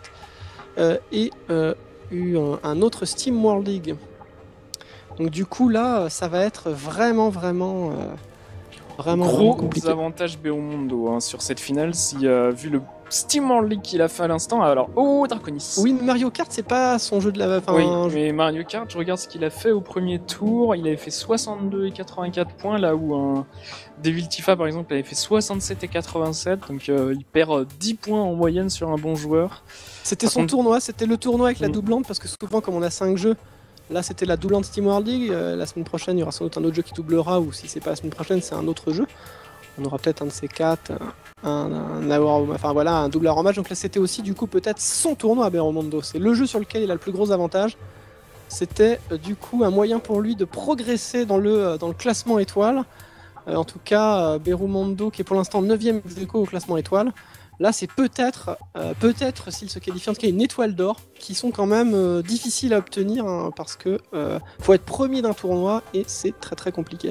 Effectivement, hein, le classement étoile qui est très, très très difficile pour grimper les échelons. En gros, il faut forcément des étoiles d'or pour être premier, puisque naturellement il y a des étoiles d'or au tournoi. Il faut forcément des étoiles d'argent pour être dans les deux, dans le podium, euh, et des étoiles d'argent et des étoiles d'or, on en distribue très peu, une seule par tournoi. Et ensuite, on peut essayer de compenser un petit peu avec des étoiles noires et des étoiles de papier. Au moins, Berumondo s'assure une étoile de, de papier, l'étoile de, euh, de- de- noir, ça, ça, ça sera pour simplement. Excusez-moi, c'est pas une étoile de noir, c'est une étoile noire, c'est très différent. Mais Euh, L'étoile noire sera simplement euh, la récompense de euh, Psychose, Tifa et Draconis aujourd'hui. pour Tifa. Mais c'est là qu'on voit que la run, de- le, le niveau et la run de Berumondo est incroyable. Parce que Tifa, bon, il a fait un temps euh, moins bon évidemment que ce qu'il aurait voulu. Il a un, un bien meilleur PB, mais il a pas encore beaucoup fait de race. Du coup, c'est normal de- d'être des fois plus à 27 et quelques, 28 et quelques, quand on a encore moins d'expérience. Après, il réduira sans doute ce temps. Mais euh, on voit tout de suite là, euh, on a l'impression que Berumondo a terminé depuis une infinité de temps, quoi. Effectivement. Sachant que Tifa, peut-être, si on devait réécrire l'histoire avec un Monkey Ball setupé correctement, il serait peut-être arrivé devant Berumondo, mais l'avance hein, de, de Berumondo d'au moins 40 points, euh, ça marque, On devrait faire des pages de contre-tournoi en fait. c'est ça. Si il s'était passé ça, ah mon dieu Imaginez, Kouchas se casse la jambe au bout de du deuxième tournoi en tombant de sa chaise. en tout cas, Draconis et Psychose se rejoignent pour le boss final. Euh, Draconis qui est en première phase. Psychose aussi, mais au tout début. En tout cas, ouais, en tout cas, ça c'est incroyable. Il reste Draconis là, du coup, qui. Ah, je pense que ouais, le score va être assez serré en tout cas. Draconis qui a. On se disait, ouais, 5 minutes 30 c'est beaucoup, mais euh, ça défile vite quand même dans, dans ce Ouais. jeu. hein. En fait, si Beomondo avait fait une perf normale, une perf standard sur le jeu, ça aurait été un 25 minutes, ça aurait été un très bon temps, mais ça aurait donné une minute de plus à Draconis hein, pour euh, faire un temps, et donc ça aurait été euh, très très serré. Mais c'est vrai qu'avec un 24 minutes, c'est complètement fou. Hein. C'est c'est clair. C'est dingue, hein. c'est c'est vraiment dingue. Ouais, la minute, je pense qu'elle elle aurait suffi. Elle aurait été à l'avantage de Draconis. Je pense que, a priori, j'ai pas su. Fais gaffe, il est en phase 3 là. il est en phase 2, donc ça aurait quand même été la victoire de Beromondo, mais le truc c'est que Draconis pouvait pas se permettre de jouer aussi agressif que ça que Beromondo, parce que Beromondo il était en all-in en fait, et donc soit ça payait, soit c'était tragique et c'était pas grave, on se disait bon bah voilà, mais là ça a payé, donc c'était clairement, clairement en, sa faveur. Très belle perf. dernière phase pour Psychose fin du boss aussi pour Draconis. Euh, faut finir parce qu'il reste 3 minutes. On a eu quasiment tous les problèmes possibles hein. ce tournoi. Il y a eu le problème sur Monkey Ball, il y a eu le problème sur Steam World League. Ça devait arriver. L'autre personne à qui c'était arrivé, c'était Ancest en World Record Pace. Hum. Il avait fait du coup euh, quitter le jeu en allant trop vite lors du deuxième euh, Death Warp à Old World là du coup il était c'était pas pas dans cette saison c'était avant qu'il fasse. C'était sur l'ancien record, je crois, mais du coup, il était écœuré. Mais euh, effectivement, c'est des choses qui arrivent. Ouais, le menu, moi je sais, quand on a commencé à faire les Death Warp, euh, quand j'ai commencé à runner le jeu, on les avait pas encore implémentés. Et euh, quand j'ai commencé à les faire, ça m'est arrivé une paire de fois, et donc je, suis très lent sur le menu. Ah, c'est clair et avant, je faisais OO, mais alors que c'est la même chose que Baba, mais quand on fait OO, on passe euh, en termes d'input, mais quand on passe sur autodestruction et sur euh, redémarrer la partie. Et donc, euh, vaut mieux faire Baba et aller doucement. moi, je fais Baba, moi. Oh là là et on a la réaction la plus incroyable d'un joueur dans un chat qui nous dit, et je cite Couchasse, pile le tournoi où j'aurais pu battre Tifa en finale, je me tape le mec imbattable sur Steam World League. Ah, ah.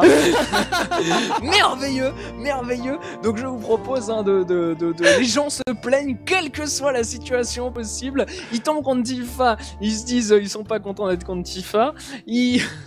en tout cas, GG à tous ceux qui ont fait les pibis, GG à tous ceux qui ont réussi à finir les 5 jeux quand même qu'on a proposé euh, pour les joueurs qui sont les 16 joueurs qui sont qualifiés jusque-là. C'était vraiment pas facile, il fallait finir à Watch, Mario Kart sur la coupe euh, étoile et la coupe fleur, Monkey Ball 2, Rayman Legends et euh, Steam World League. On va pouvoir avoir le résultat de ce tour, CDV. Alors, résultat de cette première poule. Déjà pour l'instant, ce que les autres n'ont pas, évidemment, là on avait une poule très très relevée sur le jeu. Hein. C'était euh, la poule, sans doute avec le meilleur niveau moyen. je pense que les scores attesteront ça en moyenne. ben, Psychose, du coup, avec son erreur sur League 408, il s'est affaibli, il s'est évidemment disqualifié, mais il a continué jusqu'au bout. Donc, ben, il a, a joué le truc jusqu'au bout, mais c'est vrai que c'était trop compliqué avec son erreur. Tifa 434, euh, il y a eu, bon c'est Monkey Ball qui l'a disqualifié, il a fait un swimmer league correct, il aurait pu faire sans doute un peu mieux, il y a eu quelques erreurs, mais je pense que du coup il voulait être un peu all-in pour essayer de se qualifier, il a fait plus d'erreurs. Draconis, lui, ça a été un peu entre guillemets le désastre, par rapport à ce qu'il pouvait faire sur Steam League, c'était vraiment compliqué, 445, et du coup Berumondo, super run, euh, vraiment euh, tout court et super run de race, il a une minute de son PB, il a joué à 2-3 moments un tout petit peu safe pour survivre.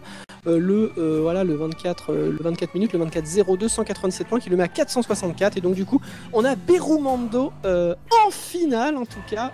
Euh, et donc, du coup, euh, y a-t-il une autre poule? Les autres poules n'ont pas terminé. Je regardais Twin, a priori. Si, on a la poule C, parce que Sablier ne, participait pas, je crois. Donc la poule C est complète. Effectivement, poule C, donc rappelez-vous, il y avait Mollyman qui avait battu KTH, LF qui avait battu Ronnie, Shadow qui avait euh, battu euh, Oulora et Sabliel, qui est forfait sur ce tour-ci. Euh, et donc Mollyman qui finit premier avec 3 temps au-dessus des 175 points. Ça fait très joli, une très jolie ligne foncée avec un total de 531. Il finit premier. En deuxième, nous avons LF à 448 et Q Shadow à 406. Apparemment, LF a fait beaucoup de PB, mais ça n'aura pas suffi. Mollyman, joueur très solide depuis l'UD2, qui fait une performance encore incroyable en ce début de saison du D5. Et euh, nous avons euh, donc 531 points au total, 177 sur Steam World League, c'est très bien, c'est évidemment un petit peu moins bien que euh, sur le jeu, mais pourra-t-il euh, s'en sortir grâce à Mario Kart Double Dash? Ben, On le verra parce qu'ils s'affrontent en finale juste après. On va faire une petite pause quand même, juste après aussi qu'on ait montré le résultat des deux autres poules. Poule B, en tout cas, on l'avait dit, il y avait un duel Ryle, Sylphadik sont deux gros runners et c'est finalement Sylphadik qui fait la différence avec seulement évidemment un 112 sur Team League. Mais a priori, dans cette poule, personne n'avait le jeu. Et rappelons, c'est très difficile de terminer dans les temps. Donc, du coup, avec un petit 417, il prend euh, l'avantage sur Ryle et sur The Mountain Rorschach qui s'était déjà fait distancer. Donc, du coup, Sylph Shady va rejoindre Berumondo et Mollyman en finale et la dernière poule euh, avec Kushas, Twin et mes poules avec Kouchas, souvent on se dit que Kouchas est favori. Regardons si c'était le cas. En effet, nous avons euh, FSVGM, Slinks et euh, du coup le susmentionné Kouchas dans cette poule. Slinks, rappelez-vous, avait battu euh, Wizuki de tout juste. Kouchas avait battu Armantis et euh, FSVGM s'était qualifié immédiatement, ainsi que Namoker avait vaincu classe en tournoi de sélection. Et donc nous avons une victoire euh, de 50 points d'avance de Kouchas sur Boost Links avec euh, beaucoup beaucoup de points pris sur Monkey Ball et sur euh, et sur Rayman Legends. FSVGM aura fait une performance un peu moindre avec des jeux a priori qu'il n'a pas encore tout à fait en speedrun, mais il aura gagné soit petite étoile noire bonus ainsi que Slinks et Namoker, bravo à eux. Namoker qui aura arrêté pour des raisons de planning après Rayman Legends. Donc Victoire de Kouchas qui rejoint Moneyman, Shady et Berumondo en finale. La finale, ça sera sur Mario Kart Double Dash en premier et Steam World League à la fin. Ouais, ça va être en tout cas euh, très très euh, très très tendu en tout cas cette finale. Comme on le disait, on va faire une petite pause. On va se retrouver euh, juste après la pause et après la pause du coup la finale de les deux cups, les deux dernières cups de Mario Kart Double Dash et Steam World League pour finir. On se retrouve dans quelques minutes.